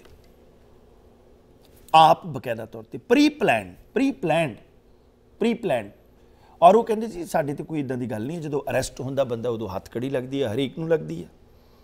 ਛੋਟੇ ਤੋਂ ਛੋਟਾ ਅਪਰਾਧ ਵੀ ਹੈ ਕਿ ਜਦੋਂ ਤੱਕ ਉਹਨਾਂ ਨੇ ਪੁਲਿਸ ਸਟੇਸ਼ਨ ਦੇ ਵਿੱਚ ਲੈ ਜਾਣਾ, ਜਦੋਂ ਜੇਲ੍ਹ ਦੇ ਵਿੱਚ ਆ ਜਾਂਦੇ ਨੇ ਬੰਦੇ, ਉਸੇ ਵੇਲੇ ਉਹਨਾਂ ਦੀ ਹੱਥ ਕੜੀ ਖੋਲ ਦਿੱਤੀ ਜਾਂਦੀ ਹੈ। ਰਾਈਟ ਔਰ ਸਭ ਤੋਂ ਵੱਡੀ ਗੱਲ ਕਿ ਉਹ ਨੌਜਵਾਨ ਜਿਹੜਾ ਇੱਕ ਬਾਹਰ ਆਇਆ ਹੈ, ਉਹਨੇ ਸਟੇਟਮੈਂਟ ਦਿੱਤੀ ਹੈ ਜੀ, ਜਦੋਂ ਸਾਨੂੰ ਅਰੈਸਟ ਵੀ ਕਰਦੇ, ਹਰ ਬੰਦੇ ਨੂੰ ਅਰੈਸਟ ਕਰਦੇ ਨੇ, ਉਹ ਜਿਹੜਾ ਵੀ ਬਾਰਡਰ ਟੱਪਿਆ, ਉਹਨਾਂ ਨੇ ਕਹਿਣਾ, ਆ ਜਾਓ, ਕੋਈ ਮਾਰਦੇ ਨਹੀਂ, ਕੋਈ ਕੁਛ ਨਹੀਂ, ਕੋਈ ਉਹ ਕਹਿੰਦਾ ਜੀ ਈਵਨ ਟਲ ਬੈਡ ਲੈਂਗੁਏਜ ਵੀ ਉਹ ਨਹੀਂ ਕਰਦੇ, ਉਹ ਸਾਨੂੰ ਐਂਟਰ ਹੁੰਦਿਆਂ ਨੂੰ ਨਮਸਤੇ ਜਾਂ ਸਤਿ ਸ੍ਰੀ ਅਕਾਲ ਕਹਿੰਦੇ ਆ।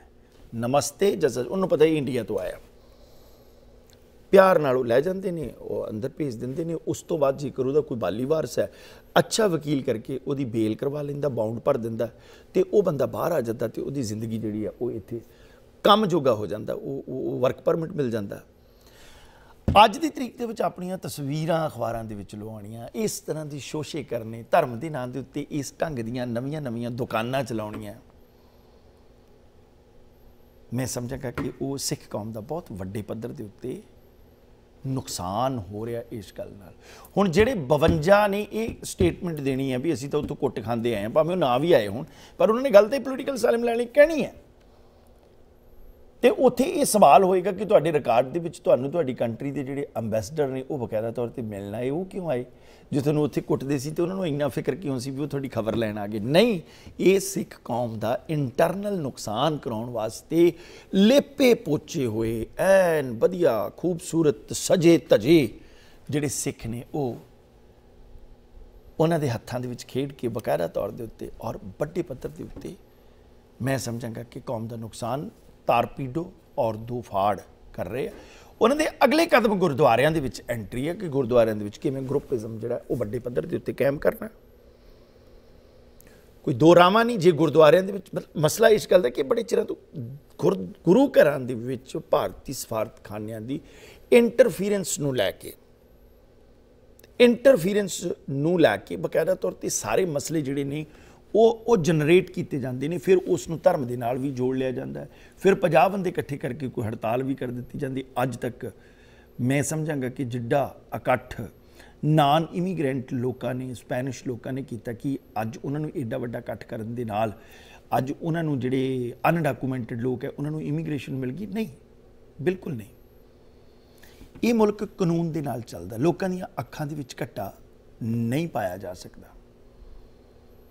ਅੱਜ ਜੇ ਉਹਨਾਂ ਸਿੱਖ ਲੀਡਰਾਂ ਨੇ ਸਹੀ ਢੰਗ ਦੇ ਨਾਲ ਮੈਂ ਚੈਲੰਜ ਕਰਦਾ ਜੇ ਮਦਦ ਕਰਨੀ ਹੈ 52 ਜਿਹੜੇ ਜਿਹਨੇ ਜਿਹੜੇ ਅੰਦਰ ਬੰਦ ਨੇ, ਉਹ ਇਸੇ ਕਰਕੇ ਬੰਦ ਹੈ ਕਿ ਉਹਨਾਂ ਦਾ ਇੱਥੇ ਕੋਈ ਰਿਸ਼ਤੇਦਾਰ ਨਹੀਂ, ਉਹਨਾਂ ਦਾ ਬਾਲੀ ਵਾਰਸ ਨਹੀਂ ਹੈ।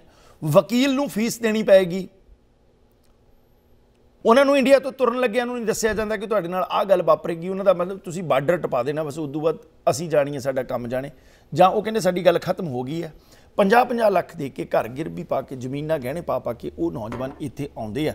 ਤੇ ਅਸੀਂ ਉਹਨਾਂ ਦਾ ਜਿੱਥੇ ਉਹਨਾਂ ਨੇ ਫਿਊਚਰ ਬਣਾਉਣਾ ਹੈ, ਕਿੱਥੇ ਉਹਨਾਂ ਨੇ ਇੱਥੇ ਕੰਮ ਕਰਕੇ, ਮਿਹਨਤ ਮੁਸ਼ਕਲ ਕਰਕੇ ਇੱਕ ਨਹੀਂ, ਪੂਰਾ ਪਰਿਵਾਰ ਦੋ ਤਿੰਨ ਪਰਿਵਾਰ ਜਿਹੜੇ ਆ ਘੱਟੋ ਘੱਟ ਆਪਣੇ ਨਾਲ ਰਿਲੇਟਡ ਜਿਹੜੇ ਆ, ਉਹਨਾਂ ਦੀ ਰੋਟੀ ਪਾਣੀ ਦਾ ਵਧੀਆ ਜਗਾੜ ਕੇ ਉਹ ਚੰਗੇ ਢੰਗ ਨਾਲ ਮੁਲਕ ਦੇ ਵਿੱਚ ਬੇਰੋਜ਼ਗਾਰੀ ਦੇ ਦੌਰ ਦੇ ਵਿੱਚ ਉੱਥੇ ਰੋਟੀ ਖਾ ਸਕਣ। ਤੇ ਅਸੀਂ ਸਿਰਫ ਆਪਣੀ ਲੀਡਰੀ ਚਮਕਾਉਣ ਵਾਸਤੇ ਅੰਬੈਸੀਆਂ ਦੇ ਹੱਥਾਂ ਦੇ ਵਿੱਚ ਖੇਡ ਕੇ ਜਿਨ੍ਹਾਂ ਲੋਕਾਂ ਦੇ ਖਿਲਾਫ ਉਹਨਾਂ ਨੇ ਸਟੇਟਮੈਂਟ ਦੇ ਕੇ ਇੱਥੇ ਪੇਪਰ ਲੈਣੇ ਆ, ਉਹਨਾਂ ਲੋਕਾਂ ਨੂੰ ਉਹਨਾਂ ਦੀ ਖਬਰਸਾਰ ਵਾਸਤੇ ਉੱਥੇ ਲਿਜਾ ਕੇ ਜੇਲ੍ਹ ਦੇ ਵਿੱਚ ਬਿਠਾਲ ਦਿੱਤਾ। ਕਦੋਂ ਸਮਝਾਂਗੇ?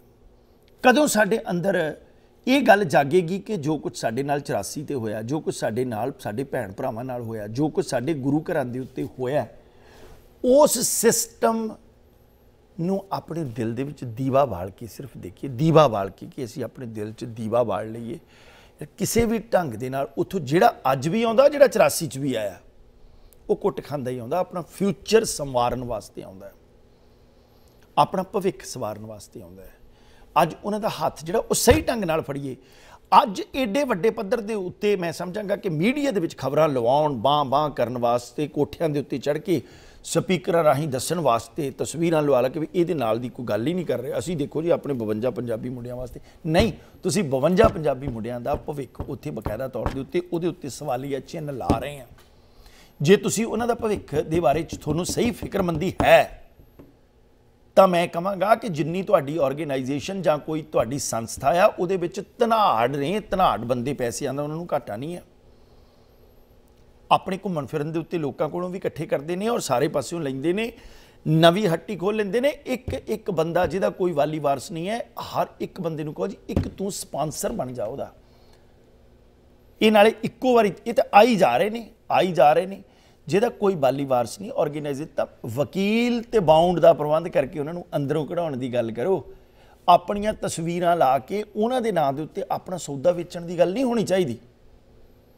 ਮੈਂ ਕਿਸੇ ਆਰਗੇਨਾਈਜੇਸ਼ਨ ਦਾ ਨਾਂ ਨਹੀਂ ਲੈਂਦਾ। ਮੈਂ ਕਿਸੇ ਵਿਅਕਤੀ ਵਿਸ਼ੇਸ਼ ਦਾ ਨਾਂ ਨਹੀਂ ਲੈਂਦਾ। ਪਰ ਮੈਂ ਇੱਕ ਗੱਲ ਜ਼ਰੂਰ ਸਮਝਦਾ ਕਿ ਮੇਰੇ ਕਾਲਰ ਮੇਰੇ ਲੋਕ ਜਿਹੜੇ ਨੇ, ਉਹਨਾਂ ਬੰਦਿਆਂ ਨੂੰ ਰੈਕੋਗਨਾਈਜ਼ ਕਰਦੇ ਨੇ ਅੱਜ ਦੀ ਤਰੀਕ ਦੇ ਵਿੱਚ, ਜਿੰਨਾ ਔਰੇਗਨ ਨੂੰ ਲੈ ਕੇ ਡਰਾਮਾ ਰਚਿਆ ਗਿਆ।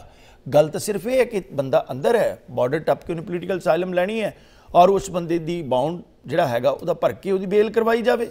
ਵਕੀਲ ਕੀਤਾ ਜਾਵੇ, ਹੁਣ ਮਸਲਾ ਇਸ ਗੱਲ ਦਾ, ਵਕੀਲ ਨੇ ਵੀ ਫੀਸ ਲੈਣੀ ਹੈ। ਫੀਸ ਕੌਣ ਦਵੇ? ਅਸੀਂ ਫੀਸ ਨਹੀਂ ਦੇਣੀ। ਨਾ, ਅਸੀਂ ਤਾਂ ਸਿਰਫ ਇੰਨੀ ਕੁ ਚੁੰਡੀ ਭਰ ਕੇ ਆਪਣੇ ਆਪ ਨੂੰ ਚਮਕਾਉਣਾ, ਇਹ ਦੱਸਣਾ ਕਿ ਅਸੀਂ ਇਹਨਾਂ ਵਾਸਤੇ ਕੰਮ ਕਰ ਰਹੇ ਔਰ ਉਹਨਾਂ ਦਾ ਕੰਮ ਵਿਗਾੜਨ ਵਾਸਤੇ ਬਕਾਇਦਾ ਤੌਰ ਦੇ ਉੱਤੇ ਭਾਰਤੀ ਸਫਾਰਤਖਾਨੇ ਦੇ ਅਧਿਕਾਰੀ ਨਹੀਂ ਬਿਠਾਉਣੇ ਚਾਹੀਦੇ। ਬਾਕੀ ਮੈਂ ਨਹੀਂ ਕਹਿੰਦਾ ਕਿ ਆਪਣੀ ਕੰਟਰੀ ਦੇ ਸਫਾਰਤਖਾਨੇ ਨਾਲ ਤੁਹਾਡੇ ਸੰਬੰਧ ਵਿਗੜਨ, ਪਰ ਮਸਲਾ ਇਸ ਗੱਲ ਦਾ ਉਹਨਾਂ ਨਾਲ ਵਧੀਆ ਤੁਸੀਂ ਜੇ ਬਣੀ ਆ ਤੁਹਾਡੀ ਤੁਸੀਂ ਬਣਾ ਕੇ ਰੱਖੋ, ਪਰ ਮਸਲਾ ਇਸ ਗੱਲ ਦਾ ਕਿ ਇਨਡਾਇਰੈਕਟਲੀ ਲੋਕਾਂ ਦੇ ਭਵਿੱਖ ਦੇ ਨਾਲ ਖਿਲਵਾੜ ਨਾ ਕਰਵਾਓ। ਸਭ ਕੁਝ ਤੁਸੀਂ ਜਾਣਦੇ ਹੋ। ਅਮਰੀਕੀ ਕਾਨੂੰਨ ਦੇ ਬਾਰੇ ਚ ਔਰ ਇਸ ਤਰ੍ਹਾਂ ਦੀਆਂ ਖੁਨਾਮੀਆਂ ਦੇ ਬਾਰੇ ਚ। ਮੈਂ ਸਮਝਾਂਗਾ ਕਿ ਸਰਦਾਰ ਮਹਿਤਾਬ ਸਿੰਘ ਕਾਲੋਂ ਜਿਹੜੇ ਅਮਰੀਕੀ ਰਾਜਨੀਤੀ ਦੇ ਵਿੱਚ ਵੀ ਵਿਚਰਦੇ ਆ ਔਰ 2013 ਦੇ ਵਿੱਚ ਸਿੱਖ ਪੈਕ ਨਾਂ ਦੀ ਸੰਸਥਾ ਜਿਹੜੀ ਹੈ ਉਹ ਕੈਲੀਫੋਰਨੀਆ ਦੇ ਵਿੱਚ ਇੱਕ ਵਕੀਲ ਨੇ ਬਣਾਈ ਔਰ ਉਹਦੇ ਵਿੱਚ ਮਹਿਤਾਬ ਸਿੰਘ ਕਾਲੋਂ ਵੀ ਸਨ ਔਰ ਇਸ ਵੇਲੇ ਉਹ ਸਿੱਖ ਪੈਕ ਵਰਜੀਨੀਆ ਨੂੰ ਰਿਪਰੈਜ਼ੈਂਟ ਕਰਦੇ ਨੇ ਔਰ ਅਮਰੀਕੀ ਰਾਜਨੀਤੀ ਦੇ ਵਿੱਚ ਚੰਗਾ ਰਸੂਖ ਰੱਖਦੇ ਨੇ ਔਰ ਬਹੁਤ ਹੀ ਅੱਛੇ ਲੋਕ ਭਲਾਈ ਦੇ ਕੰਮਾਂ ਦੇ ਵਿੱਚ ਮਹਿਤਾਬ ਸਿੰਘ ਕਾਲੋਂ ਦਾ ਨਾਮ ਹੈ। ਮੈਂ ਉਹਨਾਂ ਦੇ ਵਿਚਾਰ ਇਸ ਬ੍ਰੇਕ ਤੋਂ ਬਾਅਦ ਤੁਹਾਡੇ ਨਾਲ ਜ਼ਰੂਰ ਸਾਂਝੇ ਕਰਵਾਵਾਂਗਾ। ਉਸ ਤੋਂ ਬਾਅਦ ਤੁਸੀਂ ਮੈਨੂੰ ਇਸ ਘਟਨਾਕ੍ਰਮ ਲਈ ਜਾਂ ਇਸ ਮਦਦ ਲਈ ਕਿ ਸਾਨੂੰ ਸਹੀ ਰਸਤੇ ਇਖਤਿਆਰ ਕਰਨੇ ਚਾਹੀਦੇ ਆ। ਮੈਂ ਕਿਸੇ ਦਾ ਆਲੋਚਕ ਨਹੀਂ, ਮੈਂ ਕਿਸੇ ਦਾ ਵਿਰੋਧੀ ਨਹੀਂ। ਰਾਈਟ ਡਰਾਮਿਆਂ ਤੋਂ ਉੱਪਰ ਉੱਠਣਾ ਚਾਹੀਦਾ ਹੈ। ਰਾਈਟ ਬਹੁਤ ਲੋਕਾਂ ਦੇ ਹੁਣ ਮਨਾਂ ਦੇ ਵਿੱਚ ਬਸ ਗਈਆਂ ਨੇ ਤਸਵੀਰਾਂ। ਲੋਕਾਂ ਦੀਆਂ ਅੱਖਾਂ ਦੇ ਵਿੱਚ ਉੱਕਰ ਆਈਆਂ ਨੇ ਤਸਵੀਰਾਂ। ਪਰ ਮਸਲਾ ਇਸ ਗੱਲ ਦਾ ਕੰਡਿਆਂ ਦੇ ਰੂਪ ਦੇ ਵਿੱਚ ਲੋਕਾਂ ਦੇ ਪੈਰਾਂ ਹੇਠ ਸੂਲਾ ਨਾ ਵਿਛਾਓ। ਇਹ ਮੇਰੀ ਅਪੀਲ ਹੈ ਉਹਨਾਂ ਸਾਰੇ ਲੀਡਰਾਂ ਨੂੰ, ਜੇ ਮਦਦ ਕਰਨੀ ਆ, ਤਾਂ ਚੰਗੇ ਢੰਗ ਦੇ ਨਾਲ ਬਕਾਇਦਾ ਤੌਰ ਦੇ ਉੱਤੇ ਇੱਕ ਸਿੱਖ ਹੋਣ ਦੇ ਨਾਤੇ ਘੱਟੋ ਘੱਟ ਇੱਕ ਹੀ ਆਪ ਸਪਾਂਸਰ ਕਰ ਲਓ ਵੀ ਇਹਦਾ ਵਕੀਲ ਵੀ ਮੈਂ ਸਪਾਂਸਰ ਕੀਤਾ, ਇਹਦੀ ਬੇਲ ਵੀ ਮੈਂ ਭਰੀ ਆ। ਮੈਂ ਮੈਂ ਮੈਂ ਇਹ ਨੌਜਵਾਨ ਜਿਹੜਾ ਪੰਜਾਬ ਤੋਂ ਆਇਆ ਇੱਕ ਇੱਕ ਕਰਕੇ ਆਰਗੇਨਾਈਜੇਸ਼ਨ ਦੇ ਕਿੰਨੇ ਤਨਾੜ ਮੈਂਬਰ ਹੋਣਗੇ। ਸੋ ਤੁਹਾਡੀਆਂ ਕਾਲਸ ਲਵਾਂਗੇ, ਬੇਬਾਕ ਹੋ ਕੇ ਕਾਲ ਕਰ ਸਕਦੇ ਹੋ 7187865222 ਪੰਜਾਬ 2 ਦੇ ਉੱਤੇ। ਮਿਲਦੇ ਇੱਕ ਛੋਟੇ ਜਿਹੇ ਬ੍ਰੇਕ ਤੋਂ ਬਾਅਦ।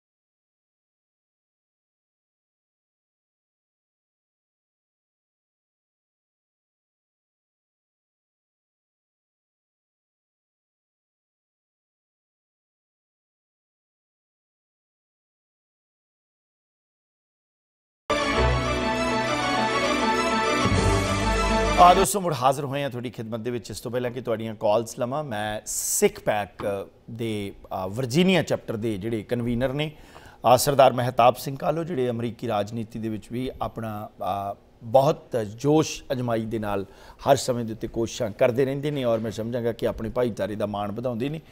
ਔਰ 2013 ਦੇ ਵਿੱਚ ਬਣੀ Sikh PAC PAC mean political action committee ਔਰ ਉਹ ਆਪਣਾ ਪ੍ਰੋਪਰ ਉਸ ਢੰਗ ਨਾਲ ਹੀ ਕੰਮ ਕਰਦੇ ਨੇ।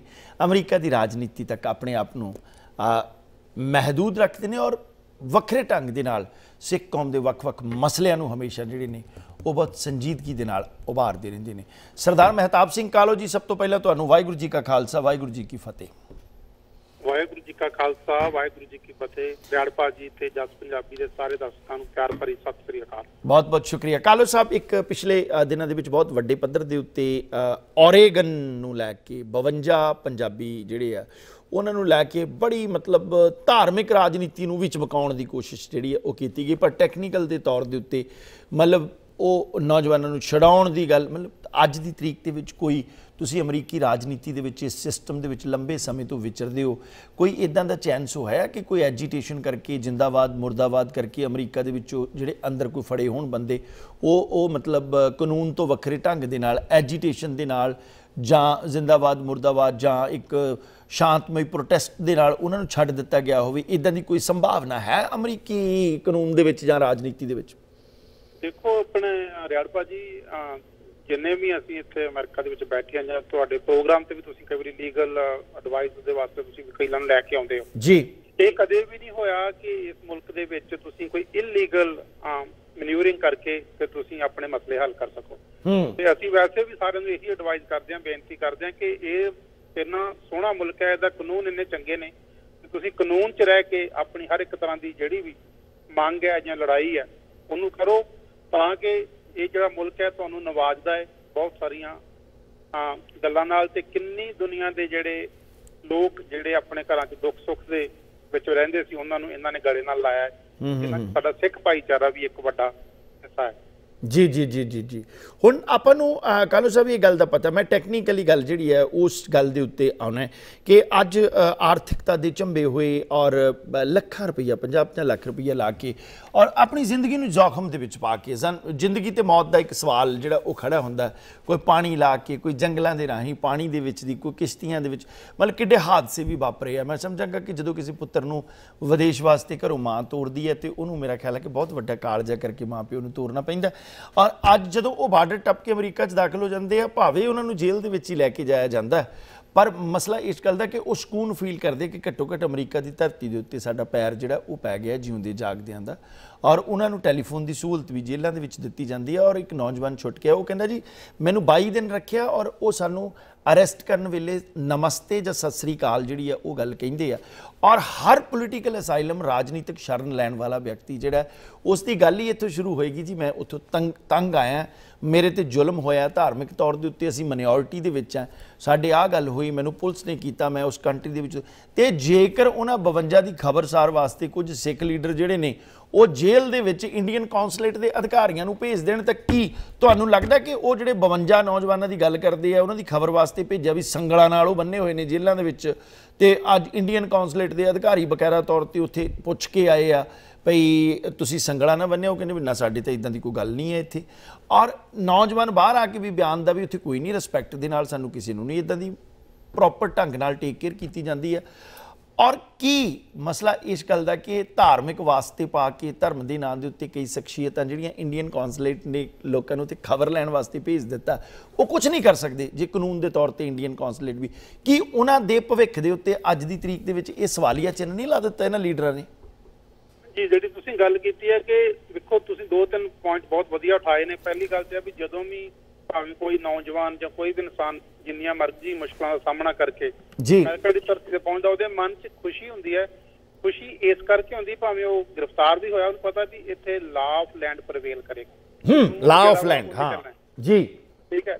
ਜਿਹੜੀ ਦੂਸਰਾ ਤੁਸੀਂ ਪੁਆਇੰਟ ਉਠਾਇਆ ਕਿ ਜਿਹੜੇ ਲੋਕ ਉਹਨਾਂ ਦਾ ਪਤਾ ਲੈਣ ਵਾਸਤੇ ਜਾਂਦੇ ਨੇ ਹੂੰ ਉਹਨਾਂ ਲੋਕਾਂ ਦੇ ਸਤਾਏ ਹੋਏ ਤੇ ਲੋਕ ਇੱਥੇ ਆਏ ਨੇ ਤੁਸੀਂ ਕੀ ਪਤਾ ਓਏ ਹੋਏ? ਹੋਏ ਜੇ ਅਸੀਂ ਉੱਥੇ ਏਡੇ ਫਿਕਰਮੰਦ ਹੋਈਏ ਜੀ। ਤੇ ਫਿਰ ਇਹਨਾਂ ਨੌਜਵਾਨਾਂ ਨੂੰ ਇਹਨਾਂ ਬੱਚਿਆਂ ਨੂੰ ਔਰ ਮੈਂ ਇਹ ਵੀ ਦੱਸਣਾ ਚਾਹੁੰਦਾ ਕਿ ਜਿਹੜੀ ਉੱਥੇ ਰਿਲੀਜੀਅਸ ਪ੍ਰੋਸੀਕਿਊਸ਼ਨ ਆ ਜਿਹੜੀ ਆਰਥਿਕਤਾ ਦੇ ਨਾਲ ਨਾਲ ਜਿਹੜਾ ਡਰੱਗ ਦਾ ਮੁੱਦਾ ਹੈ ਜਾਂ ਜਿਹੜੀ ਜਿੱਦਾਂ ਆਪਾਂ US mission of international region religious freedom ਜਿਹੜੇ ਯੂਐਸ ਤਰਫ ਨਾਲ ਜਦੋਂ ਤੁਸੀਂ ਕਦੇ ਮੁਲਾਕਾਤ ਕਰੋ ਤੁਸੀਂ ਆਮ ਸ਼ੋਰ ਕਿ ਤੁਹਾਨੂੰ ਕਦੇ ਨਾ ਕਦੇ ਮੌਕਾ ਮਿਲਿਆ ਹੋਵੇਗਾ। ਹੂੰ। ਉਹ ਦੱਸਦੇ ਨੇ ਕਿ ਤੁਹਾਡੀ ਸਹੀ ਤਸਵੀਰ ਕੀ ਆ? ਮਖੌਟੇ ਪਾਉਣ ਨਾਲ ਤੁਹਾਡੀ ਸਹੀ ਤਸਵੀਰ ਛੁਪ ਨਹੀਂ ਸਕਦੀ ਜਿਹੜੀਆਂ ਜਾਗਦੀਆਂ ਅੱਖਾਂ। ਹੂੰ।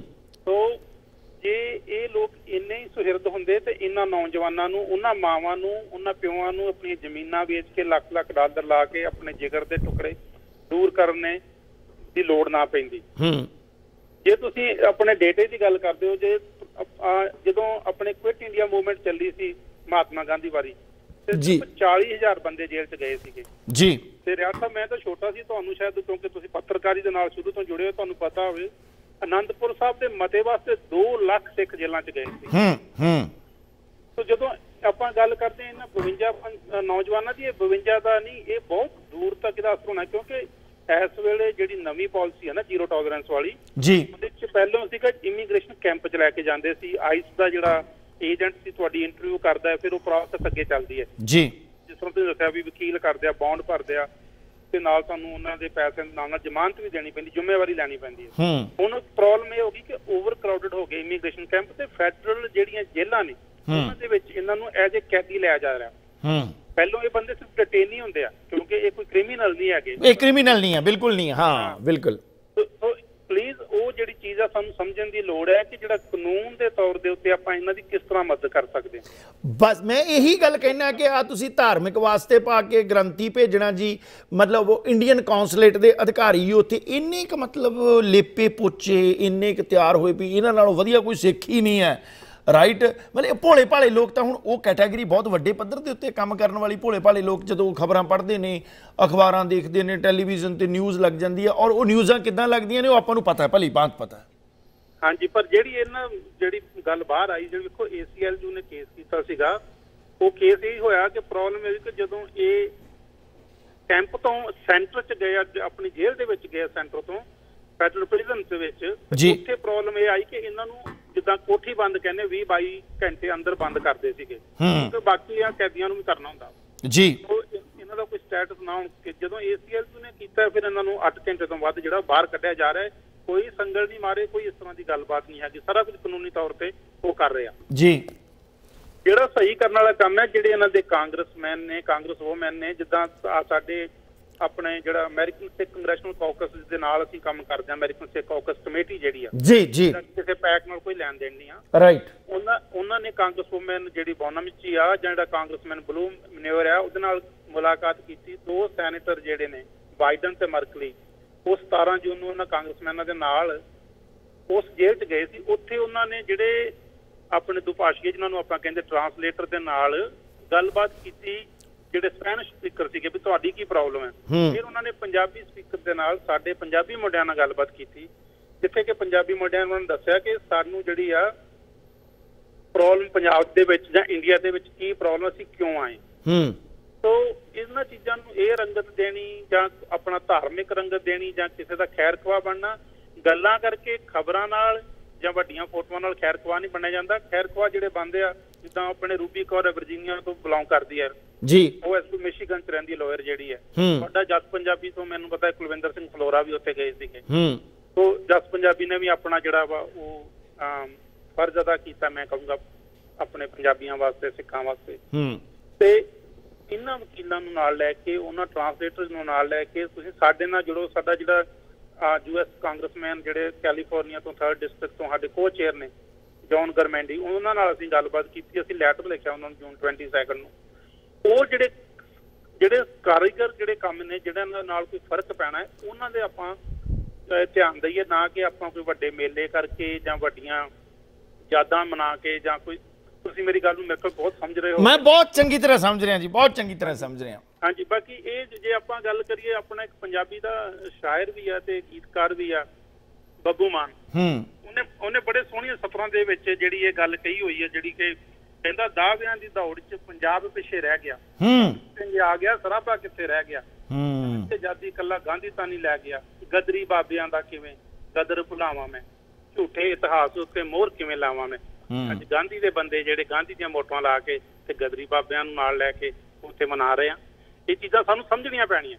ਰਾਈਟ ਬਿਲਕੁਲ। ਕਾਲੂ ਸਾਹਿਬ, ਮੈਂ ਮੈਂ ਇਹ ਸਮਝਾਂਗਾ ਕਿ ਜੇ, ਮਤਲਬ ਇਹ ਇਹ ਇੱਕ ਸਰਾਸਰ ਗਲਤ ਕਦਮ ਹੋਏਗਾ ਕਿ ਜੇਕਰ ਉਹ ਡਿਟੈਂਸ਼ਨ ਸੈਂਟਰ ਜਾਂ ਜੇਲ੍ਹ ਦੇ ਵਿੱਚ ਬੰਦ ਨੌਜਵਾਨ ਹੈ, ਉਹਨਾਂ ਦੀ ਖਬਰਸਾਰ ਵਾਸਤੇ ਜਿਹੜੇ ਮੁੱਦੇ ਨੂੰ ਇਸ਼ੂ ਬਣਾ ਕੇ ਉਹਨਾਂ ਨੇ ਪੋਲੀਟੀਕਲ ਅਸਾਈਲਮ ਲੈਣੀ ਹੈ ਔਰ ਉਹਨਾਂ ਉਹਨਾਂ ਹੀ ਲੋਕਾਂ ਨੂੰ ਜਿਵੇਂ ਤੁਸੀਂ ਗੱਲ ਕਹੀ ਹੈ ਕਿ ਸਤਾਏ ਹੋਏ ਲੋਕ ਤਾਂ ਆਏ ਨੇ, ਤੇ ਉਹਨਾਂ ਲੋਕਾਂ ਨੂੰ ਉਹਨਾਂ ਦੀ ਖਬਰਸਾਰ ਵਾਸਤੇ ਭੇਜ ਦਿੱਤਾ ਜਾਵੇ। ਇਹਨਾਂ ਦੇ ਭਵਿੱਖ ਦੇ ਉੱਤੇ ਵੱਡਾ ਪ੍ਰਸ਼ਨ ਚਿੰਨ੍ਹ ਲੱਗੇਗਾ, ਕੋਈ ਫ਼ਰਕ ਪਏਗਾ ਇਸ ਗੱਲ ਨਾਲ ਦੇਖੋ, ਇਹਦੇ ਨਾਲ ਬਹੁਤ ਅਸਰ ਪੈਂਦਾ ਕਿਉਂਕਿ ਜਿਹੜੇ ਵੀ ਭੈਣ ਭਰਾ ਸਾਡੇ ਆਈਸੀਆਂ ਇੰਟਰਵਿਊ ਤੋਂ ਨੰਗੇ ਨੇ ਵਕੀਲਾਂ ਤੋਂ ਨੰਗੇ ਨੇ ਤੁਹਾਡੇ ਨਾਲ ਤਾਂ ਬਹੁਤ ਜ਼ਿਆਦਾ ਸਾਂਝ ਹੁੰਦੀ ਹੋਏਗੀ ਉਹਨਾਂ ਦੀ ਉਹ। ਆਪਣੀ ਦੱਸਦੇ ਹੋਣਗੇ। ਜੀ। ਉਹ ਦੱਸਦੇ ਆ ਵੀ ਕਈ ਵਾਰੀ ਇਨਸਾਨ ਨੂੰ ਆਪ ਨਹੀਂ ਪਤਾ ਹੁੰਦਾ ਭੁੱਲ ਚੁੱਕਾ ਹੁੰਦਾ 20 ਸਾਲ ਪਹਿਲਾਂ ਕੀ ਹੋਇਆ ਸੀ ਉਹ ਯਾਦ ਕਰਾ ਦਿੰਦੇ ਆ ਕਿ ਤੂੰ ਫਲਾਣੇ ਕਾਲਜ ਪੜ੍ਹਦਾ ਸੀ ਸਾਡੇ ਫੈਡਰੇਸ਼ਨ ਦਾ ਪ੍ਰਧਾਨ ਕੌਣ ਸੀ। ਹੂੰ। ਠੀਕ ਹੈ? So so they note each and everything so ਇਹ ਜਿਹੜਾ ਪੋਲੀਟੀਕਲ ਸਿਸਟਮ ਹੈ ਇਹ ਕਾਨੂੰਨੀ ਤੌਰ ਦੇ ਉੱਤੇ ਇੰਟੈਲੀਜੈਂਸ ਦੇ ਤੌਰ ਦੇ ਉੱਤੇ ਬਹੁਤ ਸਟਰੋਂਗ ਤੇ ਸਿਆਣਾ ਹੈ ਸੋ ਇਹੋ ਜੀਆਂ ਜਿਹੜੀਆਂ ਚਾਲਾਂ ਨੇ ਉਹਨਾਂ ਨੂੰ ਸਮਝਦੇ ਨੇ, ਪਰ ਰੱਬ ਦਾ ਵਾਸਤਾ ਜੀ ਜਿਹੜੇ ਤੁਹਾਡੇ ਸਤਾਏ ਹੋਏ ਲੋਕ ਉੱਥੋਂ ਇੱਥੇ ਆਏ ਨੇ, ਉਹਨਾਂ ਨੂੰ ਇੱਥੇ ਕਮ ਸੇ ਕਮ ਸੁੱਖ ਦਾ ਸਾਹ ਜ਼ਰੂਰ ਲੈਣ ਦਿਓ। ਜੀ ਜੀ ਜੀ ਜੀ ਜੀ ਜੀ ਜੀ ਜੀ। ਕਾਲੂ ਸਾਹਿਬ, ਤੁਹਾਡਾ ਬਹੁਤ ਬਹੁਤ ਸ਼ੁਕਰੀਆ ਔਰ ਮੈਂ ਸਮਝਾਂਗਾ ਕਿ ਆਉਣ ਵਾਲੇ ਸਮੇਂ ਦੇ ਵਿੱਚ ਇੱਕ ਸਿੱਖਾਂ ਦੀ ਤਾਕਤ ਜਿਹੜੀ ਆ ਉਹ ਵਿਦੇਸ਼ਾਂ ਦੇ ਵਿੱਚ ਬਹੁਤ ਵੱਡੇ ਪੱਧਰ ਦੇ ਉੱਤੇ ਮਾਨਤਾਨ ਹੋ ਰਿਹਾ। ਇਨਡਾਇਰੈਕਟਲੀ ਜਿਹੜੇ ਆ ਉਹ ਦਖਲਅੰਦਾਜ਼ੀ ਕਰਕੇ ਸਾਡੇ ਸਿੱਖਾਂ ਦੇ ਰੂਪ ਦੇ ਵਿੱਚ ਹੀ ਉਹਨਾਂ ਨੇ ਬੰਦੇ ਜਿਹੜੇ ਨੇ ਉਹ ਐਂਟਰ ਕਰ ਦਿੱਤੇ ਨੇ। ਔਰ ਇਹ ਦਖਲਅੰਦਾਜ਼ੀ ਗੁਰਦੁਆਰਿਆਂ ਦੇ ਵਿੱਚ ਆ ਕੇ ਧੜਿਆਂ ਦੇ ਵਿੱਚ ਧਿਰਾਂ ਦੇ ਵਿੱਚ ਆ ਕੇ ਇੱਕ ਸਿੱਖ ਕੌਮ ਦੇ ਵਿੱਚ ਵੱਡਾ ਪਾੜਾ ਤੇ ਮੈਂ ਸਮਝਾਂਗਾ ਕਿ ਇੰਟਰਨਲ ਨੁਕਸਾਨ ਜਿਹੜਾ ਕੌਮ ਦਾ ਹੋ ਰਿਹਾ। ਪਿਛਲੇ ਸਮੇਂ ਤੋਂ ਰਿਆੜ ਸਾਹਿਬ ਇੱਕ ਛੋਟੀ ਜੀ ਮੈਂ ਗੱਲ ਹੋਰ ਐਡ ਕਰਦਾ ਵੀ 2013 ਦੇ ਵਿੱਚ Sikh political action committee Sikh PAC ਸ਼ੁਰੂ ਹੋਇਆ। ਜੀ। ਜਿਹੜਾ ਕਿ ਫੈਡਰਲ ਪੈਕ ਹੈ ਰਾਈਟ ਜੀ। ਉਹਦੇ ਅਸੀਂ ਵਰਜੀਨੀਆ ਦੇ ਵਿੱਚ ਵੀ ਪੰਜ ਪ੍ਰੋਗਰਾਮ ਕੀਤੇ ਲੋਕਲ ਕਾਂਗਰਸ ਵੂਮੈਨ ਦੋ ਆਪਣੇ ਸਿੱਖ ਕੈਂਡੀਡੇਟਸ ਆ ਲੋਕਲ ਡੈਲੀਗੇਟ ਈਵਨ ਅਸੀਂ ਇੱਕ ਆਨਰ ਡਿਨਰ ਕੀਤਾ ਸੀਗਾ ਜਿਹੜੇ ਆਪਣੇ ਦਾ ਭਲਾ ਡਾਕਟਰ ਐਸਪੀ ਸਿੰਘ ਉਬਰਾਏ ਜਿਹੜਾ ਯੂਐਸਏ ਦਾ ਚੈਪਟਰ ਹੈ ਉਹਨਾਂ ਦਾ ਜੀ। ਉਹਨਾਂ ਦੇ ਨਾਲ। ਹੂੰ। ਸੋ ਜਿਉਂ-ਜਿਉਂ ਅਸੀਂ ਸਾਡੇ ਲੋਕ ਇੱਥੇ ਐਕਟਿਵ ਹੁੰਦੇ ਆ ਜਿਹੜੀਆਂ ਸਾਡੀਆਂ ਵਿਰੋਧੀ ਪਾਰਟੀਆਂ ਨੇ ਪਤਾ ਨਹੀਂ ਕਿਉਂ ਵਿਰੋਧੀ ਪਾਵਰਾਂ ਨੇ ਉਹ ਕਿਉਂ ਸਾਡਾ ਚੰਗ ਭਲਾ ਨਹੀਂ ਚਾਹੁੰਦੀਆਂ ਉਹ ਸਾਨੂੰ ਇਸ ਪੋਲੀਟੀਕਲ ਸਿਸਟਮ ਦੇ ਵਿੱਚ ਵੀ ਜਿਹੜਾ ਵਾ ਉਹ ਅੱਗੇ ਵਧਣ ਤੋਂ ਰੋਕਣ ਦੀ ਕੋਸ਼ਿਸ਼ ਕਰ ਰਹੀਆਂ ਨੇ। ਰਾਈਟ ਉਹ ਬਿਲਕੁਲ ਸਹੀ ਗੱਲ ਹੈ। ਉਹ ਉਹ ਉਹ ਪੋਲੀਟੀਕਲ ਕਦਮ ਵੀ ਅੱਗੇ ਜਿਹੜੇ ਆ ਉਸ ਸਿੱਖ ਕੌਮ ਨੂੰ ਪੱਟਣ ਤੋਂ ਇੱਥੇ ਅ, ਬਕਾਇਦਾ ਤੌਰ ਦੇ ਉੱਤੇ ਰੁਕਾਵਟਾਂ ਬਣਦੇ ਨੇ। ਕਾਲੋ ਸਾਹਿਬ ਤੁਹਾਡਾ ਬਹੁਤ ਬਹੁਤ ਸ਼ੁਕਰੀਆ। ਲਵਾਂਗੇ ਅਸੀਂ ਆਪਣੇ ਕਾਲਰਸ ਦੇ ਵਿਚਾਰ ਕਿਉਂਕਿ ਅਸਲੀ ਜੱਜ ਜਿਹੜੇ ਨੇ ਉਹ ਸਾਡੇ ਕਾਲਰਸ ਨੇ। ਤੁਹਾਡਾ ਬਹੁਤ ਬਹੁਤ ਧੰਨਵਾਦ। ਵਾਹਿਗੁਰੂ ਜੀ ਕਾ ਖਾਲਸਾ ਵਾਹਿਗੁਰੂ ਜੀ ਕੀ ਫਤਿਹ। ਖਾਲਸਾ ਫਤਿਹ ਜੀ। ਆ ਦੋਸਤੋ, ਕਾਲ ਕਰ ਸਕਦੇ ਹੋ 7187865222 ਕਿਉਂਕਿ ਅਸੀਂ ਕਿਸੇ ਨੂੰ ਵੀ ਵਿਅਕਤੀ ਵਿਸ਼ੇਸ਼ ਨੂੰ ਅਸੀਂ ਕੋਈ ਟੈਂਗਲ ਨਹੀਂ ਕਰਦੇ, ਪਰ ਮੈਂ ਸਮਝਾਂਗਾ ਕਿ ਇੱਕ ਸਚਾਈ ਔਰ ਇੱਕ ਹਕੀਕਤ ਹੈ, ਜਿਸ ਦੇ ਵਿੱਚੋਂ ਅੱਜ ਗੁਜ਼ਰਨਾ ਪਏਗਾ ਸਾਨੂੰ, ਜਿਸ ਦੇ ਵਿੱਚੋਂ ਇਹਨਾਂ ਮੁਲਕਾਂ ਦੇ ਵਿੱਚ ਜੇਕਰ ਅੱਗੇ ਵਧਣਾ, ਤੇ ਸਾਨੂੰ ਇਹ ਗੱਲਾਂ ਸਮਝਣੀਆਂ ਪੈਣਗੀਆਂ। ਮਿਲਦੇ ਇੱਕ ਛੋਟੇ ਜਿਹੇ ਬ੍ਰੇਕ ਤੋਂ ਬਾਅਦ।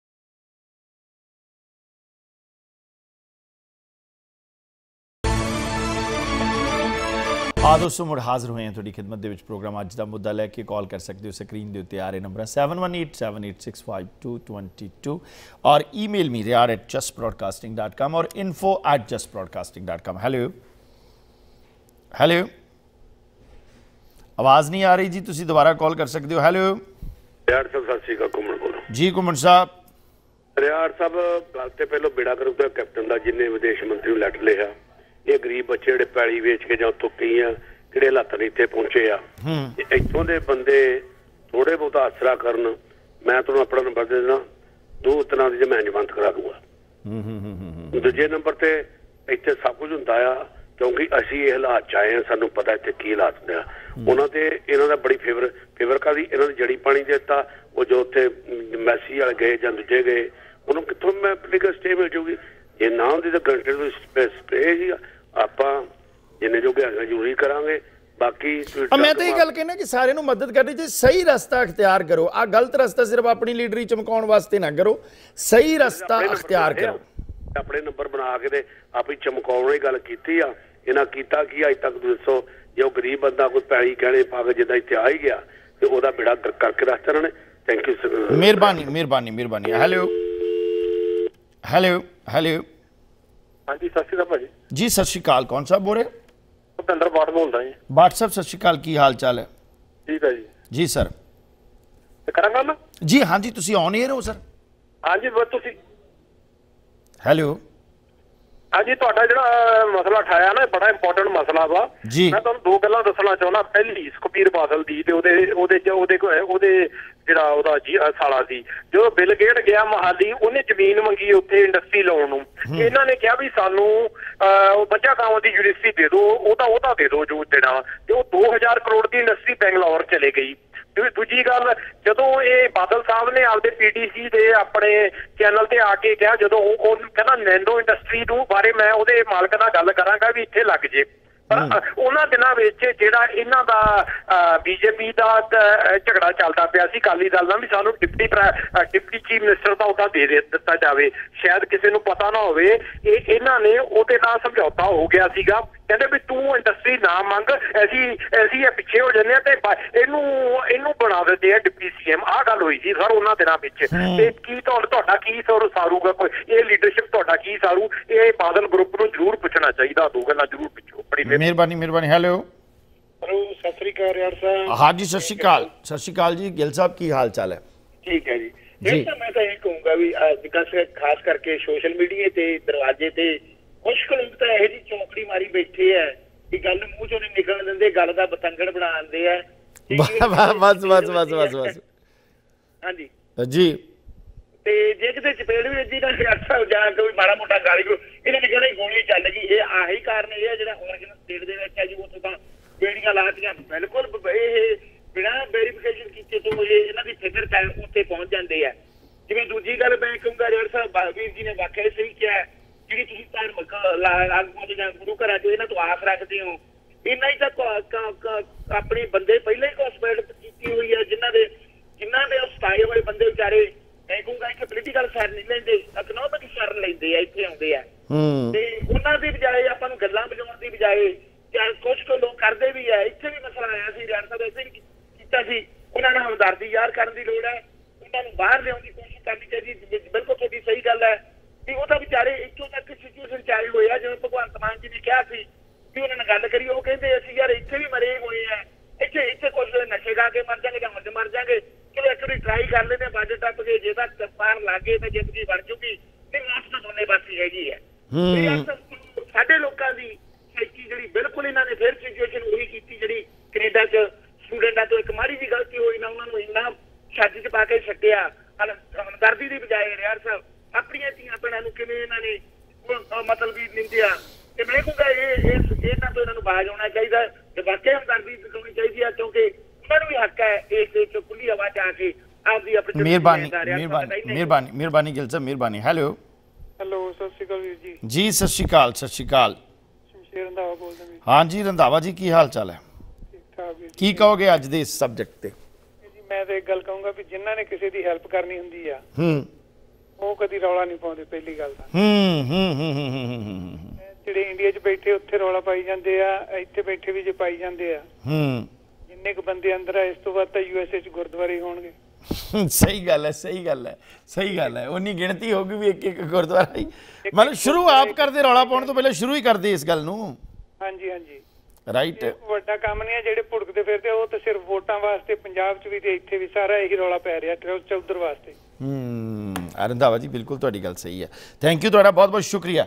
ਆ ਦੋਸਤੋ ਕਾਲ ਕਰ ਸਕਦੇ ਹੋ ਸਾਨੂੰ ਸਾਡੇ ਸਕਰੀਨ ਦੇ ਉੱਤੇ ਆ ਰਹੇ ਨੰਬਰ ਹੈ 7187865222 718 punjab 2 and also email me riyad@justbroadcasting.com or info@justbroadcasting.com programme ਨੂੰ ਜਾਰੀ ਰੱਖੀਏ ਇਸੇ ਤਰ੍ਹਾਂ ਮਿਲਦੇ ਇੱਕ ਛੋਟੇ ਜਿਹੇ ਬ੍ਰੇਕ ਤੋਂ ਬਾਅਦ।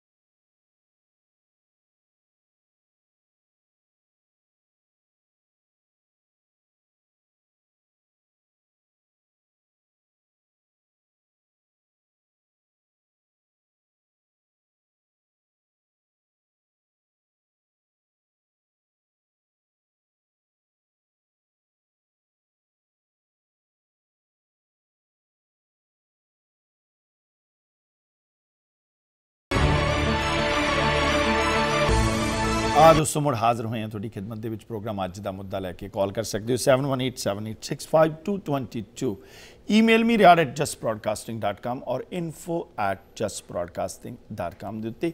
ਕਰੀਏ ਤੁਹਾਡੇ ਨਾਲ ਵਿਚਾਰਾਂ। ਹੈਲੋ ਹਾਂਜੀ ਹੈਲੋ ਹਾਂਜੀ ਸਤਿ ਸ਼੍ਰੀ ਅਕਾਲ ਜੀ। ਸਤਿ ਸ਼੍ਰੀ ਅਕਾਲ ਜੀ ਕੀ ਹਾਲ? ਠੀਕ ਹੋ? ਟੇਸੀ ਸਾਹਿਬ ਬਿਲਕੁਲ ਠੀਕ ਠਾਕ। ਮੈਂ ਰੈਕੋਗਨਾਈਜ਼ ਕਰ ਲਿਆ ਜੀ। ਕੀ ਹਾਲ ਚਾਲ ਨੇ? ਬੜਾ ਕੰਟਰੋਵਰਸ਼ੀਅਲ ਮੁੱਦਾ ਲੈ ਕੇ ਆਏ ਦੇਖੋ ਜੀ, ਮੈਂ ਤੇ ਘਬਰਾਉਣਾ ਨਹੀਂ, ਮੈਂ ਤਾਂ ਜਿਹੜੀ ਆਪਣੀ ਕਮਿਊਨਿਟੀ ਦੇ ਪੱਖ ਦੀ ਗੱਲ ਹੈ, ਜਿਹੜੀ ਆਪਣੀ ਜੇ ਬਚ ਬਚਾ ਕੇ ਪੰਜਾਬ ਦੇ ਵਿੱਚੋਂ ਜਿਹੜੇ ਬੱਚੇ ਇੱਥੇ ਆ ਰਹੇ ਨੇ, ਜੇ ਉਹਨਾਂ ਦੇ ਫਿਊਚਰ ਦੇ ਉੱਤੇ ਟੈਕਨੀਕਲੀ ਕੁਐਸਚਨ ਮਾਰਕ ਲੱਗਦਾ ਤਾਂ ਮੇਰਾ ਖਿਆਲ ਹੈ ਕਿ ਸਾਨੂੰ ਇਹ ਗੱਲ ਕਰਨੀ ਚਾਹੀਦੀ ਹੈ ਔਰ ਇਹ ਕਹਿਣਾ ਚਾਹੀਦਾ ਸਾਰੇ ਲੀਡਰਾਂ ਨੂੰ, ਭਈ ਸਹੀ ਰਸਤਾ ਅਖਤਿਆਰ ਕਰੋ, ਗਲਤ ਰਸਤੇ ਜਿਹੜੇ ਆ, ਉਹ ਐਵੇਂ ਉਂਗਲਾਂ ਤੇ ਨੱਚ ਕੇ ਨਾ ਇਹ, ਮਤਲਬ ਕਰੋ ਪਬਲਿਸਿਟੀ ਵਾਸਤੇ। ਹੋਰ ਬੜੇ ਤਰੀਕੇ ਆ ਪ੍ਰੋਪਰ ਪਬਲਿਸਿਟੀ ਚਾਹੀਦੀ ਅਸੀਂ ਕਰ ਸਕਦੇ ਹਾਂ ਲੋਕਾਂ ਦੀ। ਵਧੀਆ ਕੰਮਾਂ ਦੀ ਪਬਲਿਸਿਟੀ ਕਰ ਸਕਦੇ, ਸਹੀ ਰਸਤਿਆਂ ਦੀ ਕਰ ਸਕਦੇ ਹਾਂ। ਬਜਾਏ ਉਹਨਾਂ ਨੌਜਵਾਨਾਂ ਨੂੰ, ਮਤਲਬ ਜੇਲ੍ਹਾਂ ਦੇ ਵਿੱਚੋਂ ਉਹਨਾਂ ਦਾ ਬਾਉਂਡ ਭਰ ਕੇ, ਉਹਨਾਂ ਵਾਸਤੇ ਵਕੀਲ ਹਾਇਰ ਕਰਕੇ ਜੇ ਕਿਤੇ 5-7 ਹਜ਼ਾਰ ਡਾਲਰ ਇੱਕ ਬੱਚੇ ਤੇ ਲੱਗਦਾ ਤਾਂ ਹੋ ਸਕਦਾ ਉਹ ਕਮਾ ਕੇ ਤੁਹਾਨੂੰ ਛੇਤੀ 2-4 ਮਹੀਨਿਆਂ ਦੇ ਵਿੱਚ ਪਹਿਲਾਂ ਵਾਪਸ ਕਰ ਦੇਣ। ਉਹਨਾਂ ਨੂੰ ਬਾਹਰ ਕਢਾਉਣਾ ਚਾਹੀਦਾ ਨਾ ਕਿ ਉਸ ਸਿਸਟਮ ਦੇ ਬੰਦਿਆਂ ਨੂੰ ਇੰਡੀਅਨ ਕੌਂਸੂਲੇਟ ਦੇ ਅਧਿਕਾਰੀਆਂ ਨੂੰ ਉਹਨਾਂ ਦੀ ਖਬਰਸਾਰ ਲੈਣ ਵਾਸਤੇ ਜੇਲ੍ਹ 'ਚ ਭੇਜ ਦੇਣਾ ਚਾਹੀਦਾ ਆਓ ਨੈਚੁਰਲ ਦੇਖੋ ਜੀ ਕੰਟਰਡਿਕਸ਼ਨ ਹੋ ਜਾਂਦੀ ਨਾ ਬੜੀ ਭਾਰੀ। ਜੀ ਉਹੀ ਗੱਲ ਹੈ ਨਾ ਜੀ ਉਹੀ ਗੱਲ ਹੈ। ਅਸੀਂ ਵਿਰੋਧੀ ਥੋੜੀ ਹਾਂ। ਉਹ ਵੀ ਇੱਕ ਪਾਸੇ ਤਾਂ ਉਹ ਬੱਚੇ ਇਹ ਕਹਿਣਗੇ ਵੀ ਇੰਡੀਅਨ ਗਵਰਨਮੈਂਟ ਦੇ ਸਤਾਏ ਹੋਏ ਆਏ ਆ ਇੱਥੇ। ਜੀ। ਦੂਜੇ ਪਾਸੇ ਇੰਡੀਅਨ ਕੌਂਸੂਲੇਟ ਉਹਨਾਂ ਦੀ ਜਾ ਕੇ ਖਬਰਸਾਰ ਲੈ ਰਹੇ ਜਾਂ ਜ਼ਮਾਨਤਾਂ ਕਰਵਾ ਰਹੇ ਕੁਝ ਲੋਕੀ। ਹੂੰ ਹੂੰ ਹੂੰ ਹੂੰ ਜਾਂ ਵੀ ਕਰਾ ਰਹੇ ਆ ਉਹ ਡਰਾਮਾ ਤੇ ਉਹਦੇ ਤੋਂ ਵੱਧ ਉਹਨਾਂ ਦਾ ਫਾਇਦਾ ਨਹੀਂਗਾ ਉਹਦਾ ਨੁਕਸਾਨ ਆ। ਬੱਚਿਆਂ ਦਾ ਨੁਕਸਾਨ ਹੈ ਜੀ ਉਹ ਉਸ ਗੱਲ ਦੇ ਵਿੱਚ? ਇਹ ਆਪਣੀਆਂ ਰੋਟੀਆਂ ਸੇਕਣ ਵਾਲੀ ਗੱਲ ਹੈ। ਜੀ ਜੀ ਜੀ ਜੀ ਜੀ ਜੀ ਜੀ ਜੀ ਜੀ। ਅਮਰੀਕਾ ਤੇ ਕੈਨੇਡਾ ਦੇ ਵਿੱਚ ਖਾਸ ਤੌਰ ਤੇ ਅਮਰੀਕਾ 'ਚ ਇੱਕ ਬਹੁਤ ਵੱਡਾ ਮਤਲਬ ਇੱਕ ਸਿਲਸਿਲਾ ਇਦਾਂ ਦਾ ਪੈਦਾ ਹੋ ਗਿਆ। ਜੀ। ਕਿ ਹਰ ਆਦਮੀ ਆਪਣੇ ਆਪ ਨੂੰ ਵੱਡਾ ਸਿੱਖ ਵੱਡਾ ਨੈਸ਼ਨਲਿਸਟ ਵੱਡਾ ਇੰਡੀਅਨ ਸਾਬਤ ਕਰਨ ਤੇ ਤੁਲਿਆ। ਹੂੰ। ਔਰ ਇਹ ਵੀ ਗੱਲ ਬੜੀ ਨਜ਼ਰ ਆਉਂਦੀ ਆ ਕਿ ਨਾਰਮਲੀ ਸਿੱਖ ਦਿਸਣ ਲਈ ਬਹੁਤ ਤਰ੍ਹਾਂ ਦੇ ਲਬਾਦੇ ਪਹਿਨੇ ਜਾਂਦੇ ਆ। ਹੂੰ। ਲੇਕਿਨ ਅੰਦਰੋਂ ਸਿੱਖ ਹੋਣ ਦਾ ਮਸਲਾ ਜਿਹੜਾ ਆ ਉਹ ਕਿਤੇ ਪਿੱਛੇ ਰਹਿ ਗਿਆ। ਪਿੱਛੇ ਰਹਿ ਗਿਆ ਬਹੁਤ ਪਿੱਛੇ ਬਹੁਤ ਪਿੱਛੇ ਹੈ ਬਹੁਤ ਪਿੱਛੇ। ਸਿੱਖ ਦਿਸਣ ਵਿੱਚ ਤੇ ਸਿੱਖ ਹੋਣ ਵਿੱਚ ਬਹੁਤ ਫ਼ਰਕ ਆ। ਹੂੰ। ਸਿੱਖੀ ਤਾਂ ਕਮਾਉਣੀ ਪੈਂਦੀ ਹੈ ਹੂੰ। ਸਿੱਖੀ ਜਿਉਣੀ ਪੈਂਦੀ ਹੈ ਹੂੰ। ਜੇ ਆਪਣੇ ਲੋਕਾਂ ਨੂੰ ਮੁਹੱਬਤ ਕਰਦੇ ਆ ਹੂੰ। ਤੇ ਉਹਨਾਂ ਲੋਕਾਂ ਲਈ ਵੀ ਸੱਚੇ ਸਿੱਖ ਦੇ ਤੌਰ ਤੇ ਜੇ ਪੇਸ਼ ਆਉਂਦੇ ਆ ਤਾਂ ਵੱਖਰੀ ਗੱਲ ਹੈ ਹੂੰ। ਇਹ ਇੰਡੀਅਨ ਕੌਂਸੂਲੇਟ ਜਾ ਕੇ ਉੱਥੇ ਗੱਲ ਕਰਦੀ ਆ ਜਾਂ ਕੁਝ ਵੀ ਕਰਨ ਦੀ ਕੋਸ਼ਿਸ਼ ਕਰਦੀ ਆ ਮੈਨੂੰ ਗਲਤ ਨਾ ਲਿਆ ਜਾਵੇ। ਜੀ। ਮੈਂ ਸਮਝਦਾ ਕਿ ਫਿਰ ਉਹ ਜਿਹੜੇ ਇਸ ਤਰ੍ਹਾਂ ਫਸੇ ਹੋਏ ਬੱਚੇ 54 55 ਜਿੰਨੇ ਵੀ ਤੁਸੀਂ ਦੱਸ ਰਹੇ ਹੋ ਜੀ। ਉਹਨਾਂ ਦਾ ਭਵਿੱਖ ਹੈ ਜਿਹੜਾ ਉਹ ਨਾ ਇੱਧਰ ਦੇ ਨਾ ਉੱਧਰ ਦੇ। ਉਹ ਲਟਕਾ ਦਿੱਤੇ। ਨਾ ਇਧਰ ਕੇ ਰਹੇ ਨਾ ਉਧਰ ਕੇ ਰਹੇ। ਹੂੰ। ਨਾ ਕਿਨਾਰਾ ਹੀ ਮਿਲਾ ਨਾ ਮਸਾਲੇ ਸਨਮ। ਹੂੰ। ਕਿਤੇ ਪਹੁੰਚਣ ਜੋਗੇ ਨਹੀਂ ਜੇ ਕੱਲ ਨੂੰ ਡਿਪੋਰਟ ਹੋਏ ਤਾਂ ਕੌਣ ਜ਼ਿੰਮੇਵਾਰੀ ਲਊਗਾ? ਮੈਂ ਕਿਹਾ ਜੀ ਉਸ ਵੇਲੇ ਖੁੰਬਾਂ ਵਾਂਗੂ ਡੁੱਡਾਂ 'ਚ ਵੜ ਜਾਣੇ ਨੇ। ਹਾਂ ਉਦੋਂ ਡੁੱਡਾ ਚ ਵੜ ਜਾਣੇ ਆ। ਹੁਣ ਇਹ ਪ੍ਰੋਬਲਮ ਵੱਡੀ ਸਾਰਿਆਂ ਨਾਲੋਂ ਇਹ ਹੈ ਵੀ ਇਹ ਜਿਹੜਾ ਰੋਲ ਘਚੋਲਾ ਜਿਹਨੂੰ ਆਪਾਂ ਕਹਿ ਸਕਦੇ ਆ ਕਿ ਕਿਸਮ ਦਾ ਕਨਫਿਊਜ਼ਨ ਕਿਆਸ ਕ੍ਰੀਏਟ ਕੀਤਾ ਹੋਇਆ ਹੈ। ਰਾਈਟ ਇਹ ਫਟਾਫਟ ਫਟਾਫਟ ਇਹ ਸਾਬਤ ਕਰਨ ਦੀ ਕੋਸ਼ਿਸ਼ ਕਰ ਰਹੀ ਆ ਮੈਂ ਸਿੱਖਾਂ ਦਾ ਪ੍ਰਤੀਨਿਧ ਆ ਮੈਂ ਸਿੱਖਾਂ ਦਾ ਪ੍ਰਤੀਨਿਧ ਆ ਹੂੰ। ਇਹ ਢਾਈ ਟੋਟਰੂਆਂ ਦੀ ਜਿਹੜੀ ਖਿਚੜੀ ਆ ਪਕਾ ਕੇ ਹੂੰ। ਤੇ ਆਪਣੇ ਆਪ ਨੂੰ ਕੋਈ ਵੀ ਬੰਦਾ ਇਹ ਕਹਿਣਾ ਸ਼ੁਰੂ ਕਰ ਦੇਵੇ ਮੇਰੇ ਵਰਗਾ ਸਿੱਖ ਕੋਈ ਨਹੀਂ। ਹੂੰ। ਇਹ ਗੱਲ ਆਪਣੇ ਆਪ 'ਚ ਬੜੀ ਅਜੀਬ ਹੈ। ਹੂੰ। ਪੰਜਾਬੀ ਕੋਈ ਨਹੀਂ ਮੇਰੇ ਵਰਗਾ ਇਹ ਗੱਲ ਵੀ ਆਪਣੇ ਆਪ ਬੜੀ ਅਜੀਬ ਹੈ। ਹੂੰ। ਹੁਣ ਦੇਖਣ ਵਾਲੀ ਗੱਲ ਇਹ ਹੈ ਵੀ ਉਹਨਾਂ ਬੱਚਿਆਂ ਲਈ ਪ੍ਰੈਕਟੀਕਲੀ ਕੀ ਹੋਣਾ ਆ? ਬਸ ਬਸ। ਨਹੀਂ ਬਜਾਏ ਤੇ ਇਹ ਵੀ ਅਸੀਂ ਆਰਗੇਨਾਈਜ਼ੇਸ਼ਨ ਚਲਾਉਨੇ ਆ ਅਸੀਂ ਤਾਂ ਜੀ ਪੰਜ ਵਾਸਤੇ ਪੰਜ ਬੰਦਿਆਂ ਵਾਸਤੇ ਸਭ ਤੋਂ ਪਹਿਲਾਂ ਜਿਹੜਾ ਵਕੀਲ ਹਾਇਰ ਕੀਤਾ ਔਰ ਪੰਜਾਂ ਦੀਆਂ ਜਿਹੜੇ ਬੇਲ ਬਾਉਂਡ ਵਾਸਤੇ ਤਿਆਰੀ ਕੀਤੀ ਹੈ। ਤੇ ਬਾਕੀਆਂ ਨੂੰ ਅਸੀਂ ਬੇਨਤੀ ਕਰਦੇ ਵੀ ਤੁਸੀਂ ਵੀ ਅੱਗੇ ਆ ਕੇ ਇਹਨਾਂ ਦਾ ਭਵਿੱਖ ਦੇ ਵਿੱਚ ਹੱਥ ਫੜੋ। ਨਹੀਂ ਬਾਕੀ 49 ਕਿੱਥੇ ਜਾਣਗੇ? ਉਹੀ ਗੱਲ ਹੈ ਨਾ ਵੀ ਹੁਣ ਕੰਮ ਕਰੋ ਵੀ ਤੁਸੀਂ ਇੰਡੀਅਨ ਕੌਂਸੂਲੇਟ ਭੇਜ ਦਿੱਤਾ ਜਾਂ ਲਿਜਾ ਕੇ ਉੱਥੇ ਧਰ ਦਿੱਤਾ ਜੀ ਹਾਂਜੀ ਖਬਰ ਲੈਣ ਆਏ ਆ ਔਰ ਉਹਨਾਂ ਦੀਆਂ ਸਟੇਟਮੈਂਟਾਂ ਤੁਹਾਨੂੰ ਪਤਾ ਹੀ ਹੈ ਡਿਟੈਂਸ਼ਨ ਸੈਂਟਰ ਦੇ ਸਭ ਤੋਂ ਪਹਿਲੀ ਜਿਹੜੀ ਸਟੇਟਮੈਂਟ ਹੈ ਉਹੀ ਮੰਨੀ ਜਾਂਦੀ ਹੈ। ਸਟੇਟਮੈਂਟ ਬਦਲੀ ਨਹੀਂ ਜਾਂਦੀ ਜੋ ਪਹਿਲਾਂ ਕਹਿ ਦਿੱਤਾ। ਨਹੀਂ ਹੁਣ ਉਹ ਵੱਡੀ ਗੱਲ ਇਹ ਆ ਵੀ ਇੰਡੀਅਨ ਕੌਂਸੂਲੇਟ ਜਿਹੜੇ ਲੋਕ ਆਏ ਹੋਏ ਆ ਬਗੈਰ ਕਿਸੇ ਮਤਲਬ ਖਾਸ ਡਾਕੂਮੈਂਟ ਦੇ। ਜੀ। ਇੰਡੀਅਨ ਕੌਂਸੂਲੇਟ ਉਹਨਾਂ ਦੀ ਕੀ ਦਲੀਲ ਦਊਗਾ? ਹੂੰ ਹੂੰ, ਹੂੰ, ਹੂੰ, ਹੂੰ। ਉਹਨੂੰ ਫੜ ਕੇ ਭਾਵੇਂ ਕੋਈ ਲੈ ਜਾਵੇ ਇੰਡੀਅਨ ਕੌਂਸੂਲੇਟ ਨੇ ਵੀ ਮਖੌਲੀ ਬਣਾਇਆ ਹੋਇਆ ਨਾ। ਜੀ ਜੀ ਜੀ ਜੀ ਜੀ। ਕਿ ਉਹ ਮਤਲਬ ਜੋ ਜਿਹੜਾ ਕਹਿੰਦਾ ਆਓ ਜੀ ਚੱਲੀਏ ਜਾਓ ਉਹ ਤੇ ਇਹਨਾਂ ਕੁਝ ਕੁ ਬੰਦਿਆਂ ਦੇ ਕੁਝ ਕੁ ਬੰਦਿਆਂ ਦੇ ਹੱਥਾਂ ਦੇ ਵਿੱਚ ਮਤਲਬ ਗੋਇੰਗ ਟੂ Yeah. ਉਹ ਬੱਚੇ ਜਿਹੜੇ ਆਏ ਆ 54 ਜਿੱਦਾਂ ਵੀ ਆਏ ਆ ਰੱਬ ਜਾਣੇ ਕਿੱਦਾਂ ਪਹੁੰਚੇ ਆ ਉਹ। ਜੀ। ਉਹ ਆ ਕੇ ਇੱਥੇ ਫਸ ਗਏ। ਬਹੁਤ ਸਾਰੇ 4000 ਹੋਰ ਵੀ ਹੈ ਜੇਲ੍ਹਾਂ 'ਚ। 4000 ਹੋਰ ਵੀ ਹੈ ਸਾਰਿਆਂ ਦੀ ਗੱਲ ਕਰੋ। ਹਾਂ ਬਿਲਕੁਲ ਬਿਲਕੁਲ ਬਿਲਕੁਲ। ਨਹੀਂ ਤਾਂ ਉਹਨਾਂ ਦੇ ਭਵਿੱਖ ਹੈ।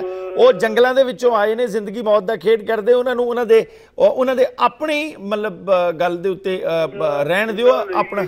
ਇੱਥੋਂ ਦੇ ਵਕੀਲ ਲੜ ਰਹੇ ਆ ਵੀ। ਇਹਨਾਂ ਨੂੰ ਚੰਗੀ ਰੋਟੀ ਦਿੱਤੀ ਜਾਵੇ ਇਹਨਾਂ ਦੀਆਂ ਸਹੂਲਤਾਂ ਦਿੱਤੀਆਂ ਜਾਣ ਇਹਨਾਂ ਨੂੰ ਬਾਹਰ ਕੱਢਿਆ ਜਾਵੇ। ਜੀ। ਉਹ ਕਰ ਰਹੇ ਆ। ਰਾਈਟ ਰਾਈਟ ਰਾਈਟ ਲੇਕਿਨ ਕਿਉਂ ਨਹੀਂ ਬੋਲੇ? ਰਾਈਟ ਰਾਈਟ 4000 ਪਹਿਲਾਂ। ਥੈਂਕ ਯੂ ਥੈਂਕ ਯੂ ਸਾਹਿਬ ਬਹੁਤ ਬਹੁਤ ਸ਼ੁਕਰੀਆ ਬਹੁਤ ਬਹੁਤ ਸ਼ੁਕਰੀਆ ਤੁਹਾਡੇ ਵਿਚਾਰਾਂ ਵਾਸਤੇ ਪ੍ਰੋਗਰਾਮ ਨੂੰ। ਅਸੀਂ ਇਸੇ ਤਰ੍ਹਾਂ ਦੋਸਤੋ ਜਾਰੀ ਰੱਖਾਂਗੇ ਔਰ ਤੁਹਾਡੀਆਂ ਕਾਲਸ ਵੀ ਲਵਾਂਗੇ। ਮਿਲਦੇ ਇੱਕ ਛੋਟੇ ਜਿਹੇ ਬ੍ਰੇਕ ਤੋਂ ਬਾਅਦ।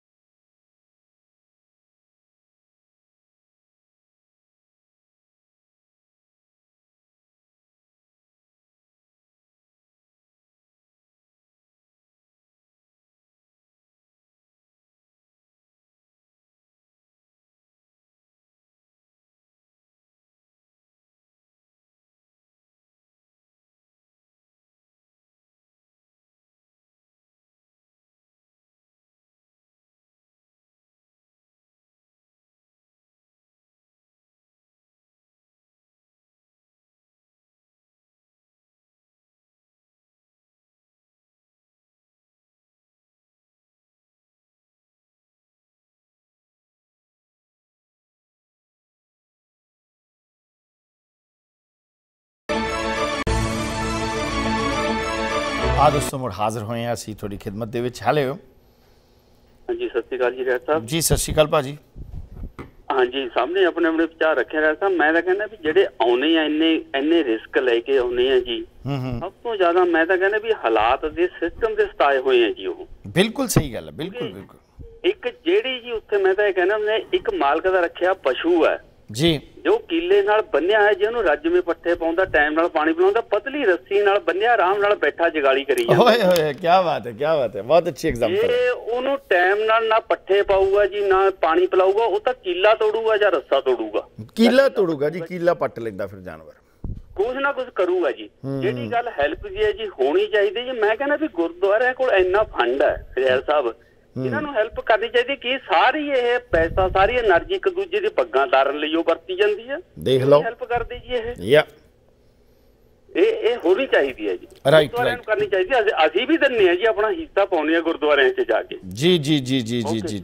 ਥੈਂਕ ਯੂ ਬਹੁਤ ਬਹੁਤ ਸ਼ੁਕਰੀਆ ਦੋਸਤੋ। ਵਕਤ ਇਜਾਜ਼ਤ ਨਹੀਂ ਦਿੰਦਾ ਕਿ ਮੈਂ ਪ੍ਰੋਗਰਾਮ ਨੂੰ ਹੋਰ ਅੱਗੇ ਲੈ ਕੇ ਜਾਵਾਂ ਕਿਉਂਕਿ ਅਗਲੇ ਪ੍ਰੋਗਰਾਮ ਚੱਲਣੇ ਹੁੰਦੇ ਨੇ। ਅੱਜ 2-4 ਮਿੰਟ ਪ੍ਰੋਗਰਾਮ ਲੇਟ ਸ਼ੁਰੂ ਹੋਇਆ ਕਰਕੇ ਮੈਂ ਸਮਝਾਂਗਾ ਕਿ ਆਖਰੀ ਪੜਾਅ ਦੇ ਵਿੱਚ ਤੁਹਾਡੀਆਂ ਕਾਲ ਸਾਡੇ ਕੋਲੋਂ ਘੱਟ ਲੈ ਹੋਈਆਂ, ਪਰ ਮੈਂ ਦੋਸਤਾਂ ਨੂੰ ਗੁਜ਼ਾਰਿਸ਼ ਕਰਾਂਗਾ, ਕੋਈ ਸੁਝਾਅ, ਕੋਈ ਵੀ ਹੋਵੇ, ਅਸੀਂ ਕਿਸੇ ਵੀ ਵਿਅਕਤੀ ਵਿਸ਼ੇਸ਼ ਤੇ ਮੁਖਾਲਫਤ ਨਹੀਂ ਹੈ ਅਸੀਂ ਸਿਰਫ ਤੇ ਸਿਰਫ ਸਹੀ ਰਸਤਾ ਦੱਸਣ ਦੀ ਕੋਸ਼ਿਸ਼ ਕਰਦੇ ਕਿ ਇਸ ਰਸਤੇ ਦੇ ਰਾਹੀਂ ਉਹਨਾਂ ਨੌਜਵਾਨਾਂ ਦੀ ਮਦਦ ਕੀਤੀ ਜਾ ਸਕਦੀ ਹੈ ਔਰ ਸਹੀ ਗੱਲ ਜਿਹੜੀ ਹੈ, ਉਹ ਪ੍ਰਚਾਰੀ ਜਾ ਸਕਦੀ ਉਹਨਾਂ ਦੇ ਰਿਸ਼ਤੇਦਾਰਾਂ ਤੱਕ, ਉਹਨਾਂ ਦੇ ਦੋਸਤਾਂ ਮਿੱਤਰਾਂ ਤੱਕ ਔਰ ਘੱਟੋ ਘੱਟ ਹਰ ਜਗ੍ਹਾ ਦੇ ਉੱਤੇ ਕਿ ਜੇਕਰ ਤੁਸੀਂ ਇੱਥੇ ਆਉਨੇ ਤਾਂ ਤੁਹਾਨੂੰ ਇਹਨਾਂ ਇਹਨਾਂ ਚੀਜ਼ਾਂ ਦੀ ਜ਼ਰੂਰਤ ਹੈ ਪੈਰ ਧਰ ਕੇ ਨਹੀਂ, ਉਸ ਤੋਂ ਬਾਅਦ ਵਕੀਲ ਤੁਹਾਡਾ ਪਹਿਲਾਂ ਵੀ ਤਿਆਰ ਹੋਣਾ ਚਾਹੀਦਾ, ਘੱਟੋ ਘੱਟ ਤੁਹਾਡੀ ਜਿਹੜੀ ਹੈ, ਉਹ ਬਾਉਂਡ ਭਰ ਕੇ ਬੇਲ ਕਰਵਾ ਸਕੇ, ਕੋਈ ਨਾ ਕੋਈ ਅੱਗੇ ਆਉਣਾ ਚਾਹੀਦਾ, ਸੋ ਸਹੀ ਰਸਤੇ ਦੇ ਵਾਸਤੇ ਅਸੀਂ ਕਾਮਨਾ ਕਰਦੇ ਹਾਂ, ਉਹਨਾਂ ਸਾਰੇ ਲੀਡਰਾਂ ਕੋਲੋਂ ਵੀ, ਜਿਹੜੇ, ਜਿਨ੍ਹਾਂ ਨੇ ਇਹ ਮਤਲਬ ਇੱਕ, ਮੈਂ ਸਮਝਾਂਗਾ ਕਿ ਗਲਤ ਰਸਤਾ ਵੀ ਅਖਤਿਆਰ ਅੰਦਰ ਖਾਤੇ ਕੀਤਾ।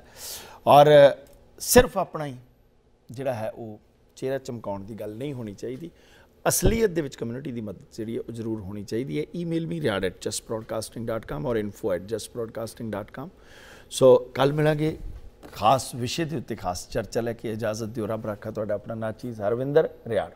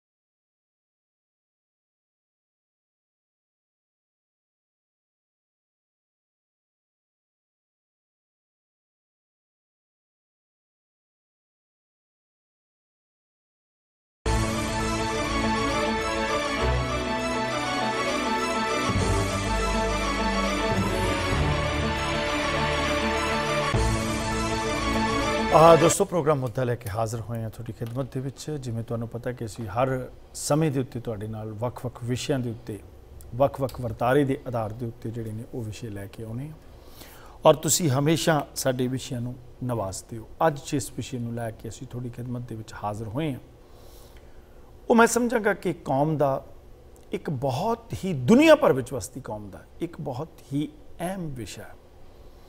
ਔਰ ਇਹ ਗੱਲ ਅੱਜ ਮੰਨ ਲੈਣੀ ਚਾਹੀਦੀ ਹੈ ਕਿ ਸਾਡੀਆਂ ਨਵੀਆਂ ਪੀੜ੍ਹੀਆਂ ਦੇ ਵਿੱਚ ਔਰ ਸਾਡੇ ਲੋਕਾਂ ਦੇ ਵਿੱਚ ਅੱਜ ਅੰਤਰਰਾਸ਼ਟਰੀ ਪੱਧਰ ਦੇ ਉੱਤੇ ਕੋਈ ਨਾ ਕੋਈ ਜਾਗਰਤੀ ਜਿਹੜੀ ਹੈ ਉਹ ਜ਼ਰੂਰ ਪਹੁੰਚੀ ਹੈ, ਜਿਸ ਕਰਕੇ ਅਸੀਂ ਆਪਣੀਆਂ ਜੜ੍ਹਾਂ ਨੂੰ ਖੋਜਣ ਔਰ ਜੜ੍ਹਾਂ ਦੇ ਸਤਕਾਰ ਵਜੋਂ ਜਿਹੜਾ ਹੈ ਉਹ ਲੋਕਾਂ ਦੇ ਵਿੱਚ ਗੱਲਬਾਤ ਨੂੰ ਲੈ ਕੇ ਆਉਨੇ ਆ ਪਿਛਲੇ ਸਮੇਂ ਦੇ ਵਿੱਚ ਅਕਸਰ ਅਸੀਂ ਪ੍ਰੋਗਰਾਮਾਂ ਦੇ ਵਿੱਚ ਇਤਿਹਾਸਕ ਵਰਤਾਰਿਆਂ ਬਾਰੇ ਗੱਲ ਕੀਤੀ ਕਿ ਸਾਡਾ ਇਤਿਹਾਸ ਜਿਹੜਾ ਹੈ, ਉਸ ਦਾ ਮਲੀਆ ਮੇਟ ਕੀਤਾ ਜਾ ਰਿਹਾ। ਅੱਜ ਸਿੱਖ ਕੌਮ ਕੋਲ ਜੇ ਸਰੋਤਾਂ ਦੀ ਗੱਲ ਹੋਵੇ ਤਾਂ ਬਹੁਤ ਵੱਡੇ ਪੱਧਰ ਦੇ ਉੱਤੇ ਸਰੋਤ ਨੇ। ਸ਼੍ਰੋਮਣੀ ਗੁਰਦੁਆਰਾ ਪ੍ਰਬੰਧਕ ਕਮੇਟੀ ਦਾ ਅਥਾ ਬਜਟ ਜੇਕਰ ਇਹ ਦੱਸਣਾ ਹੋਵੇ ਕਿੱਥੇ ਕਿੱਥੇ ਲੱਗ ਰਿਹਾ ਤਾਂ ਤੁਹਾਨੂੰ ਹੈਰਾਨੀ ਹੋਏਗੀ। ਜੇਕਰ ਦਿਆਨਤਦਾਰੀ ਦੀ ਗੱਲ ਹੈ ਤੇ ਮੈਂ ਸਮਝਾਂਗਾ ਕਿ ਉਸ ਕਮੇਟੀ ਕੋਲ ਆਪਣੇ ਧਰਮ ਬਾਰੇ ਔਰ ਆਪਣੇ ਸਿੱਖ ਇਤਿਹਾਸ ਤੇ ਫਲਸਫੇ ਨੂੰ ਸਾਂਭਣ ਵਾਸਤੇ ਕੋਈ ਵੀ ਦਿਆਨਤਦਾਰੀ ਨਹੀਂ ਬਚੀ ਔਰ ਉਹਨਾਂ ਰਾਹਾਂ ਦੇ ਉੱਤੇ ਕਿਤੇ ਨਾ ਕਿਤੇ ਪਗਡੰਡੀਆਂ ਬਣਾ ਕੇ ਤੁਰ ਪਈ ਹੈ। ਦਿੱਲੀ ਗੁਰਦੁਆਰਾ ਪ੍ਰਬੰਧਕ ਕਮੇਟੀ। ਕਾਸ਼ ਕਿ ਇਹ ਦੋਨੋਂ ਸੰਸਥਾਵਾਂ ਕਿਸੇ ਵੀ ਰਾਜਨੀਤੀ ਦਾ ਸ਼ਿਕਾਰ ਨਾ ਹੁੰਦੀਆਂ ਘੱਟੋ ਘੱਟ ਸਿੱਖ ਇਤਿਹਾਸ ਤੇ ਫਲਸਫੇ ਨੂੰ ਸਮਰਪਿਤ ਹੋ ਕੇ ਇਹ ਇਸ ਤਰ੍ਹਾਂ ਦਾ ਇਤਿਹਾਸ ਅੱਗੇ ਲਿਆ ਸਕਦੀਆਂ ਸਨ। ਪਰ ਅੱਜ ਦੀ ਤਰੀਕ ਦੇ ਵਿੱਚ ਬਹੁਤ ਲੋਕ ਨੇ ਜਿਹੜੇ, ਮੈਂ ਸਮਝਾਂਗਾ ਕਿ ਉਹ ਵੱਡੇ ਪੱਧਰ ਦੇ ਉੱਤੇ ਆਪਣੇ ਇਤਿਹਾਸ ਦੀ ਗੱਲ ਕਰਦੇ ਨੇ, ਤਾਂ ਜੋ ਕਿ ਘੱਟੋ ਘੱਟ ਆਉਣ ਵਾਲੀਆਂ ਪੀੜ੍ਹੀਆਂ ਜਿਹੜੀਆਂ ਨੇ, ਉਹਨਾਂ ਨੂੰ ਤਾਂ ਪਤਾ ਲੱਗ ਸਕੇ। ਅੱਜ ਭਾਰਤ ਵਰਸ਼ ਦੀਆਂ ਮਿੱਟੀ ਦੇ ਥੱਲੇ ਹੀ ਸਿੱਖ ਕੌਮ ਦਾ ਵੱਡਾ ਇਤਿਹਾਸ ਜਿਹੜਾ ਉਹ ਲੁਕਿਆ ਹੋਇਆ ਹੈ। ਅੱਜ ਸਿੰਧੂ ਘਾਟੀ ਦੀ ਸੱਭਿਅਤਾ ਜਾਂ ਮਹਿੰਜੋ ਦੜੋ ਦੀ ਸੱਭਿਅਤਾ ਜਾਂ ਉਸ, ਉਹਨਾਂ ਸੱਭਿਅਤਾਵਾਂ ਦੀਆਂ ਖੁਦਾਈਆਂ ਕਰਕੇ ਦੁਨੀਆ ਭਰ ਦੇ ਵਿੱਚ ਤਾਂ ਸਿਸਟਮ ਪ੍ਰਚਾਰ ਸਕਦਾ ਹੈ। ਦੁਨੀਆ ਭਰ ਦੇ ਸਿਲੇਬਸਾਂ ਦੇ ਵਿੱਚ ਆਪਣੇ ਬੱਚਿਆਂ ਨੂੰ ਪੜਾਇਆ ਜਾ ਸਕਦਾ ਕਿਸੇ ਵੀ ਜਵਾਕ ਨੂੰ ਪੁੱਛ ਲਓ, ਸਿੰਧੂ ਘਾਟੀ ਦੀ ਸੱਭਿਅਤਾ ਦੋ ਚਾਰ ਅੱਖਰ ਤੇ ਉਹ ਬੋਲ ਹੀ ਦੇਗਾ ਪਰ ਮਿੱਟੀ ਦੇ ਵਿੱਚ ਦਫਨ ਪਏ ਅਮੀਰ ਸਿੱਖ ਇਤਿਹਾਸ ਦੇ ਜੇਕਰ ਕਿਸੇ ਇੱਕ ਕੰਨੀ ਨੂੰ ਫੜਨਾ ਹੋਵੇ ਤੇ ਜਾ ਕੇ ਮੈਂ ਸਮਝਾਂਗਾ ਕਿ ਉਹ ਸੈਂਕੜੇ ਹਜ਼ਾਰਾਂ ਮੀਲਾਂ ਦੇ ਵਿੱਚ ਸਿੱਖ ਇਤਿਹਾਸ ਜਿਹੜਾ ਉਹ ਅੱਜ ਵੀ ਮਿੱਟੀ ਦੇ ਵਿੱਚ ਦਫਨ ਪਿਆ। ਪਰ ਕਿਸੇ ਵੀ ਬਾਬੇ ਜਿਹੜੇ ਬਾਬੇ ਨੇ ਕਾਰ ਸੇਵਾ ਵਾਲੇ, ਉਹਨਾਂ ਦੀ ਕੋਸ਼ਿਸ਼ ਇਹ ਤਾਂ ਰਹੀ ਹੈ ਕਿ ਅਸੀਂ ਘੱਟੋ ਘੱਟ ਸਿੱਖ ਇਤਿਹਾਸ ਜਿਹੜਾ ਉਸ ਦਾ ਮਲੀਆ ਮੇਟ ਕਰਕੇ ਉਸ ਇਤਿਹਾਸ ਨੂੰ ਮਕਰਾਣੇ ਦੇ ਪੱਥਰ ਹੀ ਢੱਕ ਦਈਏ। ਕੇਂਦਰ ਦੇ ਵਿੱਚ ਸਿੱਖਾਂ ਦੀਆਂ ਭਾਈਵਾਲ ਸਰਕਾਰਾਂ ਬਣੀਆਂ। ਕਦੇ ਇੰਦਰ ਕੁਮਾਰ ਗੁਜਰਾਲ ਨੂੰ ਜੱਫੀਆਂ ਪਈਆਂ, ਕਦੇ ਬਾਜਪਾਈ ਜੀ ਨੂੰ ਜੱਫੀਆਂ ਪਈਆਂ, ਕਦੇ ਨਰਿੰਦਰ ਮੋਦੀ ਜੀ ਦੀਆਂ ਤਾਰੀਫਾਂ ਦੇ ਵਿੱਚ ਸਿਫਤਾਂ ਦੇ ਪੁਲ ਬਨ ਬਨ ਕੇ ਦਸਤਾਰਾਂ ਟਿਕਾਈਆਂ ਗਈਆਂ। ਕਦੇ ਉਹਨਾਂ ਕੋਲ ਸਾਡੀ ਸਿੱਖ ਲੀਡਰਸ਼ਿਪ ਨੇ ਇਹ ਸਵਾਲ ਨਹੀਂ ਕੀਤਾ ਕਿ ਸਾਡੇ ਵੀ ਸਿੱਖ ਜਿਹੜੇ ਨੇ, ਉਹਨਾਂ ਨੇ ਕੋਈ ਇਤਿਹਾਸ ਲੱਭਿਆ ਸਾਡੀ ਵੀ ਸਿੱਖ ਵਿਰਾਸਤ ਜਿਹੜੀ ਹੈ, ਉਸ ਵਾਸਤੇ ਕੇਂਦਰ ਦੀ ਸਰਕਾਰ ਜਿਹੜੀ ਹੈ, ਜਿਸ ਦੇ ਅੰਡਰ ਆ ਰਿਹਾ ਪੁਰਾਤਤਵ ਵਿਭਾਗ, ਜਹਾਂਗੀਰ ਦੀ ਮੁਹੱਬਤ ਦੀ ਸਰਾਂ ਜਿਹੜੀ ਹੈ, ਉਹ ਉਸੇ ਇਤਿਹਾਸਕ ਚੂਨੇ ਮਿੱਟੀ ਦੇ ਨਾਲ ਤਿਆਰ ਕਰਕੇ ਨਵਿਆ ਦਿੱਤੀ ਜਾਂਦੀ ਹੈ। ਨੂਰਮਹਿਲ ਦੀ ਸਰਾਂ ਦੇ ਵਿੱਚ ਤਾਰੇ ਵਜਾ ਦਿੱਤੇ ਜਾਂਦੇ ਨੇ। ਮੁਗਲ ਜਹਾਂਗੀਰਾਂ ਤੱਕ ਦੀਆਂ, ਮੁਗਲ ਬਾਦਸ਼ਾਹਾਂ ਤੱਕ ਦੀਆਂ, ਸਾਰੀਆਂ ਦੀਆਂ, ਸਾਰੀਆਂ ਜਿਹੜੀਆਂ ਵੱਡੇ ਕਿਲੇ ਤੇ ਇਮਾਰਤਾਂ, ਉਹਨਾਂ ਨੂੰ ਸ਼ਿੰਗਾਰ ਦਿੱਤਾ ਜਾਂਦਾ। ਪਰ ਇਸ ਮੁਲਕ ਦੀ ਕੁਰਬਾਨੀ ਕਰਨ ਵਾਲੇ ਮੁੱਢ ਕੁਦੀਮ ਤੋਂ ਸ੍ਰੀ ਗੁਰੂ ਤੇਗ ਬਹਾਦਰ ਸਾਹਿਬ ਤੋਂ ਲੈ ਕੇ ਅੱਜ ਤੱਕ ਦੀ ਕੌਮ ਵਾਸਤੇ ਕੁਰਬਾਨੀ ਕਰਨ ਵਾਲੀ ਕੌਮ ਦੇ ਇਤਿਹਾਸ ਦੀ ਇੱਕ ਮਿੱਟੀ ਚੱਕ ਕੇ ਵੀ ਦੁਨੀਆ ਦੇ ਵਿੱਚ ਦਿਖਾਉਣ ਦੀ ਕੋਸ਼ਿਸ਼ ਨਹੀਂ ਕੀਤੀ ਜਾ ਰਹੀ। ਜੀ ਹਾਂ, ਮੈਂ ਗੱਲ ਕਰ ਰਿਹਾ ਅੱਜ। ਲੋਹਗੜ ਕਿਲੇ ਦੀ। ਲੋਕਾਂ ਦੇ ਦਿਮਾਗ ਦੇ ਵਿੱਚ ਹੋਏਗਾ ਲੋਹਗੜ ਔਰ ਮੈਂ ਸਮਝਾਂਗਾ ਮੇਰੀਆਂ ਪੀੜ੍ਹੀਆਂ ਜਾਂ ਮੇਰੀਆਂ ਪੀੜ੍ਹੀਆਂ ਤੋਂ ਉੱਪਰ ਜਾ ਕੇ ਵੀ ਸ਼ਾਇਦ ਇਸ ਗੱਲ ਦਾ ਕਿਸੇ ਨੂੰ ਪਤਾ ਨਾ ਹੋਏਗਾ। ਅੱਜ ਇਹ ਗੱਲ ਹੋ ਜਾਂਦੀ ਇਤਿਹਾਸਕ ਵਰਤਾਰੇ ਦੇ ਵਿੱਚ ਕਿ ਕਿੰਨੇ ਵਰੇ 2.5 ਲੱਖ ਮੁਗਲ ਦੀ ਫੌਜ ਜਿਹੜੀ ਆ ਉੱਥੇ ਘੇਰਾ ਪਾ ਕੇ ਬੈਠੀ ਰਹੀ, ਪਰ ਕਿਸੇ ਦੇ ਦਿਮਾਗ ਨੇ ਇਹ ਕੰਮ ਨਹੀਂ ਕੀਤਾ ਕਿ ਜਿਹਨਾਂ ਦੋ ਟਿੱਬਿਆਂ ਦੇ ਉੱਤੇ ਅੱਜ ਦੋ ਝੰਡੇ ਲਹਿਰਾਏ ਹੋਏ ਨੇ, ਸਿਰਫ ਫੌਜ ਉਹਦੇ ਉੱਤੇ ਨਹੀਂ ਬੈਠੀ ਰਹੀ।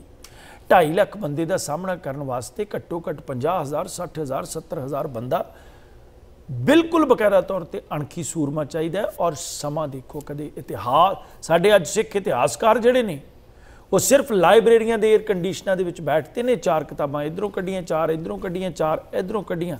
ਵੱਖਰੀਆਂ ਵੱਖਰੀਆਂ ਕਿਤਾਬਾਂ ਦੇ ਵਰਕੇ ਪਾ ਕੇ ਇੱਕ ਨਵੀਂ ਇਤਿਹਾਸ ਦੀ ਕਿਤਾਬ ਬਕਾਇਦਾ ਤੌਰ ਤੇ ਮੜ ਕੇ ਟੇਬਲ ਦੇ ਉੱਤੇ ਰੱਖ ਦਿੰਦੇ ਨੇ। ਵਾਈਸ ਚਾਂਸਲਰ ਜਾਂ ਆਪਣੇ ਡੀਨ ਦੀ ਚਾਪਲੂਸੀ ਦੇ ਨਾਲ ਬਕਾਇਦਾ ਤੌਰ ਤੇ ਖਾਮੋਸ਼ ਸਤਰਾਂ ਦੇ ਵਿੱਚ ਉਹਨਾਂ ਦੇ ਨਾਂ ਦੇ ਮੋਰੇ ਡਾਕਟਰ ਲੱਗ ਜਾਂਦਾ ਤੇ ਉਸ ਤੋਂ ਬਾਅਦ ਉਹ ਵਧੀਆ ਇਤਿਹਾਸਕਾਰ ਬਣ ਜਾਂਦੇ ਨੇ। ਪਰ ਮਿੱਟੀ ਦੇ ਵਿੱਚੋਂ ਇਤਿਹਾਸ ਫੋਲਣਾ ਕਿਸੇ ਵਿਰਲੇ ਦੇ ਕੰਮ ਆਇਆ ਹੈ।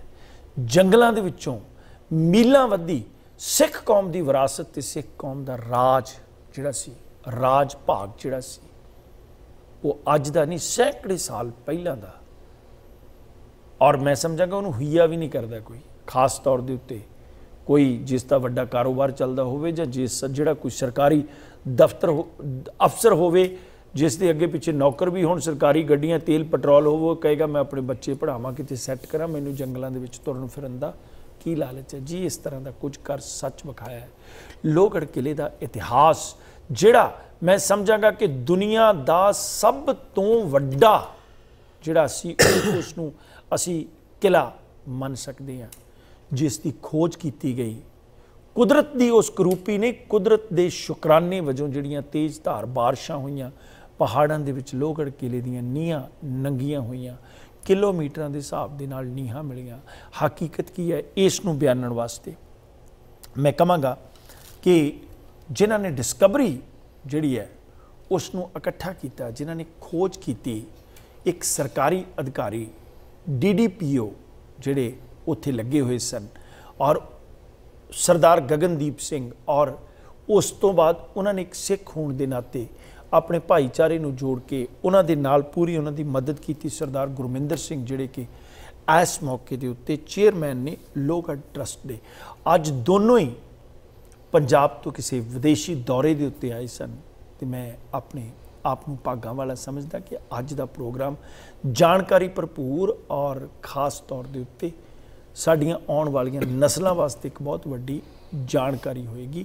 ਅੱਜ ਮੇਰੇ ਨਾਲ ਸਟੂਡੀਓ ਦੇ ਵਿੱਚ ਤਸ਼ਰੀਫ ਫਰਮਾਨ ਨੇ ਸਰਦਾਰ ਗਗਨਦੀਪ ਸਿੰਘ ਜੀ ਔਰ ਸਰਦਾਰ ਗੁਰਮਿੰਦਰ ਸਿੰਘ ਜੀ। ਸਭ ਤੋਂ ਪਹਿਲਾਂ ਸਿੰਘ ਸਾਹਿਬ ਤੁਹਾਨੂੰ ਵਾਹਿਗੁਰੂ ਜੀ ਕਾ ਖਾਲਸਾ ਵਾਹਿਗੁਰੂ ਜੀ ਕੀ ਫਤਿਹ। ਸਰ ਗਗਨਦੀਪ ਸਿੰਘ ਜੀ ਮੈਂ ਸਭ ਤੋਂ ਪਹਿਲਾਂ ਤੇ ਤੁਹਾਡੇ ਕੋਲੋਂ ਬੇਨਤੀ ਕਰਾਂਗਾ ਕਿ ਜਿਹੜੇ ਸਵਾਲ ਹੈ ਅਸੀਂ ਬਹੁਤ ਕਰਨੇ ਨੇ ਸਮਾਂ ਸਾਡੇ ਕੋਲ ਥੋੜਾ। ਮੈਨੂੰ ਲੱਗਦਾ ਕਿ ਇਹ ਵਿਸ਼ਾ ਵੈਸੇ 3-4 ਪ੍ਰੋਗਰਾਮਾਂ ਦੇ ਵਿੱਚ ਨਿਬੜਨ ਵਾਲਾ ਹੈ। ਆਉਣ ਵਾਲੇ ਸਮੇਂ 'ਚ ਜੋ ਵੀ ਇਸ ਵਾਸਤੇ ਤੁਸੀਂ ਪ੍ਰਗਤੀ ਵੀ ਕਰੋਗੇ ਮੈਂ ਤੁਹਾਨੂੰ ਟੈਲੀਫੋਨ ਦੇ ਜ਼ਰੀਏ ਵੀ ਵਿਦੇਸ਼ ਦੀ ਆਡੀਅנס ਦੇ ਨਾਲ ਜੋੜ ਕੇ ਰੱਖਾਂਗਾ। ਸਭ ਤੋਂ ਪਹਿਲਾਂ ਤੇ ਲੋਹਗੜ੍ਹ ਕਿਲੇ ਦੇ ਇੱਕ ਬਰੀਫ ਇਤਿਹਾਸ ਬਾਰੇ ਦੱਸੋ ਤੁਸੀਂ ਕਿ ਲੋਹਗੜ੍ਹ ਦੇ ਕਿਲੇ ਦੀ ਇਤਿਹਾਸਕ ਮਹੱਤਤਾ ਜਿਹੜੀ ਹੈ ਉਹ ਕੀ ਹੈ? ਲੋਹਗੜ੍ਹ ਖਾਲਸਾ ਰਾਜਧਾਨੀ 1710 ਚ ਬਾਬਾ ਬੰਦਾ ਸਿੰਘ ਬਹਾਦਰ ਨੇ ਡਿਕਲੇਅਰ ਕੀਤੀ ਸੀਗੀ ਜੀ। ਜੀ। ਔਰ ਜਦੋਂ ਉਹਨਾਂ ਨੇ ਆਪਣਾ ਏਰੀਆ ਕਵਰ ਕਰ ਲਿਆ ਸੀਗਾ ਦਿੱਲੀ ਤੋਂ ਲੈ ਕੇ ਆਲਮੋਸਟ ਲਾਹੌਰ ਤੱਕ ਦਾ ਏਰੀਆ ਸਾਰੇ ਸੂਬੇ ਕਵਰ ਕਰਕੇ ਔਰ ਉਹਨਾਂ ਨੇ ਆਪਣਾ ਇਹਨੂੰ ਖਾਲਸਾ ਰਾਜਧਾਨੀ ਡਿਕਲੇਅਰ ਕਰਕੇ ਇੱਥੋਂ ਨਾਨਕਸ਼ਾਹੀ ਕੈਲੰਡਰ ਨਾਨਕਸ਼ਾਹੀ ਸਿੱਕੇ ਔਰ ਨਾਨਕਸ਼ਾਹੀ ਮੋਹਰਾਂ ਜਾਰੀ ਕੀਤੀਆਂ ਸੀਗੀਆਂ। ਔਰ first time in the world history ਜਿੱਥੋਂ ਦੀ ਇਹਨਾਂ ਨੇ ਸੋਸ਼ਲ ਪੋਲੀਟੀਕਲ ਇਕਨੋਮਿਕ ਤੇ ਜੈਂਡਰ ਇਕੁਐਲਿਟੀ ਦੀ ਗੱਲ ਰਿਟਨ ਫਰਮਾਨ ਜਾਰੀ ਕੀਤੇ ਸੀਗੇ। First time in the world history much earlier than French revolution ਔਰ ਤਕਰੀਬਨ 70 ਸਾਲ 70 ਸਾਲ ਪਹਿਲੇ ਫ੍ਰੈਂਚ ਰੈਵੋਲੂਸ਼ਨ ਤੋਂ ਪਹਿਲੇ ਹੋਇਆ। ਅਸੀਂ ਇਹ ਗੱਲ ਨੂੰ ਪਬਲਿਸਾਈਜ਼ ਨਹੀਂ ਕਰ ਸਕੇ ਵੀ ਐਡਾ ਵੱਡਾ ਜਿਹੜਾ ਇਹ ਕੰਮ ਹੋਇਆ ਗਿਆ ਇਹ ਫਸਟ ਟਾਈਮ ਇੱਥੇ ਕੇਵਲ ਸਿੱਖੀ ਦਾ ਰਾਜ ਨਹੀਂ ਸਟੈਬਲਿਸ਼ ਕੀਤਾ ਗਿਆ। ਇੱਥੇ ਇਨਸਾਨੀਅਤ ਦਾ ਰਾਜ ਕਾਇਮ ਕੀਤਾ ਗਿਆ। First time in the world history ਔਰ ਅਸੀਂ ਫ੍ਰੈਂਚ ਰੈਵੋਲੂਸ਼ਨ ਦੇ ਅਸੀਂ ਇੰਨੇ ਉਹਨਾਂ ਨੇ ਫਰਾਂਸ ਦੇ ਲੋਕਾਂ ਨੇ ਗੀਤ ਗਾਏ। ਉਹ ਛੋਟੇ ਜਿਹੇ ਰਾਜੇ ਦੇ ਖਿਲਾਫ ਸੀਗਾ। ਔਰ ਜਿਹੜਾ ਇਹ ਸਿੱਖ ਰੈਵੋਲੂਸ਼ਨ ਹੋਇਆ ਇਹ ਦੁਨੀਆ ਦੇ ਸਭ ਤੋਂ ਤਾਕਤਵਰ ਰਾਜ ਜਿਨ੍ਹਾਂ ਕੋਲ 25.4% ਇਕਨੋਮੀ ਸੀਗੀ ਤੇ ਇਹਨਾਂ ਕੋਲ ਤਕਰੀਬਨ 1/3 ਵਰਲਡ ਦੀ ਆਰਮੀ ਸੀਗੀ। ਉਹਦੇ ਖਿਲਾਫ ਹੋਇਆ ਔਰ ਐਡਾ ਵੱਡਾ ਜਿੱਥੇ ਇਨਸਾਨੀਅਤ ਦਾ ਰਾਜ ਕਾਇਮ ਹੋਇਆ ਜੀ। ਜੀ ਜੀ ਜੀ। ਸਰ ਗੁਰਮਿੰਦਰ ਸਿੰਘ ਜੀ ਲੋਹਗੜ੍ਹ ਦਾ ਕਿਲਾ ਜਿਹੜਾ ਇੱਕ ਮੈਂ ਸਮਝਾਂਗਾ ਦੋ ਅਸੀਂ ਉਹਨਾਂ ਨੂੰ ਟਿੱਬੇ ਕਹਿ ਲਈਏ ਥੇ ਕਹਿ ਲਈਏ। ਉਹਨੂੰ ਹੀ ਮਤਲਬ ਅੱਜ ਤੱਕ ਲੋਹਗੜ੍ਹ ਦਾ ਕਿਲਾ ਮੰਨਦੇ ਰਹੇ। ਪਰ ਮੈਂ ਸਮਝਾਂਗਾ ਕਿ ਜਿੱਡੇ ਵੱਡੇ ਏਰੀਏ ਦੇ ਵਿੱਚ ਇਹ ਦੱਸਿਆ ਜਾ ਰਿਹਾ ਕਿ ਲੋਹਗੜ੍ਹ ਦਾ ਕਿਲਾ ਅ, 7000 7000 ਏਕੜ। 7000 ਏਕੜ ਦੇ ਵਿੱਚ ਇਹ ਲੋਕ। ਹਾਂਜੀ ਦੇਖੋ ਮਤਲਬ ਇਹ ਸੀ ਔਰ ਇਸ ਦੀਆਂ ਹੱਦਾਂ ਕਿੱਥੇ ਕਿੱਥੇ ਤੱਕ ਲੱਗਦੀਆਂ ਸਨ। ਇਸ ਨੂੰ ਸਰ ਗਗਨਦੀਪ ਸਿੰਘ ਹੋਰਾਂ ਵੱਲੋਂ ਜਾਂ ਤੁਹਾਡੇ ਸਹਿਯੋਗ ਨਾਲ ਖੋਜਣ ਦਾ ਮੌਕਾ ਕਿਵੇਂ ਮਿਲਿਆ? ਸਬਬ ਕਿਵੇਂ ਬਣਿਆ? ਟਰਨਿੰਗ ਪੁਆਇੰਟ ਕੀ it's a C very very interesting point you ask me ਜੀ। ਹੋਇਆ ਕਿ 2016 ਚ ਬਾਬਾ ਬੰਦਾ ਸਿੰਘ ਬਹਾਦਰ ਦੀ 300 ਸਾਲਾ ਸ਼ਹਾਦਤ ਦਾ ਮੌਕਾ ਸੀ ਔਰ ਉਹਨਾਂ ਦਾ ਇੱਕ ਤਿਥੀ ਮਨਾਉਣ ਦਾ ਫੈਸਲਾ ਲਿਆ ਗਿਆ ਜਿਹਦੇ 'ਚ ਇੱਕ ਯਾਤਰਾ ਰਿਆਸੀ ਜਿਹੜੇ ਉਹਨਾਂ ਦਾ ਜਨਮ ਸਥਾਨ ਹੈ ਉੱਥੋਂ ਚੱਲ ਕੇ ਦਿੱਲੀ ਜਿੱਥੇ ਉਹਨਾਂ ਦੀ ਸ਼ਹਾਦਤ ਹੋਈ ਮੈਰੋਲੀ ਇੱਥੇ ਇੱਕ ਯਾਤਰਾ ਉਹ ਲਿਖੀ ਗਈ। ਇਹ ਯਾਤਰਾ ਚਾਰ ਸਟੇਟਾਂ ਚੋਂ ਨਿਕਲਣੀ ਸੀ, ਜੰਮੂ, ਪੰਜਾਬ, ਹਰਿਆਣਾ ਔਰ ਦਿੱਲੀ। ਉਸ ਯਾਤਰਾ ਦਾ ਸੰਚਾਲਨ ਦਾ ਸਹਿਭਾਗੀ ਸੀ ਮੈਂ। ਉਸ ਯਾਤਰਾ ਦੇ ਵਾਸਤੇ ਅਸੀਂ ਚਿੱਠੀ ਲਿਖੀ ਚਾਰੋਂ ਗਵਰਨਮੈਂਟਾਂ ਨੂੰ ਵੀ ਇਸ ਯਾਤਰਾ ਨੂੰ ਤੁਸੀਂ ਸਟੇਟ ਗੈਸ ਦਾ ਦਰਜਾ ਦਿਓ। ਜੋ ਸਹਰਸ਼ ਸਾਡਾ ਚਾਰੋਂ ਸਟੇਟਾਂ ਨੇ ਐਕਸੈਪਟ ਕਰ ਲਿਆ। ਕਿਉਂਕਿ ਗੁਰੂ ਗ੍ਰੰਥ ਸਾਹਿਬ ਦੀ ਅਗਵਾਈ 'ਚ ਇਹ ਯਾਤਰਾ ਸੀ। ਰੈਦਰ ਉਹਨਾਂ ਦੇ ਅਧੀਨ ਯਾਤਰਾ ਸੀ ਔਰ ਸਿੱਖ ਸਮਾਜ ਨੇ ਇਹਨੂੰ ਕੱਢਣਾ ਸੀ। ਉੱਥੇ ਜਦੋਂ ਯਾਤਰਾ ਦੀ ਸਟੇਟ ਗੈਸ ਦੀ ਹਾਂ ਹੋ ਗਈ ਹਰਿਆਣਾ ਨੇ ਇੱਕ ਐਕਸਟਰਾ ਆਫਰ ਦਿੱਤੀ ਕਿ ਅਸੀਂ ਇਸ ਯਾਤਰਾ ਦਾ ਸਟੇਟ ਫੰਕਸ਼ਨ ਔਰ ਵੀ ਨਾਲ ਕਰਨਾ ਚਾਹਾਂਗੇ। ਹੂੰ। ਔਰ ਉਹ ਅਸੀਂ ਕਿਉਂਕਿ ਲੋਹਗੜ੍ਹ ਸਥਾਨ ਜਿਹੜਾ ਹੈ ਜੋ ਕਿ ਹਿਸਟੋਰੀਅਨ ਲਿਖਦੇ ਸਨ ਸਾਰੇ ਉਹਦਾ ਇਹ ਬੜਾ ਪੁਆਇੰਟ ਸੀ। ਜੀ। ਪੁਆਇੰਟ ਸੀ ਉਸ ਨੂੰ ਉਹ ਹਰਿਆਣੇ ਦੇ ਅੰਦਰ ਮੰਨਦੇ ਨੇ ਜਮਨਾਨਗਰ ਜ਼ਿਲ੍ਹੇ 'ਚ। ਉਹਨਾਂ ਦੇ ਮੁੱਖ ਮੰਤਰੀ ਨੇ ਕਿਹਾ ਵੀ ਤੁਹਾਡਾ ਅਸੀਂ ਸਵਾਗਤ ਕਰਾਂਗੇ ਲੋਹਗੜ੍ਹ। 2016 ਦੇ ਵਿੱਚ ਹੀ ਇਸ ਪਲੈਨਿੰਗ ਤੋਂ ਬਾਅਦ ਮੈਂ ਲੋਹਗੜ੍ਹ ਦਾ ਪੁਆਇੰਟ ਪਹਿਲੀ ਵਾਰੀ ਜ਼ਿੰਦਗੀ ਦੇਖਣ ਗਿਆ। ਔਰ ਪਹਿਲੀ ਵਾਰੀ ਮੈਨੂੰ ਛੋਟੇ ਵੀਰ ਗਗਨਦੀਪ ਸਿੰਘ ਦੇ ਉੱਥੇ ਦਰਸ਼ਨ ਹੋਏ, ਕਿਉਂਕਿ ਡਿਸਟ੍ਰਿਕਟ ਐਡਮਿਨਿਸਟ੍ਰੇਸ਼ਨ ਵਿੱਚ ਵਿਰਲਾ ਹੀ ਸਿੱਖ ਖਾਲਸਾ ਆਪਣਾ ਉੱਥੇ ਸੀ DC sir doctor S S Phulia. ਖੈਰ, ਉਹ ਵੀ ਬਹੁਤ ਵਧੀਆ ਨੇ। ਉਹਨਾਂ ਦੇ ਹੁਣ ਜ਼ਿਆਦਾ ਗੁਣਗਾਨ ਕਰਾਂ ਤਾਂ ਸਾਡੀ ਲੋਹਗੜ੍ਹ ਦੀ ਗੱਲ ਰਹਿ ਜਾਏਗੀ। ਉਹਨਾਂ ਨੇ ਇਹ ਸ਼ਖਸ ਨੂੰ ਮਿਲਵਾਇਆ ਸੀ, ਦੋਨੋਂ ਮਿਲੇ। ਔਰ ਇੱਕ ਛੋਟੀ ਜੀ ਗੱਲ ਕਿੱਥੋਂ ਸ਼ੁਰੂ ਹੋਈ? ਅਸੀਂ ਇੱਕ ਪ੍ਰੈਸ ਨੋਟ ਬਣਾਉਣਾ ਸੀ, ਅਖਬਾਰਾਂ ਨੂੰ ਦੇਣ ਵਾਸਤੇ। ਵੀ ਇਹ ਯਾਤਰਾ ਆ ਰਹੀ ਹੈ ਇਹਦਾ ਸਵਾਗਤ ਕਰਨਾ ਹੈ ਲੋਹਗੜ੍ਹ ਸਾਰੇ ਪਹੁੰਚੋ। ਮੈਨੂੰ ਵੀਰ ਗਗਨ ਜੀ ਕਹਿੰਦੇ ਨੇ ਵੀ ਤੁਸੀਂ ਦੱਸ ਸਕਦੇ ਹੋ ਬਾਬਾ ਬੰਦਾ ਸਿੰਘ ਬਹਾਦਰ ਬਾਰੇ ਕੀ ਇੱਕ ਪੈਰਾਗ੍ਰਾਫ ਜਾਂ ਦੋ ਪੈਰਾਗ੍ਰਾਫ ਅਸੀਂ ਪ੍ਰੈਸ ਨੋਟ 'ਚ ਲਿਖੀਏ ਜੋ ਜਾਣਕਾਰੀ ਮੈਨੂੰ ਆਪਣੇ ਮਾਪਿਓ ਤੋਂ ਗੁਰਦੁਆਰਿਆਂ ਚੋਂ ਜਾਂ ਸਿੱਖੀ ਚੋਂ ਮਿਲੀ ਸੀ ਉਹ ਮੈਂ ਇਹਨਾਂ ਨੂੰ ਦਸੀ। ਤੇ ਕਹਿਣ ਲੱਗੇ ਯਾਰ ਅਗਰ ਅਸੀਂ ਇਸ ਚੀਜ਼ ਨੂੰ ਲਿਖਨੇ ਆ ਕਿਤੇ ਕੋਈ ਗਲਤੀ ਨਾ ਹੋ ਜਾਏ ਯਾਰ ਕੱਲ ਨੂੰ ਕੋਈ ਸਾਨੂੰ ਇਸ ਤਰ੍ਹਾਂ ਦੀ ਕੋਈ ਉਂਗਲ ਨਾ ਹੋ ਜਾਏ ਕੁਝ ਬੁੱਕਸ ਕੰਸਲਟ ਕਰ ਲਈਏ? ਵੈਰੀ ਗੁੱਡ ਆਈਡੀਆ ਅਸੀਂ ਦੋ ਚਾਰ ਕਿਤਾਬਾਂ ਲਈਆਂ, ਉਹਨਾਂ ਨੂੰ ਪੜ੍ਹੀਆਂ, ਤੇ ਦੋਨੋਂ ਹੀ ਅਸੀਂ ਕਿਤਾਬ ਪੜ੍ਹ ਕੇ ਹੱਸ ਪਏ।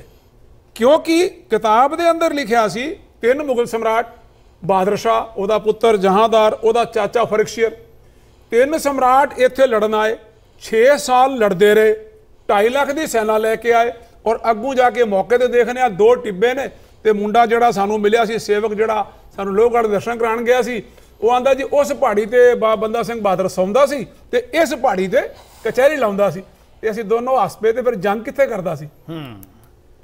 ਖੈਰ ਉਹ ਜੀ, ਜੀ, ਉਹ ਸਾਡਾ ਬਿਗਨਿੰਗ ਸੀ। ਉਸ ਤੋਂ ਬਾਅਦ 3 ਜੂਨ ਨੂੰ ਉੱਥੇ ਫੰਕਸ਼ਨ ਹੋਇਆ।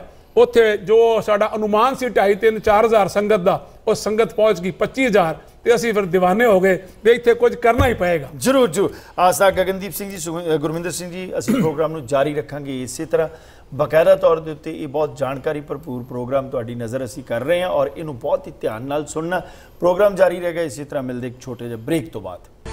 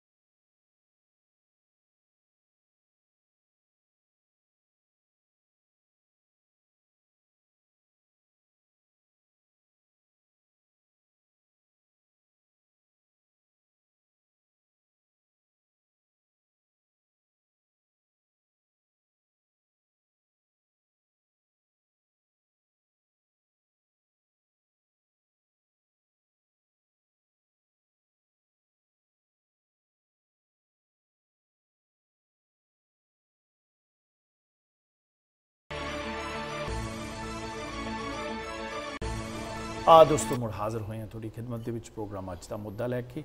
ਔਰ ਈਮੇਲ ਕਰ ਸਕਦੇ ਹੋ riyad@justbroadcasting.com ਔਰ info@justbroadcasting.com ਅ, ਸਰ ਗਗਨਦੀਪ ਸਿੰਘ ਜੀ ਤੁਹਾਡੀ ਪੋਸਟਿੰਗ ਹੋਈ ਜਿਵੇਂ ਇਹਨਾਂ ਨੇ ਦੱਸਿਆ ਸਬਬ ਹੋਇਆ।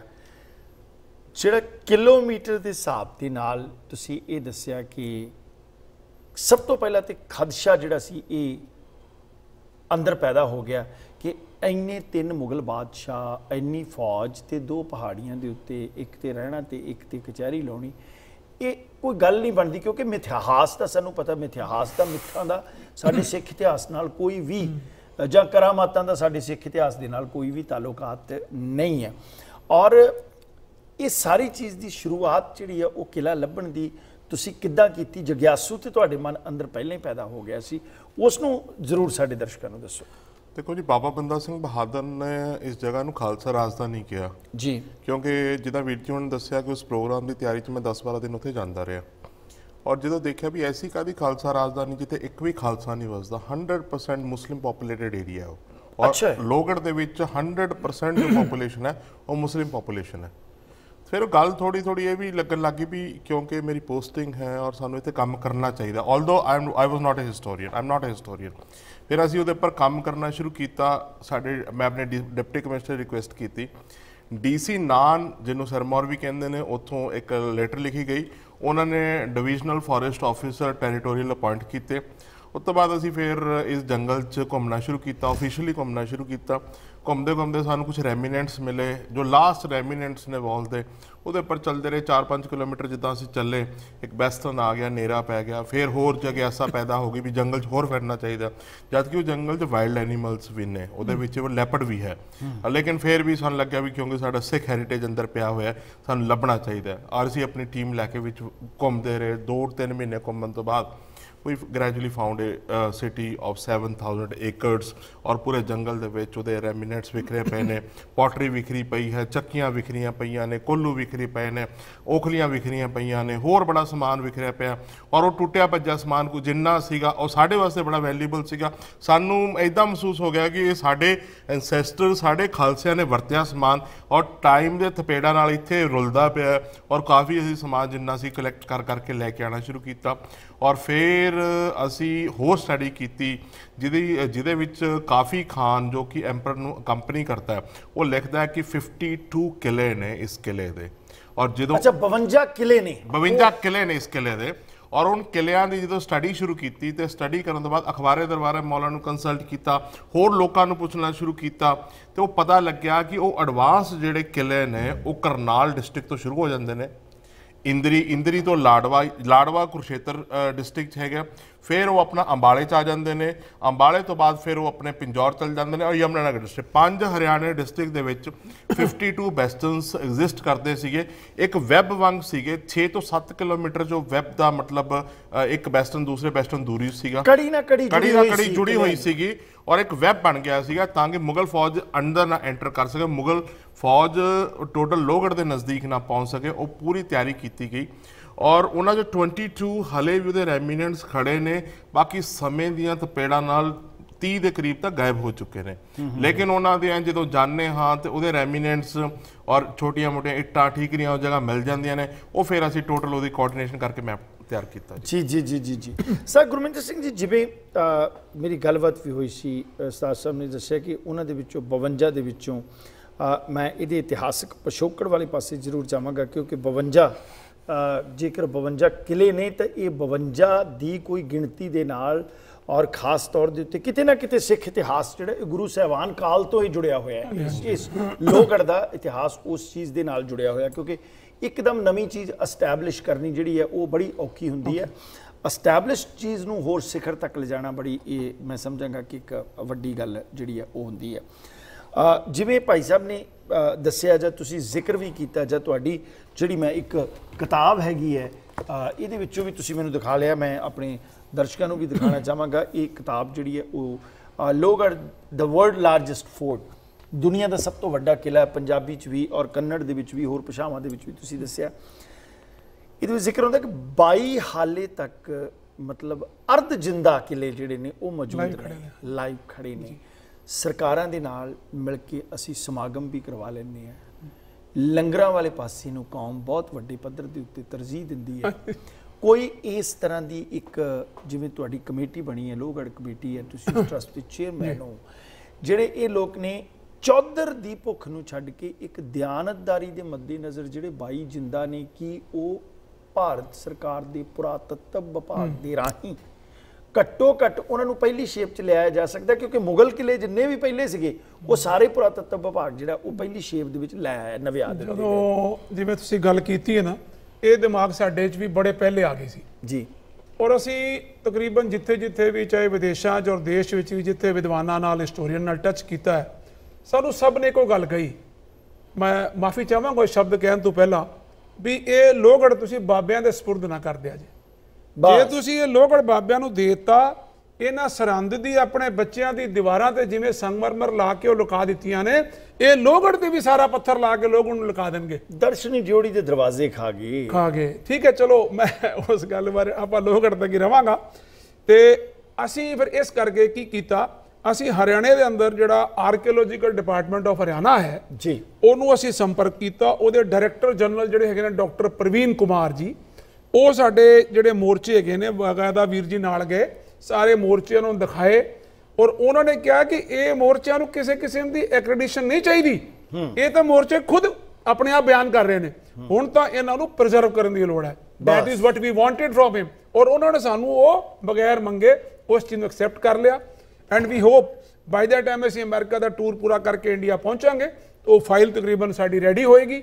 It will be put up with the government ਔਰ ਅਸੀਂ ਗਵਰਨਮੈਂਟ ਨੂੰ ਪਰਸੂਏਡ ਕਰਾਂਗੇ ਕਿ ਇਹਦੇ ਪ੍ਰੀਜ਼ਰਵੇਸ਼ਨ ਦੇ ਕੰਮ ਨੂੰ ਸਰਕਾਰ ਕਰਨਾ ਚਾਹੇ ਸਰਕਾਰ ਕਰ ਲੇ ਸਰਕਾਰ ਨਹੀਂ ਕਰ ਸਕਦੀ ਜਾਂ ਨਹੀਂ ਕਰਨਾ ਚਾਹੁੰਦੀ ਸਾਨੂੰ ਮਨਜ਼ੂਰੀ ਦੇਵੇ ਅਸੀਂ ਆਪਣੀ ਸਮਰੱਥਾ ਨਾਲ ਮਿਲ ਕੇ ਉਹਦੀ ਚੂਨੇ ਔਰ ਸੁਰਖੀ ਨਾਲ ਜਿਸ ਤਰ੍ਹਾਂ ਉਹ ਪਹਿਲਾਂ ਬਣਿਆ ਹੋਇਆ ਹੈ ਉਸੇ ਤਰ੍ਹਾਂ ਇਹਨੂੰ ਪ੍ਰੀਜ਼ਰਵ ਕਰਾਂਗੇ। ਪਰ ਸਾਨੂੰ ਪੂਰੀ ਉਮੀਦ ਹੈ ਹਰਿਆਣਾ ਸਰਕਾਰ ਉਸ ਨੂੰ ਹਰ ਹਾਲਤ ਵਿੱਚ ਪ੍ਰਕਿਓਰ ਕਰਨਾ ਚਾਹੇਗੀ ਕਿਉਂ ਦੁਨੀਆ 'ਚ ਟੂਰਿਜ਼ਮ ਔਰ ਉੱਤੇ ਡਿਵਾਈਨ ਟੂਰਿਜ਼ਮ ਬਹੁਤ ਵੱਡਾ, ਔਰ ਡਿਵਾਈਨ। ਟੂਰਿਜ਼ਮ ਔਰ ਸਾਡੇ ਭਾਜੀ ਇੱਕ ਹੋਰ ਕਹਿੰਦੇ ਨੇ ਆਰਕੀਓਲੋਜੀਕਲ ਟੂਰਿਜ਼ਮ ਬਈ ਦੁਨੀਆ ਇੱਥੇ ਕਿਉਂ ਨਹੀਂ ਆਣਾ ਚਾਹੇਗੀ? ਇਤੋਂ ਤਾਂ ਹਰ ਸਿੱਖ ਹੀ ਨਹੀਂ ਹਰ ਨਾਨਕ ਨਾਮ ਲੈਵਾ ਹੀ ਨਹੀਂ ਦੁਨੀਆ ਦਾ ਹਰ ਮਨੁੱਖ ਉੱਥੇ ਆਣਾ ਚਾਹੇਗਾ ਕਿ ਏਡੀ ਵੱਡੀ ਸਭਿਅਤਾ ਜਿੱਥੇ ਏਡੀ ਵੱਡੀ ਜੰਗਾਂ ਹੋਈਆਂ ਜਿੱਥੇ ਇੰਨੇ ਹਜ਼ਾਰਾਂ ਚਸ਼ਮੇ ਸਨ ਉੱਥੇ ਡੈਮ ਸਨ ਲੱਖੀ ਸ਼ਾਹ ਵੰਜਾਰੇ ਦੇ ਖੂਹ ਸਨ ਇੱਕ ਪੂਰੀ ਜੰਗਾਂ ਦੀ 6 ਸਾਲ ਦੀ ਉੱਥੇ ਸਭਿਅਤਾ ਖੜੀ ਹੈ। ਸਭਿਅਤਾ ਖੜੀ ਹੈ। ਔਰ ਉਹ ਬਿਲਕੁਲ ਅਲੋਪ ਹੋ ਗਈ। ਔਰ ਸਾਡੇ ਹਿਸਟੋਰੀਅਨ ਨੂੰ ਜਿਵੇਂ ਤੁਸੀਂ ਕਿਹਾ ਅਲੋਪ ਹੋ ਗਈ ਹੈ। ਜੇਕਰ ਇਹ ਚੀਜ਼ ਜਿੰਦਾ ਹੁੰਦੀ ਹੈ ਤਾਂ ਮੈਂ ਸਮਝਾਂਗਾ ਕਿ ਸਿੱਖ ਕੌਮ ਵੱਲੋਂ ਅਵੇਸਲੇ ਸੁੱਟੇ ਹੋਏ ਬਣਜ਼ਾਰਾ ਕੌਮ। ਯੈਸ ਅਸੀਂ ਮਾਈਨੋਰਿਟੀ ਮਾਈਨੋਰਿਟੀ ਕਹੀ ਜਾਂਦੇ ਕੋਈ minority ਨਹੀਂ ਹੈਗੀ। ਆ ਕੋਈ ਸਿੱਖ ਬਣ ਜਵੇ ਆਪਣੇ ਨੂੰ ਆ ਤੂੰ ਤੂੰ ਵਾਲ ਰੱਖ ਲੈ ਤੂੰ ਸਿੱਖ ਬਣ ਜਾ ਪਰ ਜਿਨ੍ਹਾਂ ਨੇ ਰੱਖੇ ਹੋਏ ਨੇ ਉਹਨਾਂ ਨੂੰ ਕੋਈ ਸਾਂਭਦਾ ਹੀ ਨਹੀਂ। ਉਹਨਾਂ ਵੱਲ ਧਿਆਨ ਨਹੀਂ ਹੈ। ਉਹਨਾਂ ਨੂੰ ਤਾਂ ਗੁਰਦੁਆਰੇ ਵੜਨ ਨਹੀਂ ਦਿੰਦੇ ਜੀ। ਬਿਲਕੁਲ ਅਸੀਂ ਬਿਲਕੁਲ ਜਦੋਂ ਬੰਜਾਰਿਆਂ ਨੂੰ ਜਾ ਕੇ ਮਿਲਿਆ ਭਾਜੀ ਨੂੰ ਤੁਸੀਂ ਭਾਵੇਂ ਟਾਈਮ ਹੋਏਗਾ ਤਾਂ ਹੁਣ ਪੁੱਛਣਾ ਜਾਂ ਬਾਅਦ ਚ ਪੁੱਛਣਾ ਕਿ ਇਹ ਬੰਜਾਰਿਆਂ ਦੇ ਕੋਲ ਜਾ ਕੇ ਕਿੱਦਾਂ ਰਹੇ ਨੇ ਕੀ ਉਹਨਾਂ ਦੀ ਬਾਣੀ ਹੈ ਕਿਸ ਤਰ੍ਹਾਂ ਉਹ ਅਗਲੇ 500 ਸਾਲ ਤੋਂ ਨਾਨਕ ਦਾ ਨਾਮ ਜਪ ਰਹੇ ਨੇ ਔਰ ਉਡੀਕ ਰਹੇ ਨੇ ਕਿ ਸਿੱਖ ਉਹਨਾਂ ਨੂੰ ਲੈਣ ਆਉਣਗੇ ਇੱਕ ਦਿਨ ਔਰ ਉਹ ਸਾਡੀ ਉਡੀਕ ਕਰ ਰਹੇ ਨੇ। ਉਹ ਅੱਜ ਵੀ ਬਥੇਰੇ ਪਰਿਵਾਰਾਂ ਚੋਂ ਪੂਰੇ ਗਾਤਰੇ ਔਰ ਪੂਰੇ ਬਾਣੇ ਚ ਨੇ। ਬਾਣੀ ਉਹਨਾਂ ਨੂੰ ਕੋਈ ਲੈਂਗੁਏਜ ਨਹੀਂ ਆਂਦੀ ਉਹਨਾਂ ਨੂੰ ਪੜ੍ਹਨਾ ਲਿਖਣਾ ਕੁਝ ਨਹੀਂ ਆਂਦਾ ਤਿੰਨ ਨਾਮ ਆਂਦੇ ਨੇ। ਬਾਬਾ ਬੰਦਾ ਸਿੰਘ ਬਹਾਦਰ ਆਪਣਾ ਨਾਇਕ ਠਾਕੁਰ ਲੱਖੀ ਵੰਜਾਰਾ ਤੇ ਗੁਰੂ ਨਾਨਕ, ਚੌਥਾ ਨਾਮ ਨਹੀਂ ਆਉਂਦਾ ਉਹਨਾਂ ਨੂੰ। ਇਹ ਤੁਹਾਡੀ ਇੰਤਜ਼ਾਰ ਕਰ ਰਹੇ ਨੇ? ਪੜ੍ਹ ਲਓ ਜਦੋਂ ਮਰਜ਼ੀ, ਮਿਲ ਲਓ ਉਹਨਾਂ ਨੂੰ। ਰਾਈਟ ਰਾਈਟ ਰਾਈਟ ਰਾਈਟ ਆਪਣਿਆਂ ਦੀ ਇੰਤਜ਼ਾਰ ਕਰ ਰਹੇ ਨੇ। ਸਰ ਗਗਨਦੀਪ ਸਿੰਘ ਜੀ, ਮੈਂ ਤੁਹਾਡੇ ਕੋਲੋਂ ਪੁੱਛਣਾ ਚਾਹਾਂਗਾ ਕਿ ਇਸ ਸਭ ਤੋਂ ਦੁਨੀਆ ਦੇ ਵੱਡੇ ਕਿਲੇ ਦੀ ਇਤਿਹਾਸਕ ਮਹੱਤਤਾ ਨੂੰ ਜੇਕਰ ਗੁਰੂ ਸਾਹਿਬ ਨਾਲ ਜੋੜ ਕੇ ਦੇਖਿਆ ਜਾਈਏ, ਜਾਵੇ, ਤਾਂ ਮੈਂ ਸਮਝਾਂਗਾ ਕਿ ਉਹ ਜਿਹੜੇ ਕਿਹੜੇ ਅੰਸ਼ ਹੈ, ਉਹ ਉਥੋਂ ਮਿਲਦੇ ਨੇ ਉਸ ਹਿਸਾਬ ਦੇ ਨਾਲ। ਮੈਂ ਇੱਕ ਬ੍ਰੇਕ ਤੋਂ ਬਾਅਦ ਇਸ ਦਾ ਵਿਸਥਾਰ ਤੁਹਾਡੇ ਕੋਲੋਂ ਜਾਣਨਾ ਚਾਹਾਂਗਾ। ਦੋਸਤੋ ਪ੍ਰੋਗਰਾਮ ਨੂੰ ਜਾਰੀ ਰੱਖਾਂਗੇ ਇਸੇ ਤਰ੍ਹਾਂ। ਮਿਲਦੇ ਇੱਕ ਛੋਟੇ ਜਿਹੇ ਬ੍ਰੇਕ ਤੋਂ ਬਾਅਦ।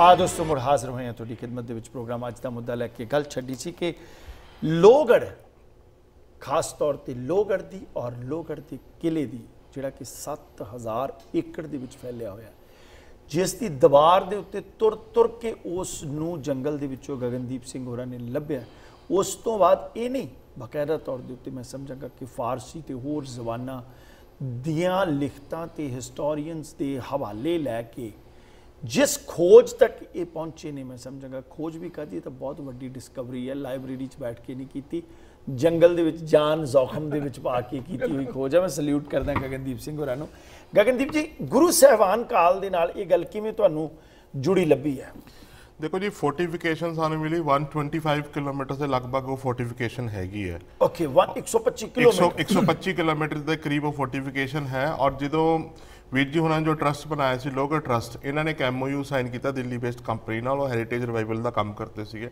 ਉਹਨਾਂ ਨੇ ਆਪਣੇ ਐਕਸਪਰਟਸ ਭੇਜੇ ਰਿਟਾਇਰਡ ਆਰਕੀਓਲੋਜਿਸਟ ਭੇਜੇ, ਔਰ ਫਿਰ ਉਹਨਾਂ ਨੇ ਸਿਵਲ ਇੰਜੀਨੀਅਰਸ ਭੇਜੇ, ਔਰ ਕੁਝ ਉਹਦੇ ਵਿੱਚ ਆਰਟੈਕਚਰਸ ਵਗੈਰਾ ਸੀਗੇ। ਉਹਨਾਂ ਜਦੋਂ ਟੋਟਲ ਇੱਕ ਕੰਪਰੀਹੈਂਸਿਵ ਸਟੱਡੀ ਕੀਤੀ 3 ਮਹੀਨੇ, ਤਾਂ ਉਹਨਾਂ ਨੇ ਇੱਕ ਟਾਈਮ ਮੋਸ਼ਨ ਸਟੱਡੀ ਵੀ ਬਾਕੀ ਸਟੱਡੀ ਤਾਂ ਬਹੁਤ ਵੱਡੀ ਹੈ, ਲੇਕਿਨ ਇੱਕੋ ਸਬਜੈਕਟ ਤੇ ਗੱਲ ਕਰਾਂਗੇ, ਉਹ ਟਾਈਮ ਮੋਸ਼ਨ ਸਟੱਡੀ ਉਹਨਾਂ ਨੇ ਸਬਮਿਟ ਕੀਤੀ ਉਹ 'ਚ ਕਹਿੰਦੇ ਵੀ ਇਸ ਪੂਰੇ ਫੋਰਟੀਫਿਕੇਸ਼ਨ ਨੂੰ ਕਰਨ ਵਾਸਤੇ ਘੱਟ ਤੋਂ ਘੱਟ 70 ਤੋਂ 80 ਸਾਲ ਦਾ ਟਾਈਮ ਲੱਗਿਆ ਹੋਵੇਗਾ ਘੱਟ। ਸੋ ਕੱਲ ਔਰ ਜਦੋਂ ਅਸੀਂ 1710 ਚ 80 ਸਾਲ ਮਾਈਨਸ ਕਰਦੇ ਹਾਂ, 1630 ਦਾ ਸਮਾਂ ਹੁੰਦਾ ਹੈ।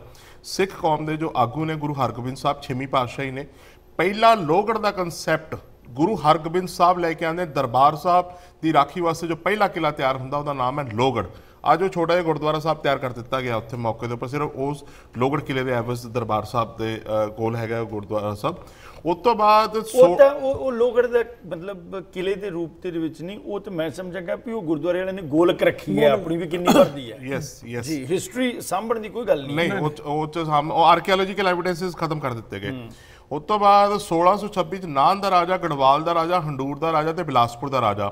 28 ਮਾਰਚ ਵਾਲੇ ਦਿਨ ਦਰਬਾਰ ਸਾਹਿਬ ਜਾਂਦੇ ਨੇ। ਇਹ ਉਹਨਾਂ 52 ਰਾਜਿਆਂ ਚੋਂ ਨੇ ਜੋ ਗਵਾਲੀਅਰ ਦੇ ਕਿਲੇ ਚੋਂ ਕੈਦ ਚੋਂ ਛੁਡਾਏ ਜਾਂਦੇ ਨੇ। ਔਰ ਇੱਕ ਸੀਕ੍ਰੀਟ ਮੀਟਿੰਗ ਹੁੰਦੀ ਹੈ। ਮੀਟਿੰਗ ਦਾ ਬਾਅਦ ਚ ਰਿਜ਼ਲਟ ਇਹੀ ਨਿਕਲਦਾ, ਗੁਰੂ ਸਾਹਿਬ ਛੇਵੀਂ ਪਾਤਸ਼ਾਹੀ ਆਪਣਾ ਹੈੱਡਕੁਆਟਰ ਦਰਬਾਰ ਸਾਹਿਬ ਛੱਡ ਕੇ ਸ਼ਿਵਾਲਿਕ ਦੀਆਂ ਪਹਾੜੀਆਂ 'ਚ ਸ਼ਿਫਟ ਕਰਦੇ ਨੇ। ਬਿਲਾਸਪੁਰ ਦੇ ਰਾਜੇ ਦੇ ਏਰੀਆ ਜਿੱਥੇ ਕੀਰਤਪੁਰ ਸਾਹਿਬ ਵਸਾਇਆ ਗਿਆ, ਉੱਥੇ ਕਿਲਾਬੰਦੀ ਕੀਤੀ ਗਈ। ਉਹ ਜਗ੍ਹਾ ਬਿਲਾਸਪੁਰ ਦੇ ਰਾਜ ਨੇ ਫ੍ਰੀ ਆਫ ਕਾਸਟ ਦੇ ਦਿੱਤੀ ਸੀਗੀ। ਗੁਰੂ ਸਾਹਿਬ ਦੇ ਆਦੇਸ਼ ਅਨੁਸਾਰ ਭਾਈ ਲੱਖੀ ਸ਼ਾਹ ਵੰਜਾਰਾ ਤੇ ਭਾਈ ਮੱਖਣ ਸ਼ਾਹ ਲਬਾਨਾ ਉਸ ਜਗ੍ਹਾ ਦੀ ਕੀਮਤ ਅਦਾ ਕਰਕੇ ਫੋਰਟੀਫਿਕੇਸ਼ਨ ਹੋਈ। ਉਸ ਤੋਂ ਨੈਕਸਟ ਜਿਹੜੀ ਰਿਆਸਤ ਹੈਗੀ ਉਹ ਨਾਨ ਦੀ ਜਿੱਥੇ ਅਸੀਂ ਕਿਲਾਬੰਦੀ ਦੀ ਗੱਲ ਕਰ ਰਹੇ ਹਾਂ ਜਿੱਥੇ ਵਰਲਡਸ ਲਾਰਜੈਸਟ ਫੋਰਟ ਕੰਸਟਰਕਟ ਕੀਤਾ ਗਿਆ ਮੁਗਲਸ ਨੂੰ ਅਪਰੂਟ ਕਰਨ ਵਾਸਤੇ। ਹੁਣ ਸੱਤਵੀਂ ਪਾਤਸ਼ਾਹੀ ਨੂੰ ਜਦੋਂ ਗੁਰਦਾ ਗੱਦੀ ਮਿਲਦੀ ਹੈ ਗੁਰੂ ਹਰਰਾਏ ਸਾਹਿਬ ਨੂੰ ਗੱਲ ਬੜੀ ਕਲੀਅਰ ਹੋ ਜਾਂਦੀ ਹੈ। ਇੱਕ ਹੀ ਡਾਕੂਮੈਂਟ ਅਵੇਲੇਬਲ ਹੈ ਨਾਮ ਹੈ ਦਬਿਸਤਾਨ ਮਾਜ਼ੀਦ ਜ਼ੁਲਫਕਾਰ ਅਰਦਸਤਾਨੀ ਲਿਖਦੇ ਕਿ ਗੁਰੂ ਹਰਰਾਏ ਸਾਹਿਬ 13 ਸਾਲ ਲੋਹਗੜ੍ਹ ਦੀਆਂ ਪਹਾੜੀਆਂ 'ਚ ਗੁਜ਼ਾਰਦੇ ਨੇ। 1645 ਤੋਂ ਲੈ ਕੇ 1658 ਤੱਕ ਮੈਂ ਟਾਈਮ ਫੇਰ ਰਿਪੀਟ ਕਰ ਰਿਹਾ। 1645 ਤੋਂ ਲੈ ਕੇ 1658 ਤੱਕ। ਸਾਰੇ ਇਤਿਹਾਸਕਾਰ ਲਿਖਦੇ ਨੇ ਚ ਕੋਈ ਡਿਸਪਿਊਟ ਨਹੀਂ ਹੈ ਕਿ ਗੁਰੂ ਸਾਹਿਬ 13 ਸਾਲ 2200 ਘੁੜਸਵਾਰਾਂ ਦੇ ਨਾਲ ਸਹਿ ਪਰਿਵਾਰ ਲੋਹਗੜ੍ਹ ਦੀਆਂ ਪਹਾੜੀਆਂ 'ਚ ਬੈਠੇ ਹੋਏ ਨੇ। ਲੇਕਿਨ ਕਰਦੇ ਕੀ ਨੇ? ਨੋਬਡੀ ਐਕਸਪਲੇਨ 17 ਸਾਲ ਉਹ ਗੁਰੂ ਰਹੇ ਨੇ 13 ਸਾਲ ਇਹਨਾਂ ਪਹਾੜੀਆਂ 'ਚ ਰਹੇ ਨੇ।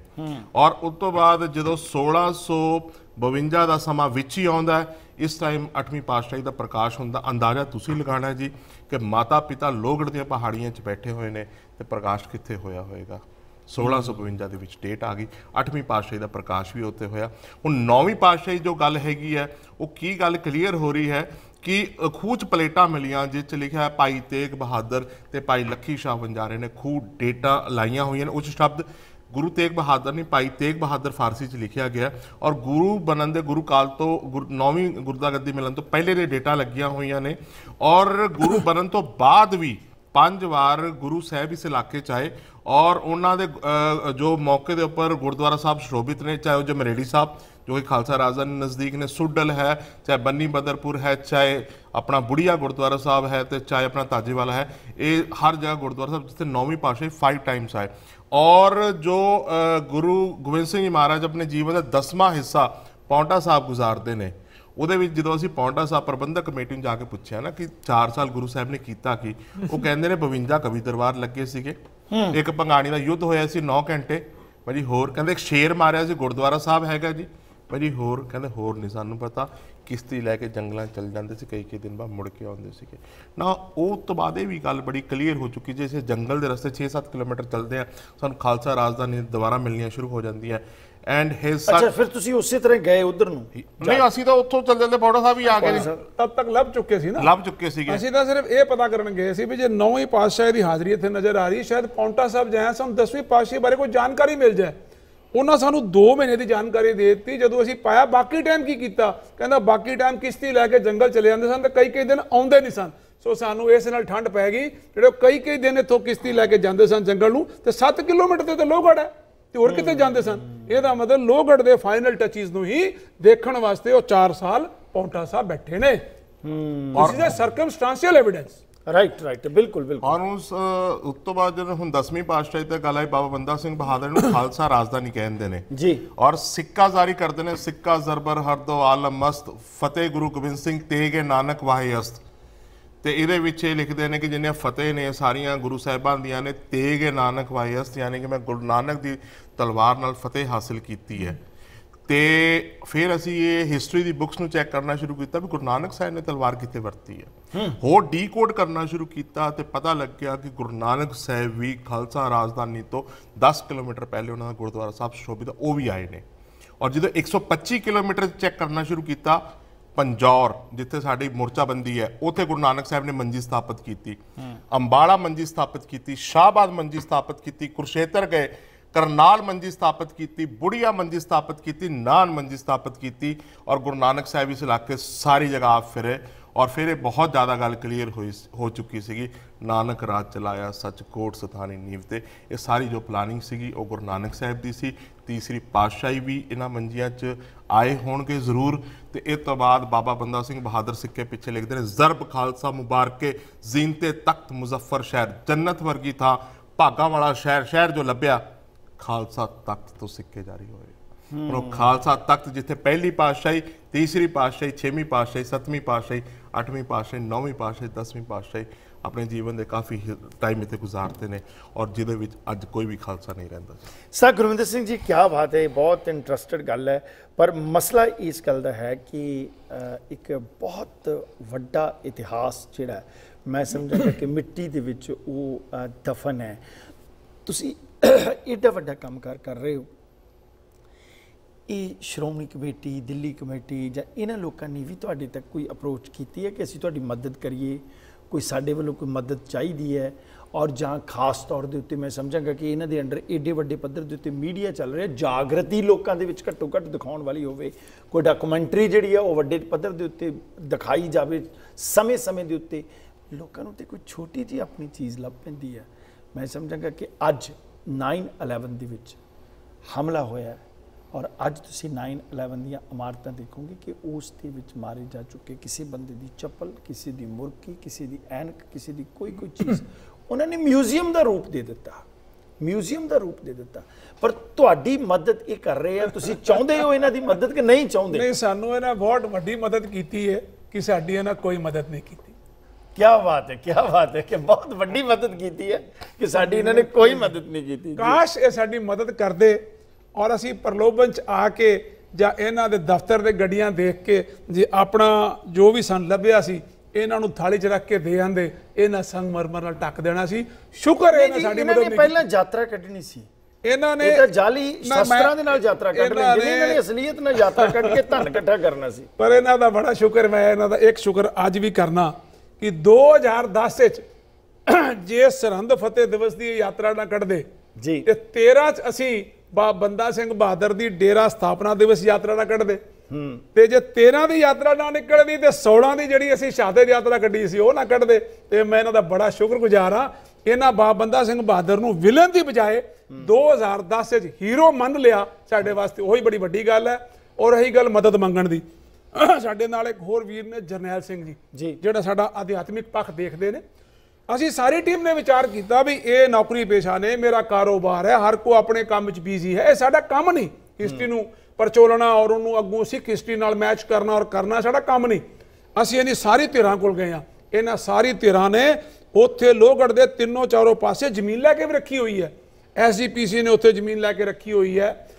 ਪੌਂਟਾ ਸਾਹਿਬ ਕਮੇਟੀ ਨੇ ਉੱਥੇ ਜ਼ਮੀਨ ਲੈ ਕੇ ਰੱਖੀ ਹੋਈ ਹੈ। ਬਾਬਾ ਬੁੱਢਾ ਦਲ ਦੇ ਨੇ ਵੀ ਉੱਥੇ ਜ਼ਮੀਨ ਲੈ ਕੇ ਰੱਖੀ ਹੋਈ ਹੈ। ਮਗਰ ਇੱਟ ਨਹੀਂ ਲਾਈ। ਔਰ ਸਾਨੂੰ ਇੱਕ ਮੈਂ ਨਾਮ ਤਾਂ ਨਹੀਂ ਲਵਾਂਗਾ। ਬੜੇ ਬਾਬੇ ਨੇ ਬੜੇ ਪਿਆਰੇ ਜਿਹੇ ਸਾਡੇ ਜਾਣਕਾਰ ਨੇ। ਉਹ ਮੈਨੂੰ ਅੰਦਰ ਫਿਕਰ ਨਾ ਕਰੋ। ਇਹ ਹੁਣ ਤੁਹਾਡੇ ਵਿਰੋਧ ਚ ਨੇ। ਪਰ ਜਿਸ ਦਿਨ ਤੁਸੀਂ ਇਹਨੂੰ ਸਾਬਤ ਕਰਤਾ ਕਿ ਲੋਕ ਅੜੇ ਇੱਥੇ ਹੈ ਇਹ ਤੁਹਾਡੇ ਤੋਂ ਪਹਿਲਾਂ ਇੰਨੀ ਵੱਡੀ ਗੁੱਲਕ ਲੈ ਕੇ ਇੱਥੇ ਆ ਜਾਣਗੇ ਤੁਸੀਂ ਹੈਰਾਨ ਰਹਿ ਜਾਓਗੇ। ਤਾਂ ਅਸੀਂ ਕਿਹਾ ਵੀ ਚਲੋ ਕੋਈ ਗੱਲ ਨਹੀਂ। ਮੈਨੂੰ ਉਹ ਦਿਨ ਵੀ ਨਹੀਂ ਭੁੱਲਦਾ ਜਦੋਂ ਇਹਨਾਂ ਦੇ ਮੀਤ ਪ੍ਰਧਾਨ ਆਪਣੇ ਤਿੰਨ ਚਾਰ ਬੰਦੇ ਲੈ ਕੇ ਮੈਨੂੰ ਘਰ ਸਮਝਾਉਣ ਆਏ ਵੀ ਇਹ ਤੂੰ ਨਦਾਨੀਆਂ ਨਾ ਕਰ ਇਹ ਕੰਮ ਨਾ ਕਰ ਤੇ ਜਿਹੜਾ ਹਰਿਆਣਾ ਦਾ ਇੰਚਾਰਜ ਸੀ, ਮੰਗਪ੍ਰੀਤ ਸਿੰਘ, ਉਹ ਮੈਨੂੰ ਬੜੀ ਪਿਆਰੀ ਜ਼ਬਾਨ ਨਾਲ ਕਹਿੰਦਾ ਕਹਿੰਦਾ ਤੁਹਾਡਾ ਆਪਣਾ ਕਾਰੋਬਾਰ ਹੈ, ਸ਼ੀਸ਼ੇ ਦੇ ਦਰਵਾਜ਼ੇ ਨੇ, ਤੁਸੀਂ ਕਾਹਨਵੇਂ ਕੰਮਾਂ 'ਚ ਪੈ ਗਏ ਹੋ? ਪਿੰਡਾਂ ਤੋਂ ਬੰਦਾ ਹੌਲੇ ਹੌਲੇ ਕਰਕੇ ਆਉਣਗੇ, ਤੁਹਾਡੇ ਸ਼ੀਸ਼ੇ ਤੋੜ ਦੇਣਗੇ, ਤੁਸੀਂ ਇਹਨਾਂ ਕੰਮਾਂ ਨੂੰ ਛੱਡੋ। ਮੈਂ ਕਿਹਾ, ਚੱਲ, ਉਹਨੇ ਇੱਕ ਵਾਰੀ ਕਹਿ ਲਿਆ, ਦੋ ਵਾਰੀ ਕਹਿ ਲਿਆ, ਤਿੰਨ ਵਾਰੀ ਕਹਿ ਲਿਆ, ਤੀਜੀ ਵਾਰੀ ਮੈਨੂੰ ਜਵਾਬ ਦੇਣਾ ਪਿਆ, ਕੋਈ ਗੱਲ ਨਹੀਂ, ਜੋ ਦਾਤੇ ਨੂੰ ਮਨਜ਼ੂਰ ਹੋਏਗਾ, ਤੂੰ ਲਾਠੀਆਂ ਲੈ ਕੇ ਆ, ਅਸੀਂ ਛਾਤੀਆਂ ਲੈ ਕੇ ਆਵਾਂਗੇ, ਪਰਵਾਹ ਨਹੀਂ ਕਰਨੀ। ਹੂੰ। ਬਹੁਤ ਬਹੁਤ ਸ਼ੁਕਰੀਆ ਦੋਸਤੋ, ਪ੍ਰੋਗਰਾਮ ਨੂੰ ਅਸੀਂ ਇਸੇ ਤਰ੍ਹਾਂ ਜਾਰੀ ਰੱਖਾਂਗੇ, ਇਸ ਇਤਿਹਾਸਕ ਵਰਤਾਰੇ ਨੂੰ।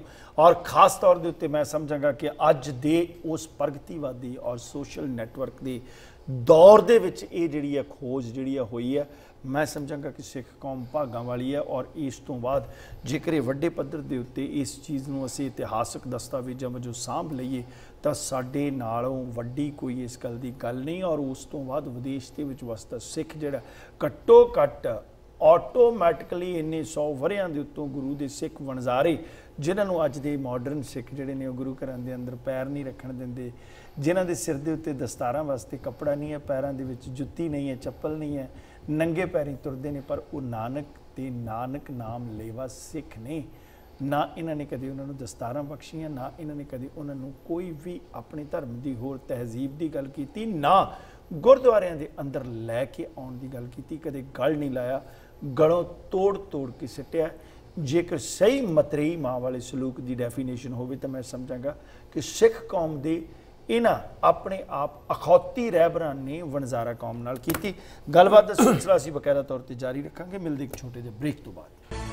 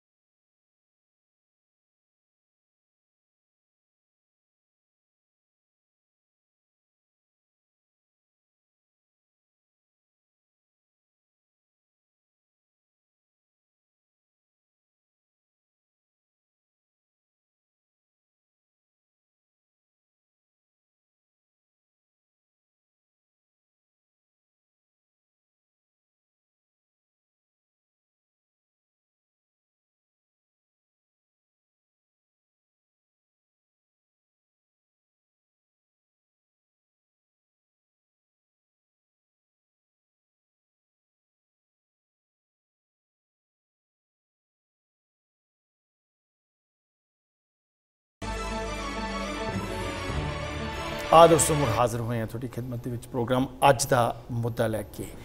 ਆ ਸਰ ਗਗਨਦੀਪ ਸ- ਜੀ ਮੈਂ ਇੱਕ ਜ਼ਰੂਰ ਪੁੱਛਾਂਗਾ ਕਿ ਇੱਕ ਜਿਹੜੀ ਹੈ ਅਕਸਰ ਇਹ ਗੱਲ ਮੈਂ ਕਈ ਵਾਰੀ ਬੰਦਿਆਂ ਕੋਲੋਂ ਜਿਹੜੀ ਹੈ ਉਹ ਗੱਲ ਪੁੱਛਦਾ ਜਾਂ ਕੋਈ ਮੈਂ ਕੰਨਾਂ ਦੇ ਵਿੱਚ ਮੇਰੇ ਉਹ ਤੁਰਦੇ ਫਿਰਦੇ ਮਤਲਬ ਇਹ ਸੁਣੀ ਹੈ ਕਿ ਅ, ਮੁਸਲਿਸਗੜ੍ਹ ਜਿਹੜਾ ਉਹ ਤੋਂ ਲੋਹਗੜ੍ਹ ਸਥਾਪਿਤ ਹੋਇਆ ਹੈ।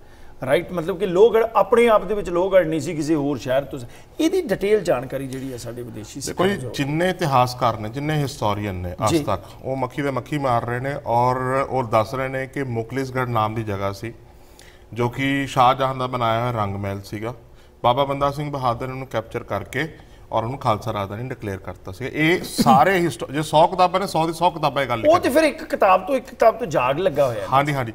ਜਦੋਂ ਅਸੀਂ 125 ਕਿਲੋਮੀਟਰ ਚ ਚੈੱਕ ਕੀਤਾ ਨਾ ਮੁਕਲਿਸਗੜ੍ਹ ਦੇ ਨਾਮ ਇੱਕ ਇੰਚ ਵੀ ਜਗ੍ਹਾ ਨਹੀਂ ਮਿਲਦੀ ਨਾ ਕੋਈ ਸ਼ਹਿਰ ਮਿਲਦਾ ਉਸ ਨਾਮ ਦਾ। ਹਿਸਟਰੀ ਦੇ ਵਿੱਚ ਪੁਰਾਣਾ। ਨਹੀਂ ਹਿਸਟਰੀ ਕੇ ਮੌਕੇ ਦੇ ਉੱਪਰ ਨਹੀਂ ਮਿਲ ਮੌਕੇ ਰਿਹਾ। ਦੇ ਉੱਤੇ ਨਹੀਂ ਮਿਲਦਾ। ਕਿਉਂਕਿ ਹਿਸਟਰੀ ਇੰਨੀ ਪੁਰਾਣੀ ਨਹੀਂ ਹੈ ਸਿਰਫ 300 ਸਾਲ ਪੁਰਾਣੀ ਗੱਲ ਹੈ। ਹੂੰ। ਔਰ ਜੇ ਲੋਹਗੜ੍ਹ ਦੇ ਨਾਮ 3000 ਏਕੜ ਜਗ੍ਹਾ ਹੈਗੀ ਹੈ ਰੈਵਨਿਊ ਰਿਕਾਰਡ ਦੇ ਵਿੱਚ ਪੌਂਡਾ ਸਾਹਿਬ ਤਾਂ ਮੁਕਲੇਸਗੜ੍ਹ ਦੇ ਨਾਮ ਵੀ ਤੇ ਇੱਕ ਅੱਧੀ ਇੰਚ ਜਗ੍ਹਾ ਹੋਣੀ ਚਾਹੀਦੀ ਹੈ ਨਾ। ਉਹ ਮਿਲੀ ਨਹੀਂ। ਫਿਰ ਅਸੀਂ ਕੀ ਹੋਇਆ ਕਿ ਫਾਰਸੀ ਦਾ ਇੱਕ ਪ੍ਰੋਫੈਸਰ ਮਿਲੇ ਸਾਨੂੰ ਦਿੱਲੀ ਯੂਨੀਵਰਸਿਟੀ ਦੇ। ਉਹਨਾਂ ਨੇ ਕਿਹਾ ਕਿ ਇੱਕ ਬੁੱਕ ਪਬਲਿਸ਼ ਹੋਈ ਸੀ ਇਰਫਾਨ ਹਬੀਬ ਦੀ ਐਟਲਸ ਆਫ ਮੁਗਲ ਐਮਪਾਇਰ ਤੁਸੀਂ ਉਹਨੂੰ ਰੈਫਰ ਕਰੋ। ਉਹ ਸਾਨੂੰ ਮਿਲੀ ਸਿੱਖ ਰੈਫਰੈਂਸ ਲਾਇਬ੍ਰੇਰੀ ਅੰਮ੍ਰਿਤਸਰ। ਉਹ ਫਿਰ ਅਸੀਂ ਬੜੇ ਪਿਆਰ ਨਾਲ ਉਹਦੀ ਫੋਟੋਕਾਪੀ ਲਿੱਤੀ ਉੱਥੇ। ਫੋਟੋਕਾਪੀ ਲਿੱਤੀ ਤੇ ਉਹਨੂੰ ਜਦੋਂ ਸਟੱਡੀ ਕੀਤਾ ਤੇ ਸਾਨੂੰ ਮੁਗਲਿਸਗੜ੍ਹ ਮਿਲਿਆ ਉੱਤਰ ਪ੍ਰਦੇਸ਼ ਫੈਜ਼ਾਬਾਦ ਪਰਗਨਾ ਦੇ ਵਿੱਚ ਯਮਨਾ ਦੇ ਕਿਨਾਰੇ। ਅਸੀਂ ਗੱਡੀ ਲਿੱਤੀ ਮੌਕੇ ਦੇ ਉੱਪਰ ਗਏ। ਉਹ ਵਾਕਈ ਉੱਥੇ ਮੌਕੇ ਦੇ ਉੱਪਰ ਰੰਗ ਮਹਿਲ ਖੜਿਆ ਮਿਲਿਆ।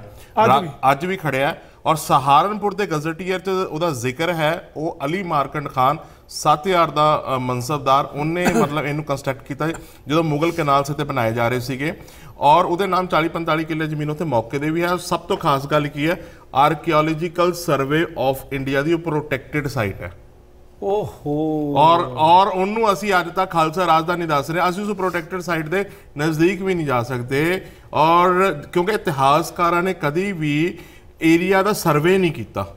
ਔਰ ਵੀ ਵਰ ਲੱਕੀ ਕਿ ਸਾਡੀ ਉੱਥੇ ਪੋਸਟਿੰਗ ਸੀਗੀ ਔਰ ਸਾਨੂੰ ਉਸ ਏਰੀਆ ਦੇ ਐਕਸੈਸ ਸੀਗੇ। ਅਸੀਂ ਬਾਰ-ਬਾਰ ਜਾਂਦੇ ਸੀ ਔਰ ਬਾਰ-ਬਾਰ ਚੀਜ਼ਾਂ ਲੱਭ ਲਈਆਂ। ਅਸੀਂ ਤਾਂ ਇਹ ਕਹਿ ਸਕਦੇ ਵੀ ਇਹ ਜਿਹੜੇ ਇਤਿਹਾਸਕਾਰ ਆਪਣੇ ਆਪ ਨੂੰ ਖੌਤੀ ਕਹਾਉਂਦੇ ਆ ਕਿਤੇ ਗਲਤੀ ਨਾਲ ਇਹਨਾਂ ਦੀ ਗੱਡੀ ਵੀ ਉਸ ਇਲਾਕੇ 'ਚ ਨਹੀਂ ਖਰਾਬ ਹੋਈ। ਨਹੀਂ ਖਰਾਬ ਹੋਈ। ਔਰ ਇਸ ਤੋਂ ਇਲਾਵਾ ਇੱਕ ਚੀਜ਼ ਹੋਰ ਸਾਨੂੰ ਮਿਲੀ ਸਾਨੂੰ ਇੱਕ ਮੱਸੇ ਰੰਗੜ ਦਾ ਮਹਿਲ ਮਿਲਿਆ। ਤੁਹਾਨੂੰ ਮੱਸੇ ਰੰਗੜ ਦੀ ਹਿਸਟਰੀ ਪਤਾ ਹੋਏਗੀ ਕਿ ਮੱਸੇ ਰੰਗੜ ਨੇ 1740 ਦਰਬਾਰ ਸਾਹਿਬ ਨੂੰ ਢਾਣਾ ਸ਼ੁਰੂ ਕਰਤਾ ਸੀ ਬੇਅਦਬੀ ਸ਼ੁਰੂ ਕਰਤੀ ਸੀ। ਭਾਈ ਸੁੱਖਾ ਸਿੰਘ ਮਹਿਤਾਬ ਸਿੰਘ ਦਾ ਸਿਰ ਵੱਢ ਕੇ ਬੁੱਢਾ ਜੋੜ ਲੈ ਗਏ ਇੰਨੀ ਮੱਸੇ ਰੰਗੜ ਦੀ ਹਿਸਟਰੀ ਹੈ। ਤੇ ਅਸੀਂ ਜਦੋਂ 473 ਸ- ਅ, ਪਿੰਡਾਂ ਦੇ ਵਿੱਚ ਸਰਵੇ ਕੀਤਾ ਤੇ ਸਰਵੇ ਕਰਨ ਚ ਸਾਨੂੰ ਮੱਸੇ ਰੰਗੜ ਦਾ ਮਹਿਲ ਮਛਰੌਲੀ ਪਿੰਡ ਦੇ ਵਿੱਚ ਮਿਲਿਆ। ਹੁਣ ਮਛਰੌਲੀ ਪਿੰਡ ਐਕਸ ਮੀਤ ਪ੍ਰਧਾਨ ਐਸਜੀਪੀਸੀ ਦੇ ਕੰਟਰੋਲ 'ਚ ਹੈ। ਉਹ। ਤੇ ਅਸੀਂ ਜਾ ਕੇ ਉਹਨੂੰ ਪੁੱਛਿਆ, ਪ੍ਰਧਾਨ ਸਾਹਿਬ, ਇੱਕ ਇੱਕ ਦਾ ਮਹਿਲ ਹੈ। ਤੇ ਉਹ ਕਹਿੰਦੇ ਜੀ, ਇਹ ਦੁਨੀਆ ਕਹਿੰਦੀ ਮੱਸੇ ਰੰਗੜ ਮੈਂ ਨਹੀਂ ਮੰਨਦਾ। ਤੇ ਜਦੋਂ ਮਸ ਅਸੀਂ ਇਹ ਗੱਲ ਹੁਣ ਪਤਾ ਲੱਗ ਚੁੱਕੀ ਸੀ, ਮੱਸਾ ਰੰਗੜ ਤਕਰੀਬਨ 10-12 ਕਿਲੋਮੀਟਰ ਪਹਿਲੇ ਇਹ ਲੋਹਗੜ੍ਹ ਖਾਲਸਾ ਰਾਜਧਾਨੀ ਤੋਂ ਪਹਿਲੇ ਦਾ ਮਹਿਲ ਹੋਣ ਦਾ ਮਤਲਬ ਵੱਡੀ ਗੱਲ ਸੀ ਕਿ ਇੱਥੇ ਕੁਝ ਨਾ ਕੁਝ ਹੋਰ ਵੀ ਗੱਲ ਹੋਈ ਹੈ, ਹੋਰ ਰਿਕਾਰਡ ਖੰਗਾਲਿਆ ਗਿਆ।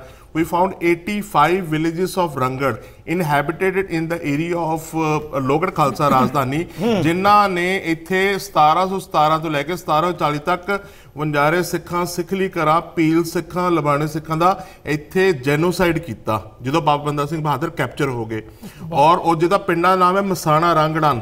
ਤਲੇਟੀ ਰੰਗੜਨ ਇਸ ਤਰ੍ਹਾਂ 85 ਵਿਲੇजेस ਰੰਗੜਾਂ ਦੇ 1947 ਤੋਂ ਬਾਅਦ ਇਹ ਰੰਗੜ ਜਿਹੜੇ ਮੁਸਲਮਾਨ ਸੀਗੇ ਇਹ ਪਾਕਿਸਤਾਨ ਚਲੇ ਗਏ ਔਰ ਸਿੱਖ ਪੋਪੂਲੇਸ਼ਨ ਇਹਨਾਂ ਪਿੰਡਾਂ 'ਚ ਆ ਕੇ ਵਸ ਗਈ। ਇਸ ਤਰ੍ਹਾਂ ਮਤਲਬ ਔਰ ਲੱਖੀ ਸ਼ਾਹ ਵੰਜਾਰੇ ਦੇ 55 ਖੂਹ ਮਿਲੇ ਉੱਥੇ। ਔਰ ਅਸੀਂ ਅੱਜ ਤੱਕ ਇਹ ਦੱਸਦੇ ਰਹੇ ਵੀ ਲੱਖੀ ਸ਼ਾਹ ਵੰਜਾਰਾ ਬੜਾ ਗਰੀਬ ਆਦਮੀ ਸੀਗਾ। ਇੱਥੇ ਬੜੇ ਸਾਰੇ ਐਸੇ ਡਾਕੂਮੈਂਟਰੀ ਐਵੀਡੈਂਸਸ ਮਿਲ ਗਏ ਵੀ ਇਸ ਖਾਲਸਾ ਰਾਜਧਾਨੀ ਦੇ ਜੋ origignal ਇਨਹੈਬੀਟੈਂਟ ਸੀ ਉਹ ਵੰਜਾਰੇ ਸੀਗੇ। ਔਰ ਦੇ ਵਰ ਵੈਰੀ ਰਿਚ ਪੀਪਲ ਜਿਹੜੇ ਜਿਨ੍ਹਾਂ ਦੇ ਇਨਹੈਬੀਟੈਂਟਸ ਮਿਲਦੇ ਆ।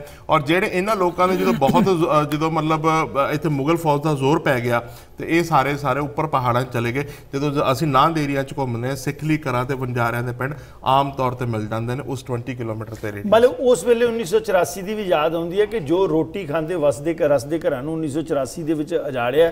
ਇਹ ਇਤਿਹਾਸ ਹਿਸਟਰੀ ਰਿਪੀਟ ਹੋਈ ਹੈ 84 ਵਾਲੀ। ਇਸ ਤਰ੍ਹਾਂ ਦੀ ਘਟਨਾ ਤੁਸੀਂ ਇਹ। ਦੇਖੋ ਖੈਰ ਅਸੀਂ ਉਸ ਮੁੱਦੇ ਤੇ ਨਹੀਂ ਗੱਲ ਕਰ ਸਕਦੇ ਅੱਜ। ਜੀ।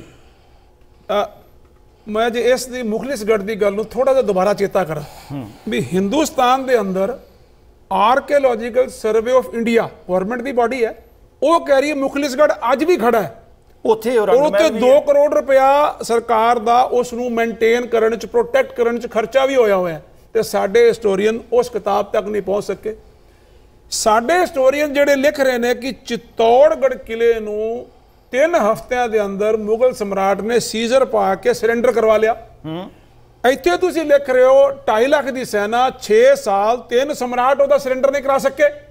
ਤਦ ਵੀ ਉਹਨਾਂ ਦਾ ਧਿਆਨ ਨਹੀਂ ਗਿਆ ਵੀ ਉਹ 600 ਏਕੜ ਦੇ ਕਿਲੇ ਨੂੰ ਤਿੰਨ ਹਫ਼ਤੇ ਸਰੈਂਡਰ ਹੋ ਗਏ ਤੇ ਇਹ 6 ਸਾਲ 2.5 ਲੱਖ ਫੌਜ ਤਿੰਨ ਸਮਰਾਟ ਕਿਆ 24 ਏਕੜ ਜਗ੍ਹਾ ਹੋ ਸਕਦੀ ਹੈ? ਉਹਨੂੰ ਅਰਥਮੈਟਿਕਲੀ ਵੀ ਜੇ ਇਹ ਉਹ ਕੰਪੈਰੀਜ਼ਨ ਕਰ ਲੈਂਦੇ ਤੇ ਸ਼ਾਇਦ ਅਗਰ ਜੇ ਇੱਕ ਵੀ ਗਲਤੀ ਨਾਲ ਕੋਈ ਸਟੋਰੀ ਇੱਥੇ ਆ ਗਿਆ ਹੁੰਦਾ ਤੇ ਸਮੇਂ ਦਾ ਬਾਦਸ਼ਾਹ ਬਣ ਗਿਆ ਹੁੰਦਾ।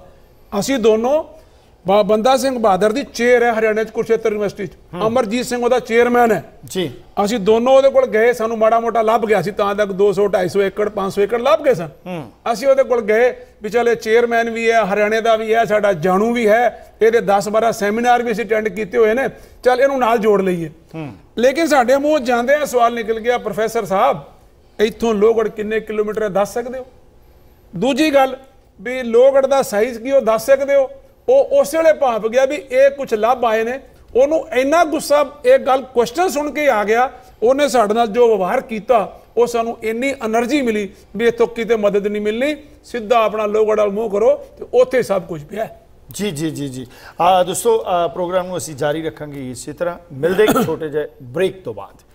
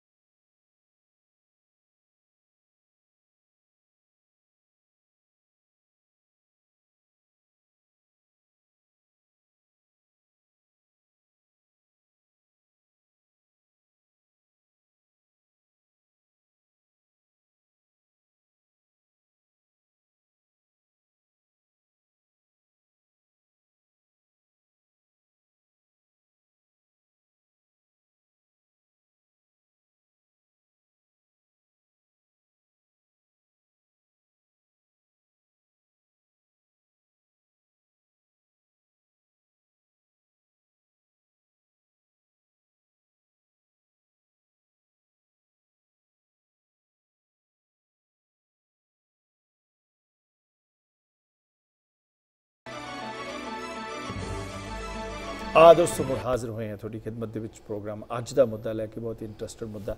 ਇਸ ਮਸਲੇ ਦੇ ਉੱਤੇ ਕੋਈ ਜਾਣਕਾਰੀ ਲੈਣੀ ਹੋਵੇ ਜਾਂ ਕੋਈ ਵੀ ਗੱਲ ਕਰਨੀ ਹੋਵੇ, ਤੁਸੀਂ ਮੈਨੂੰ ਈਮੇਲ ਕਰ ਸਕਦੇ ਹੋ riyad@justbroadcasting.com ਔਰ info@justbroadcasting.com ਟਵਿੱਟਰ ਔਰ ਫੇਸਬੁੱਕ ਦੇ ਉੱਤੇ ਵੀ ਕਰ ਸਕਦੇ ਹੋ ਸੰਪਰਕ। ਸੋ ਗੱਲਬਾਤ ਬੜੀ ਇੰਟਰਸਟਡ ਹੈ, ਸਮਾਂ ਬੜਾ ਘੱਟ ਹੈ। ਸਦਾ ਗਗਨਦੀਪ ਸਿੰਘ ਜੀ ਤੁਹਾਡੀ ਗੱਲਬਾਤ ਦੇ ਵਿੱਚ ਬਾਰ-ਬਾਰ ਪੀਰ ਬੁੱਧੂ ਸ਼ਾਹ ਹੋਰਾਂ ਦਾ ਔਰ ਲੱਖੀ ਸ਼ਾਹ ਵਣਜ਼ਾਰਾ ਹੋਣਾ ਦਾ ਜ਼ਿਕਰ ਜਿਹੜਾ ਨਾ, ਉਹ ਬਾਰ-ਬਾਰ ਕਿਤੇ ਨਾ ਕਿਤੇ ਹਰ ਮੋੜ ਦੇ ਉੱਤੇ ਆ ਕੇ ਜਿਹੜਾ ਉਹ ਅ, ਦੇ ਨਾਲ ਜਾ ਕੇ ਜੁੜਦਾ ਹੈ।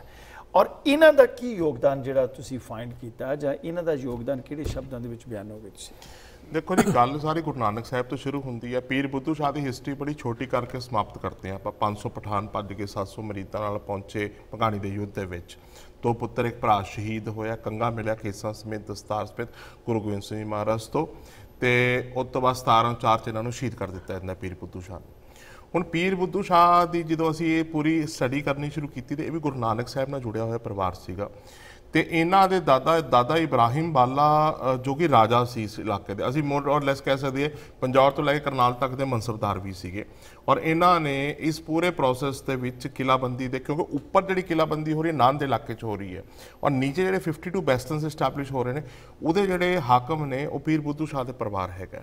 ਔਰ ਉਸ ਹਾਕਮ ਪੂਰੇ ਸਿਸਟਮ ਦੇ ਵਿੱਚ ਜਦੋਂ ਆ ਪੂਰੀ ਕਿਲਾਬੰਦੀ ਹੋ ਰਹੀ ਹੈ they have played a very significant role ਤੇ ਪੀਰ ਬੁੱਧੂ ਸ਼ਾਹ ਨੂੰ ਹੋਰ ਸਟੱਡੀ ਕਰਨ ਦੀ ਜ਼ਰੂਰਤ ਸੀਗੀ। ਔਰ ਜੀ ਵੀਰ ਜੀ ਹੁਣ ਦੱਸਣਗੇ ਵੀ ਹਰਿਆਣਾ ਗਵਰਨਮੈਂਟ ਨੂੰ ਨੇ ਉੱਥੇ ਪੀਰ ਬੁੱਧੂ ਸ਼ਾਹ ਦੇ ਨਾਮ ਤੋਂ ਇੱਕ ਮੈਮੋਰੀਅਲ ਵੀ ਮਨਜ਼ੂਰ ਕਰਤਾ। 5 ਏਕੜ ਲੈਂਡ ਵੀ ਪੰਚਾਇਤ ਨੇ ਉੱਥੇ ਸਡੌਰਾ ਦੀ ਪੰਚਾਇਤ ਨੇ ਦੇ ਦਿੱਤੀ ਹੈ ਤਾਂ ਕਿ ਉੱਥੇ ਪੀਰ ਬੁੱਧੂ ਸ਼ਾਹ ਦਾ ਮੈਮੋਰੀਅਲ ਬਣਾਇਆ ਜਾ ਸਕੇ। ਔਰ ਇਸ ਤੋਂ ਇਲਾਵਾ ਜਿੱਥੇ ਹੁਣ ਭਾਈ ਲੱਖੀ ਸ਼ਾਹ ਵੰਜਾਰੇ ਦੀ ਗੱਲ ਕਰਤੇ ਹਾਂ ਭਾਈ ਲੱਖੀ ਸ਼ਾਹ ਵੰਜਾਰੇ ਦੀ ਵੀ ਹਿਸਟਰੀ ਨਾਲ ਜਸਟਿਸ ਨਹੀਂ ਹੋਈ ਜੀ। ਭਾਈ ਮਨੀ ਸਿੰਘ ਜੀ ਦੇ ਸਹੁਰਾ ਸਾਹਿਬ ਨੇ ਹਿੰਦੁਸਤਾਨ ਦੇ ਸਭ ਤੋਂ ਅਮੀਰ ਆਦਮੀਆਂ ਚੋਂ ਸ਼ੁਮਾਰ ਨੇ। ਔਰ ਦਿੱਲੀ ਸ਼ਹਿਰ 'ਚ ਵੀ ਇਹਨਾਂ ਦੀ ਕਾਫੀ ਜ਼ਮੀਨ ਹੈਗੀ ਹੈ ਜਦੋਂ ਅੰਗਰੇਜ਼ਾਂ ਨੇ ਇੱਥੇ ਆਪਣਾ ਵਸਾਇਆ ਆਪਣਾ ਦਿੱਲੀ ਸ਼ਹਿਰ ਤੇ 400 ਏਕੜ ਜ਼ਮੀਨ ਇਹਨਾਂ ਦੀ ਲੈਂਡ ਦੀ ਕੰਪਨਸੇਸ਼ਨ ਤੇ ਬੀਗੜ ਪਿੰਡ ਫਤਿਆਬਾਦ 'ਚ ਹਰਿਆਣੇ ਦਿੱਤੀ ਗਈ ਜਿਹਦੀ ਜਿਹਦਾ ਠੇਕਾ ਦਿੱਲੀ ਗੁਰਦੁਆਰਾ ਪ੍ਰਬੰਧਕ ਕਮੇਟੀ ਲੈ ਕੇ ਆਂਦੀ ਹੈ।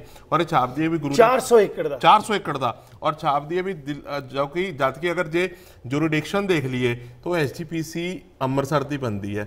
ਲੇਕਿਨ ਕਿਉਂਕਿ ਲੱਖੀ ਸ਼ਾਹ ਵੰਜਾਰੇ ਦੀ ਲੈਂਡ ਦੀ ਕੰਪਨਸੇਸ਼ਨ ਮਿਲੀ ਹੋਈ ਸੀਗੀ ਹੁਣ ਉਹ ਹਰਿਆਣੇ ਜਿਸ ਕਰਕੇ ਐਂਟਰ ਕਰਕੇ ਉਹਦਾ ਠੇਕਾ ਲੈ ਕੇ ਆਂਦੇ ਨਾਲੇ ਛਾਪਦੇ ਨੇ ਵੀ ਗੁਰੂ ਦਾ ਗਰੀਬ ਸਿੱਖ ਸੀਗਾ ਔਰ ਕੋਈ ਹਿਸਟਰੀ ਨਹੀਂ। ਹੋਰ ਇਹਨਾਂ ਦੇ ਮਾਲਚਾ ਮਹਿਲ ਔਰ ਔਰ ਜੇ ਤੁਸੀਂ ਮਤਲਬ ਹਿੰਦੁਸਤਾਨ 'ਚ ਈਵਨ ਮੱਧ ਪ੍ਰਦੇਸ਼ ਦੇ ਵਿੱਚ ਵੀ ਸ- ਜੋ ਲੱਖੀ ਵੰਜਾਰਾ ਝੀਲ ਹੈਗੀ ਹੈ ਉਹ ਲੱਖੀ ਸ਼ਾਹ ਵੰਜਾਰੇ ਨੇ ਤਿਆਰ ਕੀਤੀ ਸੀਗੀ। ਔਰ ਤੁਸੀਂ ਜਿੱਦਾਂ ਹੋਰ ਦੱਸ ਰਹੇ ਸੀ ਕਿ ਮੈਨੂੰ ਵੀ ਇਹ ਜਿਹੜਾ ਰਿਵਾਈਵਲ ਕੀਤਾ ਕੁਝ ਈਵਨ ਪੰਜਾਬ ਗਵਰਨਮੈਂਟ ਦੀ ਵੀ ਥੋੜੀ ਤੁਹਾਨੂੰ ਮੈਂ ਗੱਲ ਦੱਸਣਾ ਚਾਹਾਂਗਾ ਕਿ ਹੋਇਆ ਕੀ ਹੈ ਕਿ ਜਦੋਂ ਅਸੀਂ ਫਤਿਹਗੜ੍ਹ ਸਾਹਿਬ ਤੋਂ ਚੱਲਦੇ ਹਾਂ ਪਹਿਲੇ ਤੇ 10 ਕਿਲੋਮੀਟਰ ਅੰਬਾਲੇ ਤਰਫ ਚੱਲਾਂਗੇ ਸਰਾਏ ਵੰਜਾਰਾ ਆਏਗਾ ਜਿੱਥੇ ਲੱਖੀ ਸ਼ਾਹ ਵੰਜਾਰੇ ਸਰਾ ਮਹਿਲ ਕਿਲਾ ਅੱਜ ਤੱਕ ਕਾਇਮ ਖੜਾ ਹੈ ਔਰ ਅਬਰਡਨਡ ਹੈ nobody is taking care of ਉੱਥੇ ਉਹਨਾਂ ਦਾ ਤਲਾਬ ਵੀ ਹੈ ਜੋ ਛੋਟੀ ਇੱਟ ਤੇ ਚੂਨੇ ਦਾ ਬਣਾਇਆ ਹੈ ਮੈਂ ਦੇਖ ਕੇ ਆਇਆ। ਤੋਂ ਤੋਂ 10 ਕਿਲੋਮੀਟਰ ਹੋਰ ਅੱਗੇ ਆ ਜਾਓ ਤਾਂ ਮੁਗਲ ਸਰਾ ਆਏਗੀ ਜਿਸ ਵਾਰ ਮੌਕਾ ਲੱਗੇ ਤੁਸੀਂ ਦੇਖ ਕੇ ਆਇਆ। ਮੁਗਲ ਸਰਾ ਨੂੰ ਤਾਂ ਰਿਵਾਈਵਲ ਕਰ ਲਿਆ ਔਰ ਪ੍ਰੀਜ਼ਰਵ ਕਰ ਲਿਆ। ਤੇ ਜਿਹੜੀਆਂ ਲੱਖੀ ਸ਼ਾਹ ਵੰਜਾਲੀ ਪ੍ਰਾਪਰਟੀਆਂ ਉਹ ਅੱਜ ਤੱਕ ਪੰਜਾਬ 'ਚ ਵੀ ਅਬੰਡੈਂਟ ਪਈ ਹੋਈ ਹੈ what to talk about in other parts of the country. ਤੇ ਉਸ ਤੋਂ ਬਾਅਦ ਕਈ ਉਹਨਾਂ ਦੀ ਪ੍ਰਾਪਰਟੀਆਂ ਈਵਨ ਹੁਣ ਇਹ ਵੀ ਡਾਕੂਮੈਂਟਰੀ ਐਵੀਡੈਂਸਸ ਮਿਲਨੇ ਸ਼ੁਰੂ ਹੋ ਗਏ ਮੇਰੇ ਪ੍ਰੋਫੈਸਰ ਸਾਹਿਬ ਨਾਲ ਗੱਲ ਹੋ ਰਹੀ ਸੀਗੀ ਕਿ ਹੰਪੀ ਸ਼ਹਿਰ ਦੇ ਵਿੱਚ ਲੱਖੀ ਸ਼ਾਹ ਵੰਜਾਰਾ ਜੋ ਕਰਨਾਟਕਾ 'ਚ ਹੈ ਉੱਥੇ ਲੱਖੀ ਸ਼ਾਹ ਵੰਜਾਰਾ ਭਾਈ ਮੱਖਣ ਸ਼ਾਹ ਲਵਾਨਾ ਦੀ ਮਤਲਬ ਪ੍ਰਾਪਰਟੀ ਸੀਗੀਆਂ ਮਤਲਬ ਲੇਕਿਨ ਅਸੀਂ ਇਹਨਾਂ ਦੀ ਟੋਟਲ ਪ੍ਰਾਪਰਟੀ ਵੀ ਤੱਕ ਨਿਸ਼ਾਨਦੇਹੀ ਵੀ ਨਹੀਂ ਕਰ ਸਕੇ। ਅਸੀਂ ਰਾਜਸਥਾਨ ਜਾਂਦੇ ਆ ਮੈਂ ਰਾਜਸਥਾਨ ਖੁਦ ਜਾ ਕੇ ਹਰ 10 10 12 12 ਕਿਲੋਮੀਟਰ ਤੋਂ ਬਾਅਦ ਇਹਨਾਂ ਦੀਆਂ ਸਰਾਵਾਂ ਨੇ। ਛਤਰੀਆਂ ਕਹਿੰਦੇ। ਛਤਰੀਆਂ ਕਹਿੰਦੇ ਨੇ ਉਹਨਾਂ ਨੂੰ। ਅੱਛਾ ਹਾਂਜੀ। ਲੱਖੀ ਸ਼ਾਹ ਵੰਜਾਰੇ ਦੀ ਔਰ ਛਤਰੀ। ਦੂਸਰੀ ਗੱਲ ਕੀ ਹੈ ਕਿ ਇੱਕ ਖੂਨ ਨੂੰ ਲਾਉਣ ਦੀ ਕੀਮਤ ਲੋਹਗੜ੍ਹ ਦੇ ਨਜ਼ਦੀਕ ਇੰਪੀਰੀਅਲ ਗਜ਼ਟੀਅਰ ਦੇ ਮੁਤਾਬਕ 500 ਰੁਪਏ ਹੈ ਬੈਲਾਂ ਜੋੜੀ 120 ਰੁਪਏ ਹੈ ਏਕੜ ਦੀ ਕੀਮਤ 1 ਰੁਪਏ ਹੈ। ਹੁਣ ਤੁਸੀਂ ਇਹ ਹਿਸਾਬ ਲਾਓ ਕਿ ਜੋ 500 ਅ, ਜੋ 55 ਖੂਹ ਲਾ ਰਿਹਾ ਉਹ ਕਿੱਡਾ ਅਮੀਰ ਆਦਮੀ ਹੋਏਗਾ। ਔਰ ਜੋ ਹੁਣ ਹੋਰ ਹਿਸਟਰੀ ਦੀ ਪੜਚੋਲ ਕੀਤੀ ਗਈ ਤੇ ਪਤਾ ਲੱਗਿਆ ਕਿ ਇਹ ਇਹਨਾਂ ਕੋਲ 50000 ਗੱਡਿਆਂ ਦੇ 4 ਟਾਂਡੇ ਸੀਗੇ 2 ਲੱਖ ਗੱਡੇ ਸੀਗੇ 4.5 ਲੱਖ ਤੋਂ ਵੱਧ ਇਹਨਾਂ ਕੋਲ EMPLOYE ਕੰਮ ਕਰਦਾ ਸੀ। ਔਰ ਈਵਨ ਕਰਨਾਟਕਾ ਵੀ ਮੈਂ ਜਾ ਕੇ ਆਇਆ ਤੇ ਕਰਨਾਟਕਾ ਦੇ ਟਾਂਡਿਆਂ ਦੇ ਵਿੱਚ ਵੀ ਅੱਜ ਤੱਕ ਲੱਖੀ ਸ਼ਾਹ ਵੰਜਾਰੇ ਦਾ ਓਰਲ ਹਿਸਟਰੀ 'ਚ ਬੜੇ ਆਦਰ ਸਨਮਾਨ ਨਾਲ ਨਾਮ ਲਿੱਤਾ ਜਾਂਦਾ। ਮੈਂ ਤੁਹਾਡੇ ਕੋਲ ਸਾਹਿਬ ਪੁੱਛਣਾ ਚਾਹਾਂਗਾ ਕਿ ਹਰਿਆਣਾ ਸਰਕਾਰ ਜਿਹੜੀ ਹੈ ਉਹਦਾ ਕੀ ਰੋਲ ਮਤਲਬ ਰਿਹਾ? ਅਸੀਂ ਹੁਣ ਪਾਣੀ ਪੀ ਪੀ ਕੇ ਦੂਜਿਆਂ ਨੂੰ ਕੋਸਤੇ ਤਾਂ ਹੈ ਹੀ ਹੈ। ਮੈਂ ਸਮਝਦਾ ਕਿ ਸ਼ਾਇਦ ਇੰਨਾ ਕੁਝ ਤੁਸੀਂ ਜਿਹੜਾ ਉਹ ਡਿੱਗ ਕਰਨ ਦੇ ਵਿੱਚ ਜਾਂ ਕੁਝ ਕਾਮਯਾਬੀ ਕਰਨ ਦੇ ਵਿੱਚ ਜਾਂ ਤੁਹਾਨੂੰ ਸਹਿਯੋਗ ਪੋਸਟ ਹੁੰਦੀ ਹੋਈ ਵੀ ਮਿਲਿਆ, ਸ਼ਾਇਦ ਜੇਕਰ ਪੰਜਾਬ ਦੀ ਸਰਕਾਰ ਹੁੰਦੀ ਤੇ ਸ਼ਾਇਦ ਮੇਰਾ ਖਿਆਲ ਉਹ ਨਾ ਮਿਲਦਾ, ਜੇਕਰ ਸਾਂਝਾ ਪੰਜਾਬ ਹੁੰਦਾ। ਸ਼ਾਇਦ ਉਸ ਜਗ੍ਹਾ ਦੇ ਉੱਤੇ ਹਰਿਆਣੇ ਦੀ ਵੱਖਰੀ ਸਰਕਾਰ ਸੀ, ਤਾਂ ਉੱਥੇ ਦੇ ਸਿੱਖਾਂ ਨੂੰ ਵੱਖਰਾ ਸਹਿਯੋਗ ਦਿੱਤਾ ਗਿਆ। ਕੀ ਰੋਲ ਹੈ ਹਰਿਆਣਾ ਗਵਰਨਮੈਂਟ ਦਾ? ਹਰਿਆਣਾ ਸਰਕਾਰ ਨੇ ਨਾ ਕੇਵਲ ਸਾਨੂੰ ਸਟੇਟ ਫੰਕਸ਼ਨ ਦੇ ਕੇ ਸਾਨੂੰ ਇੱਜ਼ਤ ਨਾਲ ਨਵਾਜਿਆ ਬਲਕਿ ਉਹਨਾਂ ਨੇ ਗੁਰੂ ਗੋਬਿੰਦ ਸਿੰਘ ਜੀ ਦੇ ਉੱਥੇ ਪ੍ਰਕਾਸ਼ ਪੁਰਬ 350 ਸਾਲਾਂ ਦੇ ਵੀ ਦੋ ਬਹੁਤ ਵੱਡੇ ਸਮਾਗਮ ਕੀਤੇ। ਪਟਨਾ ਸਾਹਿਬ ਵੀ ਉਹਨਾਂ ਦੋ ਰੇਲ ਗੱਡੀਆਂ ਭੇਜੀਆਂ ਸਿੱਖਾਂ ਦੀਆਂ ਵੀ ਜਾਓ ਉੱਥੇ ਵੀ ਦਰਸ਼ਨ ਕਰਕੇ ਆਓ। ਇਸ ਤੋਂ ਇਲਾਵਾ ਲੋਹਗੜ੍ਹ ਦੇ ਵਿੱਚ ਉਹਨਾਂ ਨੇ ਇੱਕ 150 ਏਕੜ ਦਾ ਮੈਮੋਰੀਅਲ ਅਨਾਉਂਸ ਕੀਤਾ ਹੈ। ਇੱਥੇ ਉਹਨਾਂ ਨੇ ਗੁਰੂ ਗੋਬਿੰਦ ਸਿੰਘ ਮਾਰਗ ਨਾਡਾ ਸਾਹਿਬ ਤੋਂ ਲੈ ਕੇ ਲੋਹਗੜ੍ਹ ਜਿਹੜੀ ਰੋਡ ਜਾ ਰਹੀ ਹੈ, ਉਹਦਾ ਵੀ ਨਾਮਕਰਨ ਕੀਤਾ ਹੈ। ਸ਼ਾਹਬਾਦ ਤੋਂ ਜਿਹੜੀ ਲੋਹਗੜ੍ਹ ਰੋਡ ਜਾ ਰਹੀ ਹੈ, ਉਹਦਾ ਬਾ ਬੰਦਾ ਸਿੰਘ ਬਹਾਦਰ ਲੋਹਗੜ੍ਹ ਮਾਰਗ, ਉਹਦਾ ਵੀ ਨਾਮ ਇਹਨਾਂ ਨੇ ਘੋਸ਼ਿਤ ਕੀਤਾ ਹੈ। ਦੋ ਬਹੁਤ ਵੱਡੇ ਆਇਰਨ ਗੇਟਸ ਦੋ ਦੇ ਵੀ ਮੈਂ ਤਾਂ ਸੁਣਿਆ, ਸ਼ਾਇਦ ਤੀਸਰਾ ਵੀ ਸੈਂਕਸ਼ਨ ਹੋ ਗਿਆ ਹੈ। ਬਾ ਬੰਦਾ ਸਿੰਘ ਬਹਾਦਰ ਦੇ ਬਹੁਤ ਵੱਡੇ ਆਇਰਨ ਗੇਟਸ ਰੋਡਸ ਦੇ ਉੱਪਰ ਐਂਟਰੈਂਸ ਤੇ ਲੱਗ ਰਹੇ ਨੇ।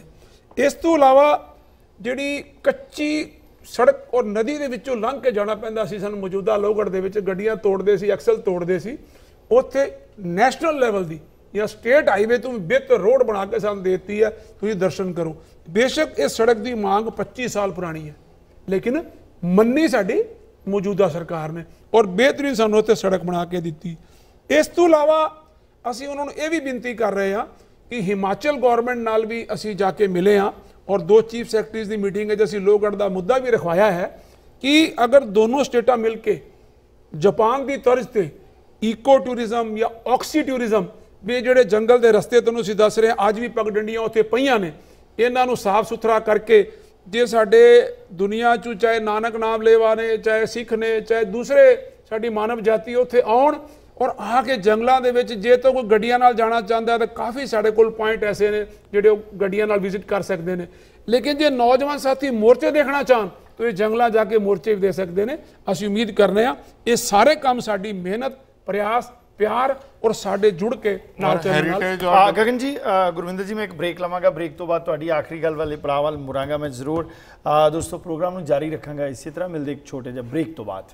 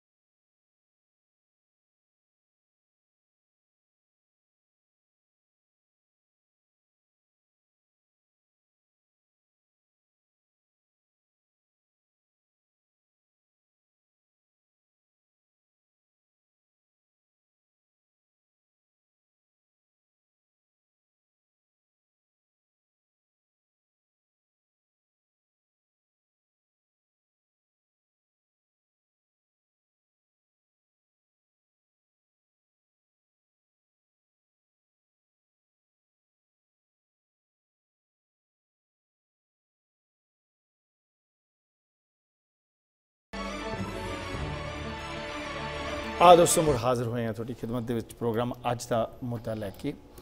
ਆ ਗਗਨਦੀਪ ਜੀ, ਤੁਸੀਂ ਬਹੁਤ ਵੱਡੀ ਮਿਹਨਤ ਦੇ ਨਾਲ ਇਸ ਮੁਕਾਮ ਦੇ ਉੱਤੇ ਪਹੁੰਚੇ ਔਰ ਮੈਂ ਸਮਝਾਂਗਾ ਕਿ ਇਹ ਸ਼ਾਇਦ ਗੁਰੂ ਦੀ ਕਿਰਪਾ ਕਿ ਤੁਹਾਨੂੰ ਇਹ ਸੇਵਾ ਤੁਸੀਂ ਆਪ ਲਈ ਬਹੁਤ ਭਾਰੀ ਔਰ ਬੋਝ ਵਾਲੀ ਸੇਵਾ ਸੀ ਜਿਹੜਾ ਇੱਥੇ ਤੱਕ ਪਹੁੰਚਣਾ। ਅਖੀਰ ਦੇ ਵਿੱਚ ਤੁਸੀਂ ਸਾਡੇ ਵਿਦੇਸ਼ ਦੇ ਵਿੱਚ ਵਸਦੇ ਦਰਸ਼ਕਾਂ ਨੂੰ ਕੀ ਕਹਿਣਾ ਚਾਹੋਗੇ ਆਪਣੇ ਵੱਲੋਂ? ਔਰ ਆਪਣਾ ਜਿੱਥੇ ਜਿੱਥੇ ਤੁਹਾਡਾ ਇਹ ਲੋਕਾਂ ਨੂੰ ਚਾਹੀਦਾ ਹੋਵੇ ਕੋਈ ਗੱਲ ਕਰਨੀ ਜਾਂ ਦੇਖਣਾ ਅੱਜ ਦੀ ਜਨਰੇਸ਼ਨ ਜਿਹੜੀ ਉਹ ਕਿੱਥੇ ਜਾ ਕੇ ਵਿਜ਼ਿਟ ਕਰ ਸਕਦੀ ਹੈ? ਦੇਖੋ ਜੀ ਯਮਨਾ ਨਗਰ ਜਦੋਂ ਆਪਾਂ ਦਿੱਲੀ ਤੋਂ ਚੱਲਦੇ ਹਾਂ ਤੇ ਦਿੱਲੀ ਤੋਂ ਬਾਅਦ ਸਿੱਧਾ ਯਮਨਾ ਨਗਰ ਪਹੁੰਚਦੇ ਹਾਂ। ਯਮਨਾ ਨਗਰ ਲੋਗਰ ਟਰਸਟ ਦਾ ਉੱਥੇ ਆਫਿਸ ਵੀ ਹੈ ਔਰ ਸਾਡਾ ਸੈਕਟਰੀਏਟ ਦੇ ਵਿੱਚ ਵੀ ਮੇਰਾ ਆਫਿਸ ਹੈ 117 ਨੰਬਰ ਕਮਰਾ ਹੈ। ਔਰ ਡਾਇਰੈਕਟ ਸਾਨੂੰ ਵੀ ਅਪਰੋਚ ਕਰੋਗੇ ਅਸੀਂ ਉੱਥੇ ਟੀਮ ਭੇਜ ਦਾਂਗੇ ਜੋ ਕਿ ਤੁਹਾਨੂੰ ਇਹਨਾਂ ਵੈਸਟਰਨਸ ਵਗੈਰਾ ਦਰਸ਼ਨ ਕਰਾ ਸਕਦੇ ਨੇ। ਇਸ ਤੋਂ ਇਲਾਵਾ ਸਾਡੀ ਵੈਬਸਾਈਟ ਹੈ www.logar.com ਜਿਹਦੇ ਵਿੱਚ ਸਾਰੀਆਂ ਡਿਟੇਲਸ ਸਾਰੇ ਟੈਲੀਫੋਨ ਨੰਬਰਸ ਔਰ ਸਾਰੇ ਉੱਥੇ ਪਹੁੰਚਣ ਦੇ ਰਸਤਿਆਂ ਦੀ ਡਿਟੇਲਸ ਵਗੈਰਾ ਵੀ ਦਿੱਤੀਆਂ ਹੈ। ਔਰ ਜੋ ਅੰਦਰ ਅਸੀਂ ਜਾ ਕੇ ਵੀਡੀਓਗ੍ਰਾਫੀ ਫੋਟੋਗ੍ਰਾਫੀ ਕੀਤੀ ਹੈ ਉਹ ਅ, YouTube ਚੈਨਲ ਲੋਗੜ ਖਾਲਸਾ ਰਾਜਧਾਨੀ ਲੋਗੜ ਖਾਲਸਾ ਰਾਜਧਾਨੀ ਪਾਇਆ ਗਿਆ ਹੈ। ਔਰ ਉੱਚ ਜਾ ਕੇ ਬੇਸ਼ੱਕ ਉਹ ਵੀ ਤੁਸੀਂ ਦੇਖ ਸਕਦੇ ਹੋ ਕਿ ਇਹ ਸਾਰਾ ਕੰਮ ਹੋਇਆ ਹੈ। ਔਰ ਇਸ ਤੋਂ ਇਲਾਵਾ ਸਾਡੀਆਂ ਉੱਥੇ ਹੋਰ ਵੀ ਟੀਮਾਂ ਕੰਮ ਕਰਦੀਆਂ ਨੇ। ਜੇ ਕੋਈ ਹੋਰ ਵੀ ਵੀਡੀਓਗ੍ਰਾਫੀ ਜਾਂ ਅੰਦਰ ਦੇਖਣ ਦੇ ਇਛੁਕ ਨੇ ਤੇ ਅਸੀਂ ਨਾਲ ਇੱਕ ਸਪੈਸ਼ਲ ਬੰਦੇ ਵੀ ਭੇਜ ਦਾਂਗੇ ਜੋ ਜਾ ਕੇ ਉਹਨਾਂ ਨੂੰ ਵੈਸਟਰਨਸ ਕੋਈ ਵੈਬਸਾਈਟ ਵੀ ਤਿਆਰ ਕੀਤੀ ਹੋਈ ਹੈ ਲੋਗੜ.com ਠੀਕ ਹੈ। ਲੋਗੜ.com ਉਹਦੇ ਉੱਤੇ ਸਾਰਾ ਮਟੀਰੀਅਲ ਜਿਹੜਾ ਸਾਰਾ ਮਟੀਰੀਅਲ ਅਵੇਲੇਬਲ ਹੈ ਜੀ। ਜੀ ਜੀ। ਸਰ ਗੁਰਵਿੰਦਰ ਸਿੰਘ ਜੀ ਮੈਂ ਇੱਕ ਜ਼ਰੂਰ ਪੁੱਛਣਾ ਚਾਹਾਂਗਾ ਕਿ ਤੁਹਾਡਾ ਯੂ ਐਸ ਏ ਵਿਜ਼ਿਟ ਕਰਨ ਦਾ ਜਿਹੜਾ ਉਹ ਮੇਨ ਮੁੱਖ ਉਦੇਸ਼ ਤੇ ਮਕਸਦ ਕੀ ਹੈ? ਔਰ ਨਾਲ ਦੀ ਨਾਲ ਮੈਂ ਇਹ ਜ਼ਰੂਰ ਪੁੱਛਣਾ ਚਾਹਾਂਗਾ ਕਿ ਮੀਡੀਆ ਤੇ ਸਾਡੇ ਉਸ ਮੁਲਕ ਦੇ ਵਿੱਚ ਵੀ ਹੈਗਾ ਔਰ ਮੀਡੀਆ ਦੇ ਰੂਬਰੂ ਤੁਸੀਂ ਵਿਦੇਸ਼ਾਂ ਦੇ ਵਿੱਚ ਵੀ ਹੋਏ ਹੋ ਉਹਦਾ ਫ਼ਰਕ ਵੀ ਸਾਨੂੰ ਜ਼ਰੂਰ ਦੱਸੋ। ਜ਼ਰੂਰ ਜ਼ਰੂਰ ਜ਼ਰੂਰ। ਬਹੁਤ ਅੱਛਾ। ਦੇਖੋ ਇਹ ਜਿਹੜੀ ਗੱਲ ਤੁਸੀਂ ਪੁੱਛੀ ਹੈ ਕਿ ਯੂ ਐਸ ਏ ਕੀ ਲੈਣ ਹੋ ਤੁਸੀਂ ਬਹੁਤ ਵਧੀਆ ਸਵਾਲ ਪੁੱਛਿਆ। ਇਹ ਮੈਨੂੰ ਨਾ ਉਹ ਦਿਨ ਯਾਦ ਆ ਗਏ ਜਦੋਂ ਅਸੀਂ ਲੋਹਗੜ੍ਹ ਦੇ ਅੰਦਰ ਐਂਟਰੀ ਮਾਰੀ ਖੋਜ ਵਾਸਤੇ ਤੇ ਸਾਨੂੰ ਲੋਕਾਂ ਨੇ ਬੜਾ ਸ਼ਾਨਦਾਰ ਤਗਮਾ ਦਿੱਤਾ ਵੀ ਇੱਕ ਹੋਰ ਟੀਮ ਆ ਗਈ ਏ ਸਿੱਕੇ ਲੱਭਣ ਵਾਸਤੇ। ਹੂੰ। ਤੇ ਇੱਥੇ ਵੀ ਜਦੋਂ ਅਸੀਂ ਪੈਰ ਰੱਖਿਆ ਤੇ ਸਾਨੂੰ ਕਿਸੇ ਕਿਹਾ ਵੀ ਇੱਥੇ ਵੀ ਇੱਕ ਹੋਰ ਟੀਮ ਆ ਗਈ ਏ ਪੇਡਾਂ ਮੁੰਨਣ ਵਾਸਤੇ ਡਾਲਰ ਲੈਣ ਵਾਸਤੇ। ਅਸੀਂ ਬੜੇ ਹੱਸੇ ਅਸੀਂ ਉੱਥੇ ਹੀ ਵੱਟੇ ਲੱਭਣ ਗਏ ਸੀ ਤੇ ਇੱਥੇ ਵੀ ਭਰਾ ਲੱਭਣ ਆਏ ਦੋਨੋਂ ਪਾਸੇ ਸਾਡੇ ਸਿੱਕੇ ਨਹੀਂ ਉੱਥੇ ਪੱਥਰ ਸਨ ਇੱਥੇ ਭਰਾ ਸਨ। ਉੱਥੇ ਪੱਥਰ ਮਿਲੇ ਤੇ ਪਹਾੜ ਮਿਲੇ ਸਾਨੂੰ ਲੋਹਗੜ੍ਹ ਦਾ ਕਿਲਾ ਮੰਗਿਆ ਇੱਥੇ ਭਰਾ ਮੰਗੇ ਤਾਂ ਸਾਨੂੰ ਏਡੀ ਵੱਡੀ ਕੌਮ ਮਿਲ ਗਈ ਜਿਹੜੀ ਸਾਨੂੰ ਮਨ 'ਚ ਬੜੀ ਖੁਸ਼ੀ ਹੈ। ਅਸੀਂ ਉੱਥੇ ਇਹ ਸੋਚ ਕੇ ਆਏ ਸੀ ਕਿ ਅਸੀਂ ਇਹਦਾ ਪ੍ਰਚਾਰ ਉੱਥੇ ਲੋਕਲ ਸ਼ੁਰੂ ਕਰ ਦਿੱਤਾ ਹੈ। ਅਸੀਂ ਉੱਥੇ ਇੱਕ ਬੇਸ ਕੈਂਪ ਵੀ ਬਣਾਉਣਾ ਸ਼ੁਰੂ ਕਰ ਦਿੱਤਾ ਹੈ। 4 ਏਕੜ ਜ਼ਮੀਨ ਜਿੰਨੀ ਕੁ ਸਾਡੀ ਸਮਰੱਥਾ ਸੀ ਸਾਡੀ ਟੀਮ ਦੀ, ਅਸੀਂ ਪ੍ਰਾਈਵੇਟ ਲੈਂਡ 4 ਏਕੜ ਖਰੀਦ ਕੇ ਉੱਥੇ ਮੈਮੋਰੀਅਲ ਹਾਲ ਆਪਣਾ ਲਾਇਬ੍ਰੇਰੀ ਆਪਣਾ ਐਗਜ਼ੀਬਿਸ਼ਨ ਹਾਲ ਡਿਸਪੈਂਸਰੀ ਗੁਰੂ ਘਰ, ਲੰਗਰ ਘਰ, ਯਾਤਰੀ ਨਿਵਾਸ, ਇਹ ਸਭ ਬਣਾ ਰਹੇ ਲੇਕਿਨ ਇੱਥੇ ਆਏਗਾ ਕੌਣ? ਉਹਨਾਂ ਨੂੰ ਵੀ ਤਾਂ ਬੁਲਾਉਣਾ ਜ਼ਰੂਰੀ ਹੈ। ਤੇ ਅਸੀਂ ਇੱਥੇ ਪੂਰੀ ਦੁਨੀਆ ਦੇ ਪ੍ਰਚਾਰ ਵਾਸਤੇ ਨਿਕਲੇ। ਇੱਕ ਹੋਰ ਵੀ ਸਾਡਾ ਵਿਸ਼ੇਸ਼ ਕਾਰਨ ਹੈ। ਨਾ ਕੇਵਲ ਮੈਂ ਤੇ ਗਗਨਦੀਪ ਸਿੰਘ, ਬਲਕਿ ਜਿਹੜੀ ਸਾਡੀ ਸਾਰੀ ਟੀਮ ਹੈ ਉਹ ਇਹ ਸੋਚਦੀ ਹੈ ਸਾਡੀ ਸੋਚ ਔਰ ਸਾਡੀ ਔਕਾਤ ਤੋਂ ਸਾਨੂੰ ਵੱਡੀ ਚੀਜ਼ ਮਿਲੀ ਹੈ ਜੇ ਅਸੀਂ ਕੌਮ ਨੂੰ ਦੇ ਦੇਵਾਂਗੇ ਤੇ ਬੜੀ ਸੋਹਣੀ ਸਾਂਭੀ ਜਾਏਗੀ ਤੇ ਜੇ ਧਿਰਾਂ ਤਰ੍ਹਾਂ ਆਪਣੀ ਜੇਬ ਚ ਪਾਵਾਂਗੇ ਤੇ ਚੀਜ਼ ਵੀ ਮੁੱਕ ਜਾਏਗੀ ਤੇ ਅਸੀਂ ਵੀ ਮੁੱਕ ਜਾਵਾਂਗੇ। ਨਹੀਂ ਤੇ ਹਾਲਾ ਤੇ 400 ਏਕੜ ਵਾਂਗੂ ਲੈ ਕੇ ਆਉਂਦੇ ਬਸ ਬਸ ਬਸ ਬਸ ਬਸ। ਤੇ ਅਸੀਂ ਇੱਥੇ ਸਿਆਟਲ ਗਏ ਆ ਕੈਨੇਡਾ ਵੈਂਕੂਵਰ ਸਰੀ ਗਏ ਆ ਕੈਲੀਫੋਰਨੀਆ ਗਏ ਆ ਨਿਊਯਾਰਕ ਸਟੇਟ ਸਾਰਾ ਗਏ ਆ। ਸਾਨੂੰ ਹਰ ਗੁਰਦੁਆਰੇ ਹਰ ਇੱਥੇ ਵੱਡੇ ਪਤਵੰਤਿਆਂ ਨੇ ਬੜਾ ਮਾਣ ਸਨਮਾਨ ਦਿੱਤਾ। ਹੈ। ਗੁਰਦੁਆਰਿਆਂ ਦੇ ਅੰਦਰ ਜਿੱਥੇ ਜਾ ਕੇ ਅਸੀਂ ਪ੍ਰੈਜੈਂਟੇਸ਼ਨ ਕੀਤੀ ਉਹ ਪ੍ਰੈਜੈਂਟੇਸ਼ਨ ਤੋਂ ਬਾਅਦ ਉਹ ਸੰਗਤਾਂ ਖੜੀਆਂ ਹੋ ਗਈਆਂ ਕਿ ਅਸੀਂ ਲੋਹਗੜ੍ਹ ਵਾਸਤੇ ਕੀ ਕਰ ਸਕਨੇ ਆ ਆ ਫੜੋ ਡਾਲਰ। ਮੈਂ ਕਿਹਾ ਡਾਲਰ ਤਾਂ ਅਸੀਂ ਹੱਥ ਨਹੀਂ ਲਾਣਾ ਨਾ ਅਸੀਂ ਇੱਕ ਡਾਲਰ ਪੂਰੇ ਅਮਰੀਕਾ ਕਿਸੇ ਕੋਲ ਲਿਆ ਤੇ ਜੇ ਕਿਸੇ ਨੂੰ ਲਿਆ ਤੇ ਉਹ ਟੀਵੀ ਤੇ ਸ਼ਰੇਆਮ ਦੱਸ ਸਕਦਾ ਆ ਕੇ ਵੀ ਅਸੀਂ ਕਿਸੇ ਕੋਲ ਇੱਕ ਵੀ ਡਾਲਰ ਫੜਿਆ ਹੋਵੇ। ਅਸੀਂ ਕਿਹਾ ਲੋਹਗੜ੍ਹ ਆਓ। ਅਸੀਂ ਤੈਨੂੰ ਸੱਦਾ ਦੇਣ ਆਇਆ ਨਾ ਕਿ ਡਾਲਰ ਲੈਣ ਆਇਆ ਉੱਥੇ ਆਓ ਕਾਫੀ ਸਾਨੂੰ ਟੀਮਾਂ ਨੇ ਇਹ ਆਸ਼ਵਾਸਨ ਦਵਾਇਆ ਕਿ ਅਸੀਂ ਛੇਤੀ ਵਿਜ਼ਿਟ ਕਰਾਂਗੇ। ਔਰ ਲੋਹਗੜ੍ਹ 'ਚ ਜੋ ਵੱਧ ਤੋਂ ਵੱਧ ਹੋ ਸਕਦਾ ਅਸੀਂ ਕਰਾਂਗੇ। ਰਹੀ ਮੀਡੀਆ ਦੀ ਗੱਲ, ਮੈਂ ਤੁਹਾਡਾ ਦੋ ਕਾਰਨਾਂ ਤੋਂ ਸਵਾਗਤ ਕਰਾਂਗਾ। ਮੀਡੀਆ ਉੱਥੇ ਵੀ ਹੈ, ਮੀਡੀਆ ਇੱਥੇ ਵੀ ਹੈ। ਜੇ ਜਿੰਨਾ ਕਿ ਇੰਡੀਆ ਨਾਲੋਂ ਅਮਰੀਕਾ ਐਡਵਾਂਸ ਹੈ ਬਲੀਵ ਮੀ ਮੀਡੀਆ ਵੀ ਉੱਥੇ ਨਾਲੋਂ ਇੱਥੇ ਇੰਨਾ ਹੀ ਐਡਵਾਂਸ ਹੈ ਮੇਰੇ ਖਿਆਲ ਮੈਂ ਤੁਹਾਨੂੰ ਸਾਰੀ ਗੱਲ ਦੋ ਸ਼ਬਦਾਂ 'ਚ ਕਹਿ। ਸਰ ਗਗਨਦੀਪ ਸਿੰਘ ਜੀ ਔਰ ਸਰ ਗੁਰਮਿੰਦਰ ਸਿੰਘ ਜੀ ਮੈਂ ਤੁਹਾਡਾ ਤਹਿ ਦਿਲੋਂ ਸ਼ੁਕਰਗੁਜ਼ਾਰ ਹਾਂ ਕਿ ਤੁਸੀਂ ਬਹੁਤ ਕੀਮਤੀ ਵਕਤ ਵਿੱਚੋਂ ਸਮਾਂ ਕੱਢ ਕੇ ਸਾਡੇ ਇਸ ਸਟੂਡੀਓ ਦੇ ਵਿੱਚ ਆਏ ਆਉਣ ਵਾਲੇ ਭਵਿੱਖ ਦੇ ਵਿੱਚ ਵੀ ਤੁਸੀਂ ਲੋਹਗੜ੍ਹ ਦੇ ਇਸ ਬਹੁਤ ਵੱਡੇ ਕਨਸੈਪਟ ਲਈ ਲੋਹਗੜ੍ਹ ਦੇ ਇਸ ਬਹੁਤ ਵੱਡੇ ਪ੍ਰੋਜੈਕਟ ਵਾਸਤੇ ਸਾਡੇ ਕੋਲੋਂ ਵਿਦੇਸ਼ ਦੇ ਵਿੱਚ ਕਦੇ ਵੀ ਮੀਡੀਆ ਦੇ ਜ਼ਰੀਏ ਦੇ ਵਿੱਚ ਮਦਦ ਦੀ ਗੱਲ ਕਰੋਗੇ ਤੇ ਅਸੀਂ ਤੁਹਾਡੇ ਤਾਬੇਦਾਰ ਹਾਂ ਔਰ ਤੁਹਾਡੇ ਨਾਲ ਹਰ ਵੇਲੇ ਖੜੇ ਹਾਂ ਔਰ ਇਹਨਾਂ ਸ਼ਬਦਾਂ ਨਾਲ ਮੈਂ ਦੋਸਤਾਂ ਨੂੰ ਗੁਜ਼ਾਰਿਸ਼ ਕਰਾਂਗਾ ਕਿ ਸਾਰੇ ਦੋਸਤ ਮੈਨੂੰ ਕੋਈ ਵੀ ਜਾਣਕਾਰੀ ਲੈਣੀ ਹੋਵੇ ਮੈਨੂੰ ਈਮੇਲ ਕਰ ਸਕਦੇ ਨੇ riyad@justbroadcasting.com ਔਰ info@justbroadcasting.com ਸਰ ਗਗਨਦੀਪ ਸਿੰਘ ਜੀ ਔਰ ਗੁਰਮਿੰਦਰ ਸਿੰਘ ਜੀ ਵਾਹਿਗੁਰੂ ਜੀ ਕਾ ਖਾਲਸਾ ਵਾਹਿਗੁਰੂ ਜੀ ਕੀ ਫਤਿਹ।